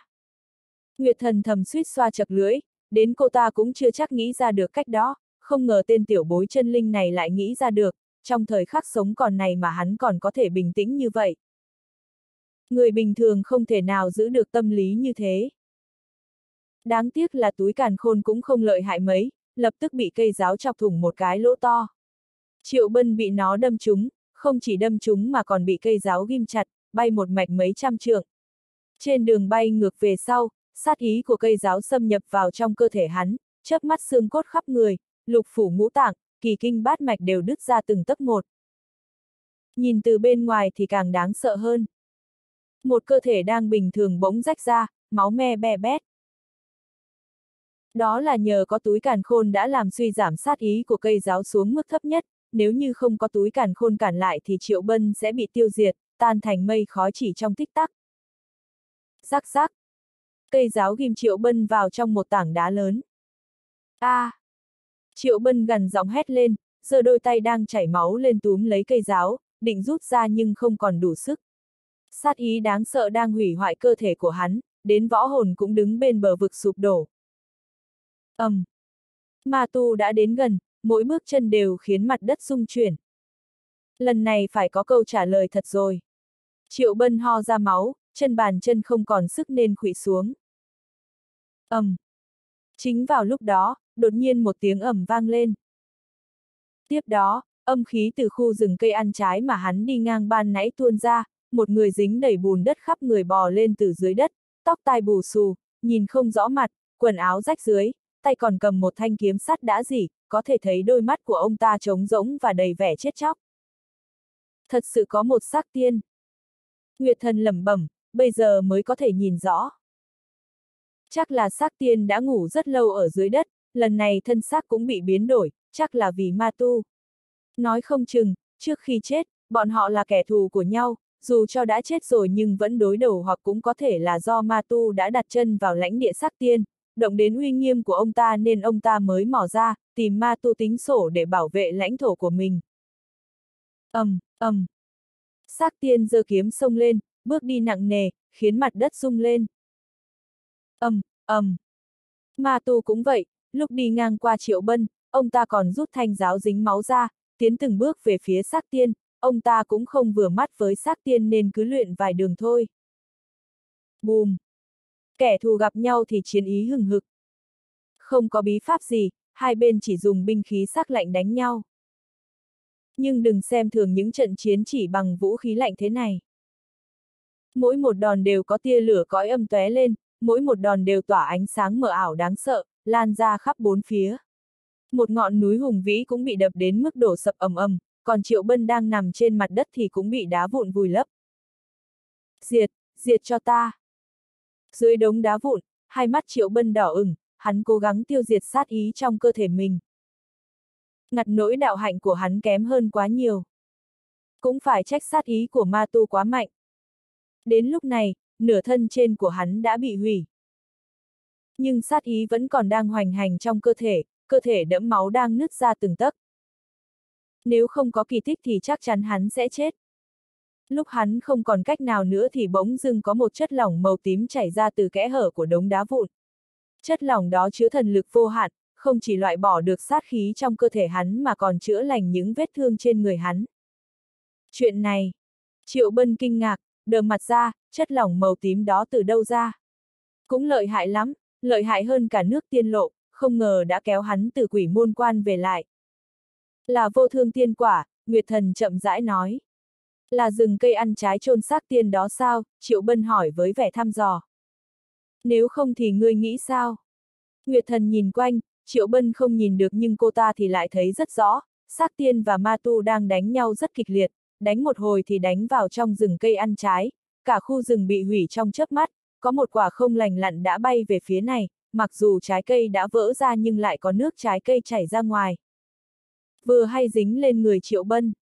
Còn về phần vô thương tiên quả, nghe tên là đã biết là loại quả dùng để trị thương, không có tác dụng nhiều với thần tiên nhưng lại là tiên dược với người phàm, việc nó có thể loại bỏ sát ý trong người Triệu Bân là minh chứng tốt nhất. Vì vậy mới nói, vận may của tên nhóc này không hề tầm thường. Cục diện chắc chắn phải chết mà vẫn có thể xảy ra kỳ tích, phải nói là quá trùng hợp, cấm địa này không chỉ có xác ma, còn có cả xác tiên. Xác ma làm phiền đến sự yên tĩnh của xác tiên, hai bọn họ lại còn là kẻ thù không đội trời chung, thế là lại cho Triệu Bân có cơ hội được sống, còn tiên quả bay qua đó thì lại trùng hợp mang lại hiệu quả. Tiên quả. Triệu Bân không chịu an phận, muốn bỏ ra ngoài, nhặt thêm mấy quả nữa. Không muốn sống nữa sao? Nguyệt thần lạnh lùng hét lên. Vừa mới khen ngươi xong mà giờ đầu óc đã đần độn rồi sao? Ma tu và sắc tiên đang chiến đấu quyết liệt với nhau, giờ mà chạy ra thì chỉ một chút dư âm cũng có thể thổi bay ngươi rồi, còn muốn nhặt tiên quả, sao gan quá vậy? Triệu Bân cười gượng gạo, rụt người về lại. Không chỉ rụt lại mà còn cố gắng độn thổ. Bên trên quá nguy hiểm, dưới đất vẫn an toàn hơn, chỉ cần đợi đến khi bọn họ đánh xong. Không thì nhắm thời cơ, lập tức chuồn khỏi đó. Chỗ quỷ quái này không thể nán lại lâu. ầm, um, choảng, dầm. Tiếng kim loại va vào nhau vang lên khắp hang động quỷ minh, theo sau đó là tiếng nổ. Không biết có bao nhiêu ngọn đồi bị nổ tung, không biết có bao nhiêu đỉnh núi đổ sập, đá vụn nổ tung tóe khắp trời, trong lúc rơi xuống thì đều biến thành bụi. Hai bên đánh nhau như muốn nổ tung trời đất.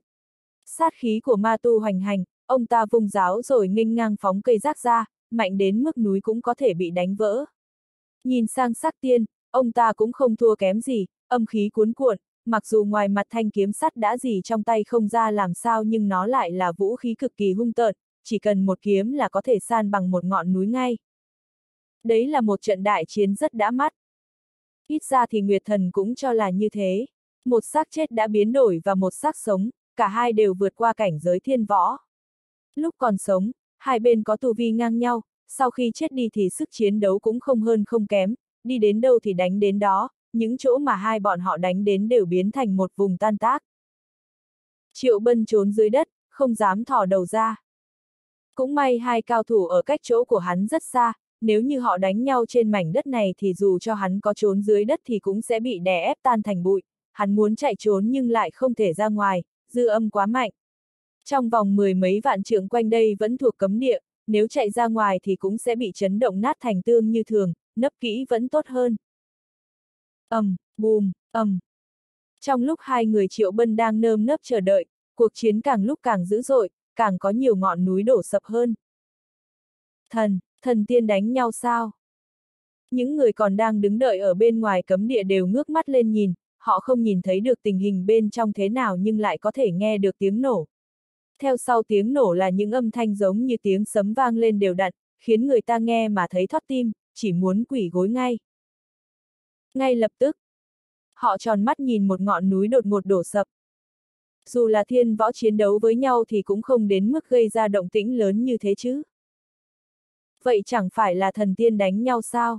Xuất chiêu một cái là trời long đất lở. Người xưa nói quả không sai. Mặt mày ai nấy cũng trắng bệch, họ đã sớm biết hang động quỷ minh nổi tiếng hiểm ác, hôm nay được chứng kiến thì thấy đúng là sự thật. Có trời mới biết là ai đang đánh nhau ở bên trong đến mức trời long đất lở như thế. Không biết đến lúc nào tiếng nổ mới dứt hẳn. Xác tiên quỳ xuống, ông ta đã bị cây giáo dính đầy máu chém nát xác. Ma tu cũng đã quỳ xuống, ông ta đã bị chém đứt đầu. Cuối cùng hang động quỷ minh vô cùng hỗn loạn cũng đã trở nên yên tĩnh. Lúc này Triệu Bân mới thò đầu ra. Xong chuyện rồi thì hắn liền cửa quậy để chui ra khỏi đống đá vụn. Một lúc lâu sau, hắn mới tìm ra được túi càn khôn, nhưng nó đã bị rách rồi. Sửa lại một chút không chừng còn có thể dùng. Hắn cầm túi, tiếp tục đào bới. Đừng tìm nữa. Nguyệt thần liếc hắn một cái, cô ta biết Triệu Bân đang tìm thứ gì. Đã nói rồi, rừng cây ăn trái bị hủy trong phút chốc, cây và trái cây đều bị nổ sạch sành xanh. Thế này, thì khó xử quá. Mới nhặt được mạng mà ngươi còn không chịu đi hả? Đi, đi ngay đây. Miệng Triệu Bân nói vậy nhưng hắn lại cứ lưu luyến không nỡ. Mãi đến khi Nguyệt Thần liếc mình một cái thì hắn mới chịu chạy đi. Lúc chạy ngang qua một ngọn núi đá, hắn đã dừng lại khi nhìn thấy một thứ đang phát sáng. Đào ra thì mới biết đó là nhẫn ma, chắc là trong lúc đánh nhau với xác tiên, ma tu đã làm rơi nó ở đây. Vậy thì càng tốt. Hắn lấy nhẫn ma rồi chạy còn nhanh hơn cả thỏ. Có phải đã tạo nghiệp rồi không? Tiếng lẩm bẩm của hắn chỉ có Nguyệt Thần có thể nghe thấy. Tạo nghiệp, còn không phải là tạo nghiệp à? Ma tu người ta đang bị ghim dính ở đó mà cứ muốn quấy rối sự yên tĩnh của người ta, còn chọc sắc tiên phải đội mổ sống dậy, hai ông lớn của cấm địa này đã vì thế mà đại chiến với nhau. Vì vậy mới nói, cái kế của hắn tồi đến vậy mà vẫn đem lại kết quả cao. Để hôm nào đó ta sẽ siêu độ cho bọn họ. Triệu Bân cười gượng, đúng là không thể nào nói nổi, cả cấm địa đều đã bị náo loạn hết rồi. Phía trước đã là lối ra. Hắn nhanh chân chui ngay ra ngoài. Có điều hắn đã thụt lại ngay sau đó. Có trời mới biết là bên ngoài cấm địa tự dưng có cả đống người, hắn không thể chạy ra như thế được, phải cải trang thôi. Nếu để bọn họ nhận ra mình thì Triệu Bân sẽ gặp thêm nhiều chuyện rắc rối. Này, lúc nãy có phải có ai chạy ra không? Có hả? Vậy chắc là lão phu đã hoa mắt. Rất nhiều cụ già thi nhau dụi mắt.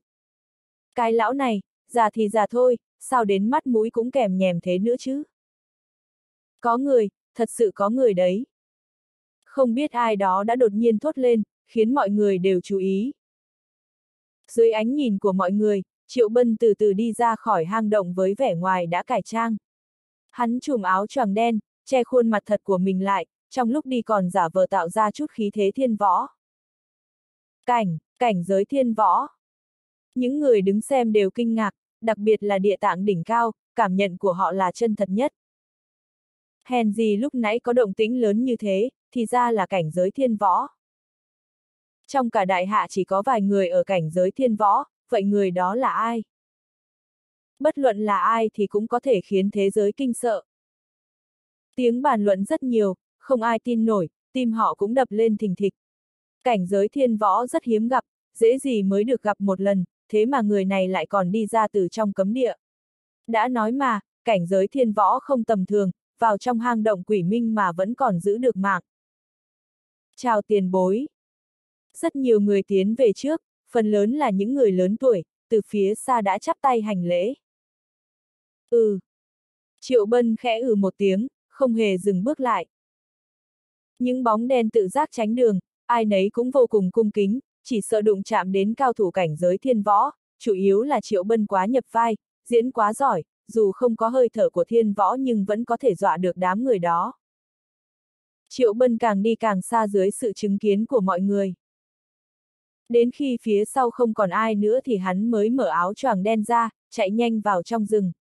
Miệng thở hồng hộc, giờ hắn mới cảm thấy sợ, mất một lúc lâu sau mà vẫn chưa bình tĩnh lại, chuyến đi đến hang động quỷ minh này đâu chỉ là dạo một vòng trước quỷ môn quan không thôi mà còn là vào trong đó đi lòng vòng nữa. Bây giờ vẫn còn sống ra khỏi đó thì đúng thật là vô cùng may mắn. May mắn à? Nói theo cách của Nguyệt Thần thì đấy là may mắn đến mức đi ngược với lẽ trời. Họa lớn không chết ắt có phúc về sau. Audio điện tử võ tấn bền. Triệu Bân ngồi xếp bằng trên mặt đất, lấy một hộp ngọc ra, cất hoa hồn linh vào trong. Theo hắn thấy thì nó không chỉ là một bông hoa mà còn là tính mạng của mẹ hắn, nếu thật sự có thể cứu được mẹ thì những khó khăn hắn gặp phải trong cấm địa cũng có thể xem là xứng đáng. Hắn cất hoa hồn linh xong thì mới xếp bằng, nhắm mắt lại. Mặc dù sát ý đã tan nhưng nội thương vẫn còn. Dù sao thì vô thương tiên quả cũng là sự trợ giúp bên ngoài thôi, tất cả vẫn phải tự dựa vào chính mình, nghĩ đến loại tiên quả đó thì hắn lại thấy tiếc hùi hụi, cả một vùng rộng lớn như vậy mà lại bị hủy hết sạch. Đêm dần trôi qua, trời vẫn chưa sáng hoàn toàn thì tin tức đã được truyền đi khắp nơi. Có người sống sót ra khỏi hang động quỷ minh hả? Lão Phu có mặt ở đó, chắc chắn 100% đó là cảnh giới thiên võ. Bất ngờ thật đấy. Mọi người tập trung lại với nhau, bàn tán xôn xao cả lên, chỗ nào cũng nói về chuyện đó, nói đến mức nước bọt văng khắp nơi, uống rượu mà không cần phải trả tiền. Chủ yếu là được những người đến nghe kể chuyện vui vẻ trả thay. Tin sốt dẻo đâu thể nghe miễn phí được. Tin tức liên quan đến hang động quỷ minh xứng đáng với số tiền rượu đó. Mấy trăm ngàn năm trở lại đây, cứ hễ ai đi vào trong hang núi thì đều không thể sống sót trở ra, chắc vị lão tiền bối đó là người đầu tiên. Hang động quỷ minh, cảnh giới thiên võ. Lão huyền không nghe xong thì đứng bật dậy khiến lão huyền đạo và lão mập, cũng như Dương Hùng đều giật nảy mình, ai cũng liếc mắt nhìn lão ta. Đi thật rồi à? Lão huyền không lẩm bẩm, tin tức hang động quỷ minh có hoa hồn linh là do lão ta tiết lộ cho Triệu Bân biết, mà Triệu Bân biết thì Hồng Nguyên cũng biết. Hôm nay hang động có tin tức, đối phương còn là cảnh giới thiên võ, vậy khá chắc đó là đại hạ Hồng Nguyên rồi. Chuyện gì? Chư cắt huyền đạo khoanh tay, liếc lão huyền không một cái. Huyền không cũng chẳng giấu giếm mà nói hết sự thật ra. Mọi người ai cũng bất ngờ đứng bật dậy. Chuyện này còn phải nói nữa sao, cảnh giới thiên võ vào hang động quỷ minh thì chính là đại hạ Hồng Nguyên chứ ai. Sư tôn đã đến mảnh đất đó sao? Tiểu Linh lung cũng có mặt ở đó, nấp ở một góc, miệng lẩm bẩm. Thiên hạ đệ nhất đúng thật là không tầm thường. Chắc chắn ông ấy sẽ sớm quay về thành vong cổ thôi. Mọi người hít một hơi thật sâu, chỉ thấy kinh ngạc chứ không vui mừng. Chuyện này không phải chuyện tốt lành gì, bây giờ cái tên Triệu Bân đó đang bật vô âm tín, nếu như Hồng Nguyên nổi giận thì thiên hạ sẽ đại loạn, mấy người bọn họ đều sẽ bị tính sổ, không ai có thể chạy thoát.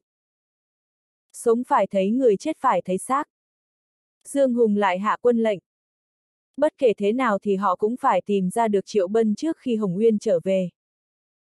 Trong lúc mọi người bàn tán thì màn đêm lại từ từ buông xuống. Trong núi, cuối cùng Triệu Bân cũng mở mắt, thở ra một ngụm khí đục ngầu, tinh thần phấn chấn, nước trái cây của vô thương tiên quả có lợi cho cơ thể của hắn, thay đổi một chút về thể chất, chỉ xét đến khả năng hồi phục thôi thì cũng đã mạnh hơn trước rất nhiều. Liệu ma tu và xác tiên có còn biến đổi thể xác nữa không nhỉ? Triệu Bân cầm vò rượu, uống một ngụm rồi mới nhìn về phía Nguyệt Thần. Hang động quỷ minh là một chỗ hay ho, nếu như hai ông lớn đều chết rồi thì lúc rảnh rỗi, hắn có thể đến dạo chơi một chút, nói không chừng còn có thể tìm vài món bảo vật, chẳng hạn như phần thừa của vô thương tiên quả. Có. Nguyệt thần lạnh lùng đáp. Thật ra là cô ta đang lừa Triệu Bân. Họ không thể lại vào cấm địa nữa. Triệu Bân không sợ nhưng cô ta thì sợ rồi, chủ yếu là lần này quá nguy hiểm, Triệu Bân dạo một vòng ở quỷ môn quan thì cô ta cũng như thế. Sau này, cứ thành thật ngoan ngoãn cho yên ổn, đừng rảnh rỗi đi tìm cảm giác kích thích nữa. Triệu Bân tin lời của đối phương. Chính vì hắn đã tin nên mới tỏ vẻ tiếc nuối, còn biết bao nhiêu đồ quý cơ mà. Cái này, còn sửa được nữa không? Triệu Bân cẩn thận lấy túi càn khôn ra, gần như những món bảo vật bên trong đều đã bị hỏng hết, những thứ dùng được chẳng còn là bao, vì sát ý trên cây giáo quá đáng sợ. Giờ hắn còn sống sót được thì công của chiếc túi càn khôn này đúng là không thể bỏ qua.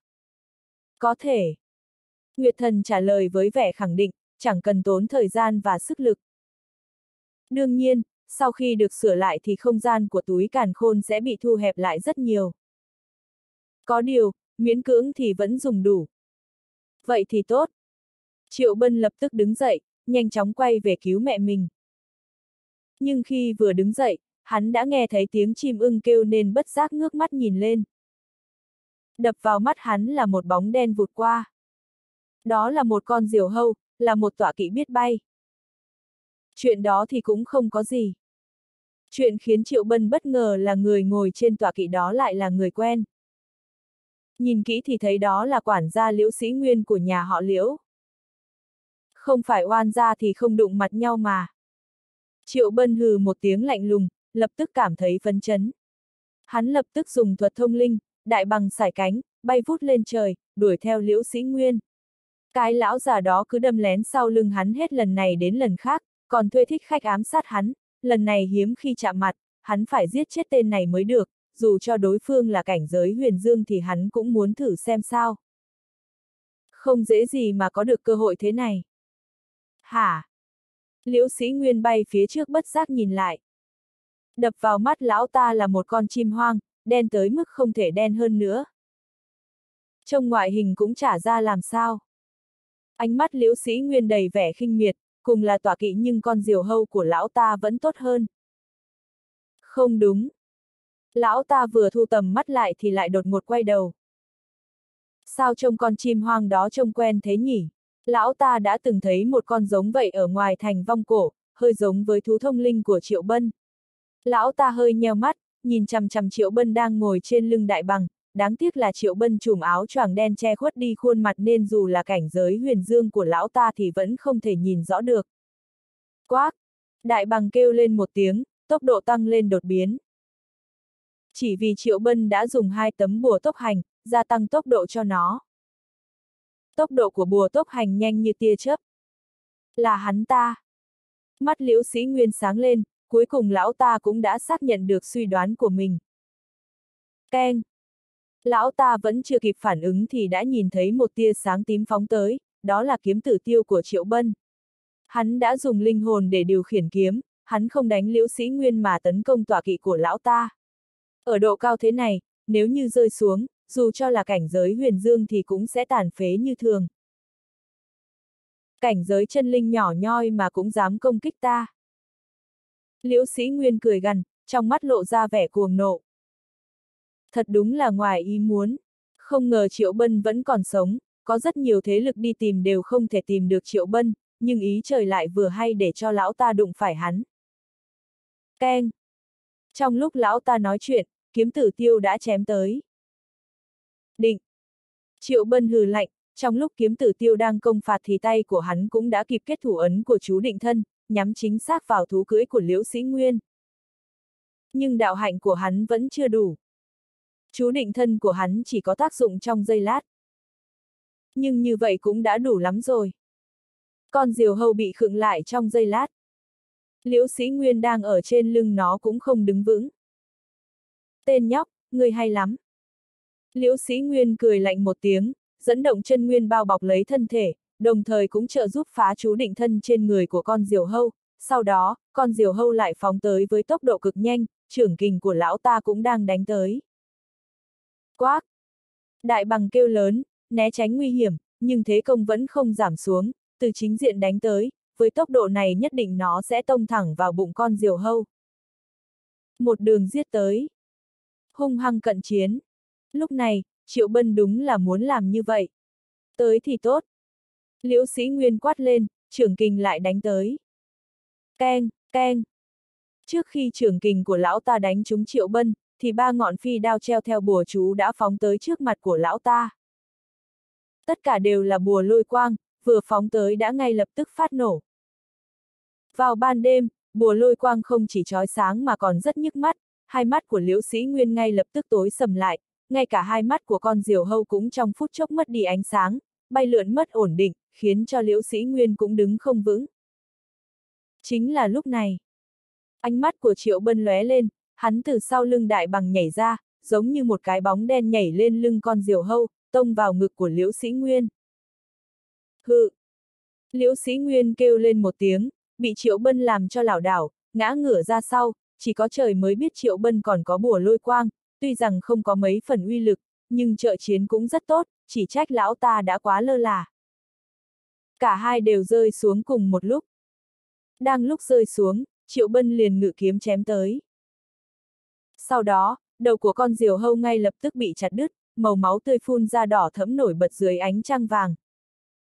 Ngươi đáng chết! Liễu sĩ Nguyên vô cùng tức giận nhưng vẫn chưa thể ổn định được thân thể, thú cưỡi của lão ta đã chết, cho dù lão ta có cảnh giới huyền dương cũng không có biện pháp giúp cho bản thân không rơi xuống từ trên không trung. Quác! Đại bằng phóng lên không trung đón triệu bân, rồi từ trên không trung xà xuống, cố gắng đuổi kịp trước khi liễu sĩ Nguyên đáp xuống. Được lắm, người được lắm. Liễu sĩ Nguyên nghiến răng nghiến lợi, lại dính một lá bùa lên người của mình. Đột nhiên, lão ta lại lơ lửng ở trên không trung. Lơ lửng trên không trung. Triệu Bân sửng sốt, loại thần thông này, xem ra chỉ có cảnh giới thiên võ mới có thể làm được. Hiển nhiên, liễu sĩ Nguyên không phải cảnh giới thiên võ. Trong tích tắc, hắn đã phát hiện ra manh mối. Lão ta nhất định đã sử dụng bùa chú, một loại bùa chú có thể khiến cho bản thân lơ lửng trên không thì chắc chắn chính là bùa lơ lửng trong truyền thuyết, dán lên người thì có thể treo giữa không trung, cấp bậc của bùa chú càng cao thì thời gian treo lơ lửng càng lâu. Món bùa chú này quý hiếm vô cùng, trong thành nhất định không có bán. Không ngờ liễu sĩ nguyên lại có trong tay một món bùa chú quý hiếm như vậy. Nếu biết từ sớm thì hắn đã thay đổi chiến thuật rồi. Chết đi! Liễu sĩ nguyên giơ tay chỉ lên trời, hàng trăm đạo kiếm khí phóng tới. Đứng trên cao chưa chắc đã là chuyện tốt. Giống như Triệu Bân và Đại Bằng vậy, cả hai lúc này đã trở thành mục tiêu sống, nếu chậm chân thì sẽ bị kiếm khí chém làm trăm mảnh, uy lực của cảnh giới huyền dương quả thật không phải chuyện chơi. Đi! Trong thời khắc dầu sôi lửa bỏng, Triệu Bân đẩy Đại Bằng về lại linh giới. Sau đó hắn lại dán lên người của mình một lá bùa tốc hành, dùng hết tốc lực nhảy xuống, trong chớp mắt khi kiếm khí chém tới, hắn đã bắt trước khí tức của cảnh giới thiên võ, mấy trăm đạo kiếm khí đụng vào khí tức của cảnh giới thiên võ đều bị bức lui. Làm sao có thể? Liễu sĩ Nguyên hết sức kinh ngạc, sao một võ tu có cảnh giới chân linh nhỏ nhoi lại có thể toát ra uy thế của cảnh giới thiên võ, điều khiến cho lão ta phát hoảng đó chính là, Triệu Bân có thể không còn là Triệu Bân lúc trước nữa, mà chính là một cường giả cảnh giới thiên võ thứ thiệt, chuyện này nếu như truyền ra ngoài nhất định sẽ khiến cho thế nhân kinh động. Trong lúc lão ta còn đang sửng sốt thì Triệu Bân đã lao tới. Hơn nữa, trên người của hắn còn có dán đầy bùa nặng thân. Lý do chính là vì sau khi gia tăng sức nặng kết hợp với tốc lực thì uy lực của đòn công kích sẽ càng cường hãn hơn. Liễu sĩ Nguyên muốn tránh, nhưng đã quá chậm. Khí tức của cảnh giới thiên võ vô cùng mạnh mẽ, chỉ là dư lực mà cũng có thể khiến cho lão ta lảo đảo không vững, mà tốc độ của Triệu Bân lại nhanh như thế, khiến cho lão ta không thể nào tránh khỏi, cho dù lão ta có bùa lơ lửng trong tay thì cũng vô ích. Không tránh được thì phải bị trúng đòn. Đây là lần thứ hai mà Triệu Bân tông vào trong ngực của lão ta, hai người dính vào nhau, thẳng tắp rơi xuống như sao xẹt, uy lực này có khi còn phá sập được cả một ngọn núi. Sao lại nặng như vậy? Liễu sĩ Nguyên cố gắng định thần lại, tên nhóc này rõ ràng chỉ có cảnh giới chân linh, nhưng thân thể của hắn dường như nặng tới vạn cân. Lão ta cảm thấy vô cùng mơ hồ. Trong trận chiến này, kể từ khi ba lá bùa lôi quang nổ tung thì thế trận đã bị rối loạn, lão ta không ngờ Triệu Bân có thể bắt trước khí tức của cảnh giới thiên võ, cũng không ngờ Triệu Bân có thể dùng bùa điêu luyện, mà đặc biệt nhất chính là, lão ta không ngờ Triệu Bân lại có tâm cảnh chiến đấu cao siêu như vậy. Một loạt những hành động của hắn khiến cho lão ta không thể ứng phó không kịp. Mà theo Nguyệt Thần thấy, Triệu Bân dám tập sát cảnh giới huyền dương, cho thấy hắn không chỉ đủ quyết đoán mà còn rất tự tin vào kỹ thuật của mình, có thể lợi dụng hết tất cả những ưu thế của mình như khí tức cảnh giới thiên võ, bí pháp dọa người. Để phục vụ cho việc chiến đấu. Một tiếng động lớn vang lên, ngọn đồi nhỏ phía sau đã nổ tung. Phụt! Cát đá bay tứ tung, liễu sĩ nguyên phun ra một ngụm máu tươi, còn có thể nghe thấy tiếng xương cốt vỡ vụn, tứ chi xương cốt, lục phủ ngũ tạng, kỳ kinh bát mạch của lão ta không biết đã bị đứt gãy ở bao nhiêu chỗ, lão ta bị nện từ trên không trung xuống đất, tốc độ lại vô cùng nhanh, trên ngực lại bị đè ép nặng nề, cho dù lão ta có cảnh giới huyền dương thì cũng không thể nào chịu nổi. Phụt! Triệu Bân cũng trào máu, nếu liễu sĩ nguyên tàn phế thì hắn cũng bán thân bất toại. Đả thương địch thủ một ngàn, tự tổn hại mình tám trăm. Chiến thuật này đúng là quá liều mạng. Không liều mạng thì không giết chết được liễu sĩ nguyên. Ngươi, ngươi điên rồi. Liễu sĩ nguyên ho ra máu, lảo đảo đứng dậy, kinh mạch đứt đoạn, mọi thứ đều chỉ còn có chân nguyên chống đỡ, máu me giàn ruộng, trừng mắt nhìn triệu bân. Không đánh thì cũng không biết, đánh nhau rồi lão ta mới hết lần này đến lần khác bị dọa sợ. Thiếu chủ triệu ra đúng là con mẹ nó nhân tài, dám đối đầu với cảnh giới huyền dương, còn dám sử dụng chiến thuật liều mạng vượt quá dự liệu của lão ta, lão ta đường đường là cảnh giới huyền dương đỉnh phong vậy mà lại phải lâm vào thảm cảnh, cho dù chiến đấu với võ tu cùng cấp bậc thì lão ta cũng chưa từng bị thương nặng đến thế này. Hết lần này tới lần khác, lão ta bị đánh đến thân tàn ma dại. Hết lần này tới lần khác, lão ta bị một tiểu bối cảnh giới chân linh chiếm thế thượng phong. Triệu Bân cũng lảo đảo, lấy hồ lô ra uống một ngụm linh dịch. Răng rác, răng rác.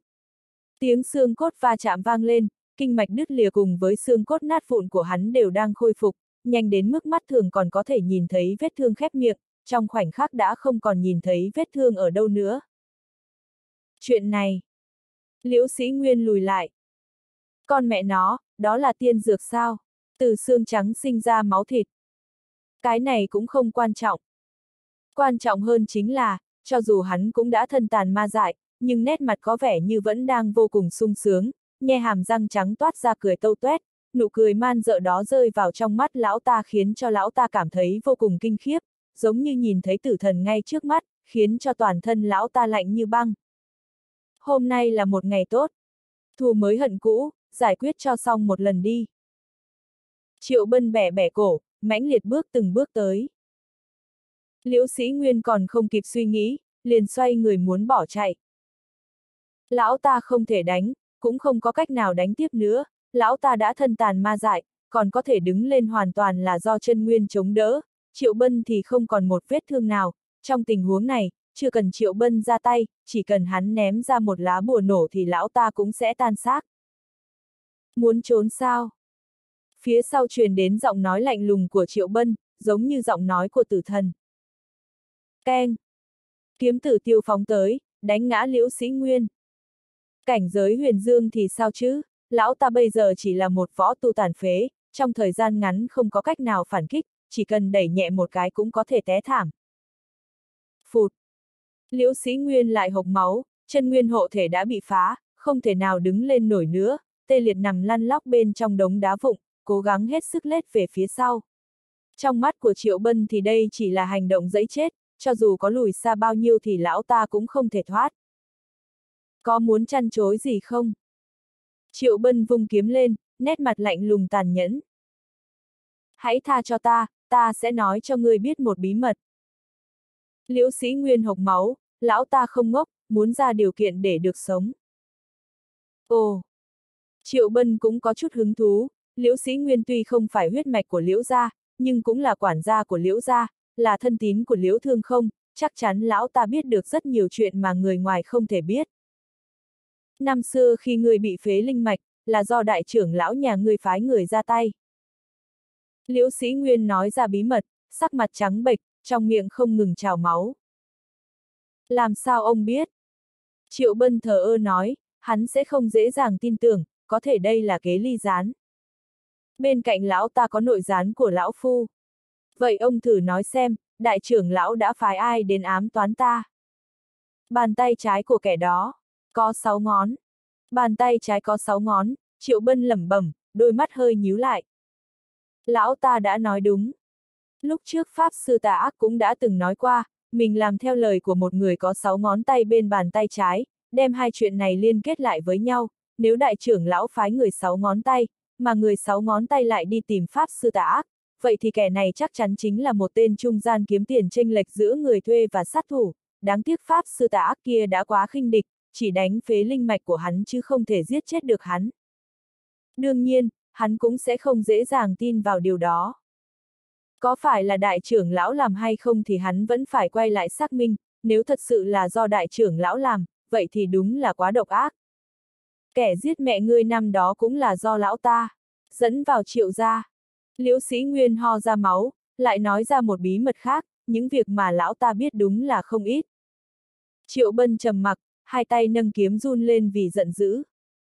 Khó trách, triệu gia phòng thủ cực kỳ nghiêm ngặt, vậy mà cô lang vẫn có thể tùy tiện lẻn vào, lại còn có thể dễ dàng tìm được vị trí, thì ra là có nội gián giúp cho gã vào nhà, thân là đại trưởng lão trong tộc, lão ta hoàn toàn có khả năng làm được việc này. Ta đã nói rồi, hãy để cho ta đi. Hơi thở của liễu sĩ nguyên vô cùng yếu ớt, thế mà lão ta vẫn cố gắng đứng lên. Nhưng có cố gắng cỡ nào thì lão ta vẫn không thể đứng lên nổi.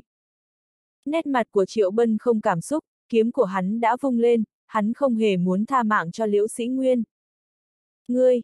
Liễu sĩ nguyên trợn trắng hai mắt, trong mắt lộ ra vẻ sợ hãi. Phụt! Thanh kiếm của Triệu Bân chém xuống một đường, kết liễu liễu sĩ nguyên. Người không tàn nhẫn thì sẽ không thể đứng vững, tử tế với kẻ thù là tàn nhẫn với chính mình. Tiếp sau đừng làm những chuyện không nên làm nữa. Triệu Bân thu lại kiếm và lấy đi toàn bộ đồ đạc của Liễu Sĩ Nguyên. Cuối cùng, hắn mới tiêu hủy xác chết. Dưới ánh trăng, hắn biến mất vào trong bóng tối, gương mặt vẫn lạnh lùng. Sau khi thu dọn xong Liễu Sĩ Nguyên, hắn vẫn phải quay lại thu dọn nốt đại trưởng lão. Những vì sao sáng lấp lánh trên bầu trời đêm. Triệu Bân lướt qua khu rừng như một bóng đen, thỉnh thoảng lại liếc nhìn túi càn khôn. Tài sản mà Liễu Sĩ Nguyên có cũng rất khá, ngân phiếu có tận mấy vạn lượng, một số tiền lớn như vậy, đừng nói là đối với một mình Liễu Sĩ Nguyên, đối với cả Liễu gia mà nói cũng là một khoản tài sản không nhỏ. Như vậy có thể thấy, Liễu Sĩ Nguyên lần này ra khỏi thành vong cổ, hơn phân nửa là mang trọng trách trên người. Có lẽ lão ta đang trên đường đi đến những tòa thành cổ khác thu tiền thuê đất. Sản nghiệp của Liễu gia rất lớn, không chỉ có sản nghiệp ở thành vong cổ, mà còn có sản nghiệp ở những tòa thành cổ khác. Thân là tâm phúc của Liễu Thương không, tất nhiên loại chuyện đi thu tiền thuê đất này thuộc về nhiệm vụ của lão ta. Lão ta tính ra cũng thật xui xẻo, nửa đường lại đụng phải hắn, chưa kịp về nhà thì đã phải xuống suối vàng. Ngoại trừ ngân phiếu, thì thứ đáng giá nhất của liễu sĩ nguyên chính là một con dao găm khoảng chuôi vàng, lưỡi dao phát ra ánh sáng chói mắt, là một loại binh khí chém sắt như chém bùn, sở dĩ nó có thể sắc bén như vậy là bởi vì nguyên liệu đúc ra nó là một loại huyền kim thiết cực kỳ quý hiếm, trong thành không dễ tìm, không thể xem thường con dao găm này, 20 vạn lượng cũng chưa chắc có thể mua được, không hổ là quản gia của liễu gia, tài vật cất giữ quả là phong phú. Bây giờ nó thuộc về ta. Triệu Bân nhất tâm nhị dụng, một bên dùng tinh thần lực khống chế bùa tốc hành, một bên bắt đầu luyện hóa con dao găm khoằng, dung hợp nó vào kiếm tử tiêu. Làm như vậy thì có thể khiến cho kiếm tử tiêu tăng thêm độ sắc bén, nếu như được luyện hóa thì nó sẽ chém người nhẹ nhàng và sắc lẹm như chém một quả dưa hấu. Tất nhiên, hiệu quả cũng còn phải tùy thuộc vào cấp bậc của đối thủ. Vậy mà lại không bị đâm đầu vào tường. Nguyệt thần liếc nhìn Triệu Bân một cái, trong lòng không khỏi thở dài, đổi thành những người khác, nếu như muốn sử dụng bùa tốc hành thì phải tập trung cao độ, bởi vì loại bùa này có tốc độ rất nhanh, không tập trung chắc chắn sẽ đâm đầu vào tường, còn cái tên này thì hay rồi, đang sử dụng bùa tốc hành mà vẫn còn có thể phân tâm lo luyện hóa binh khí. Nhưng suy nghĩ lại thì cũng không lạ, Triệu Bân đã có võ hồn, tốc độ cỡ này không đủ để gây khó dễ cho hắn. Tú Nhi, lá bùa lơ lửng đó thật không tệ. Triệu Bân mỉm cười, ý tứ rất rõ ràng, mau dạy ta cách dùng đi. Học được cách dùng bùa lơ lửng rồi thì sau này khi hắn bắt trước khí thức cảnh giới thiên võ đi dọa người trông sẽ thật hơn. Ừm. Nguyệt thần đáp lại một tiếng hờ hững. Sau đó, Không còn sau đó nữa. Tú Nhi đúng là Tú Nhi, vừa nằm xuống liền ngủ rất say sưa. Triệu Bân hít sâu một hơi, cố hết sức kiềm nén nỗi xúc động muốn văng tục. Trời đã tờ mờ sáng. Hắn hô lên một tiếng, đại bằng lại được triệu hồi. Triệu Bân lúc này mới có thể nghỉ chân một chút, xếp bằng ngồi trên lưng đại bằng, khi hắn ôm túi càn khôn nhìn lại thì thấy nó đã bị rách một cái lỗ to, khiến cho hắn vô cùng đau lòng, bảo bối bên trong bao gồm bùa chú, ngân phiếu, đan dược. Đều đã bị hao hụt không ít, khổ thân hắn phải vun vén biết bao nhiêu lâu, chỉ sau một đêm liền thất thoát quá nhiều. Tuy nhiên, khi nghĩ về hoa hồn linh, hắn liền cảm thấy chuyện gì xảy ra cũng xứng đáng. Vào lúc này, hắn chỉ muốn trở lại thành vong cổ càng sớm càng tốt để hồi sinh mẹ của mình. Trong khi hắn đang suy nghĩ, thì đại bằng đã lướt qua một đỉnh núi. Có thể nghe thấy tiếng sóng nước vỗ vào bờ đá, đó chính là một thác nước. Triệu Bân liếc ngang, bên trong thác nước có tồn tại một cái động phủ. Đó chính là động người chết. Trước đó, hắn đã lấy được tinh kim phượng thể ở bên trong động phủ đó, nếu không nhờ nó thì hắn cũng không thể luyện ra một bên thiên nhãn. Nếu không phải do hắn đang rất vội trở về thì hắn nhất định sẽ quay lại động phủ đó quỳ lại hành lễ. Quác, quác. Hắn nhìn lên, chợt nghe thấy tiếng chim muông kêu lớn. Đó chính là tiếng kêu của hai con huyết điêu, chúng là thú cưỡi của ai đó, bên trên lưng của một con có chở theo một thanh niên áo đen, con còn lại thì chở theo một lão già áo tím, trên đường đi liên tục nhìn xuống tìm kiếm, giống như đã đánh rơi bảo bối gì đó vậy, tìm kiếm hết sức nghiêm túc. Đúng lúc đi ngang qua, hai kẻ đó còn liếc nhìn Triệu Bân một cái. Nhân tiện, hai kẻ đó còn liếc mắt nhìn đại bằng, con chim vằn vện này trông thật khó coi. Ông đây là đại bàng cánh vàng. Triệu Bân khó chịu, cùng đại bằng bay lướt qua. Con chim đó nhìn quen quá. Thanh niên áo đen lẩm bẩm, sờ cầm quay đầu lại liếc nhìn đại bằng. Thông linh thú.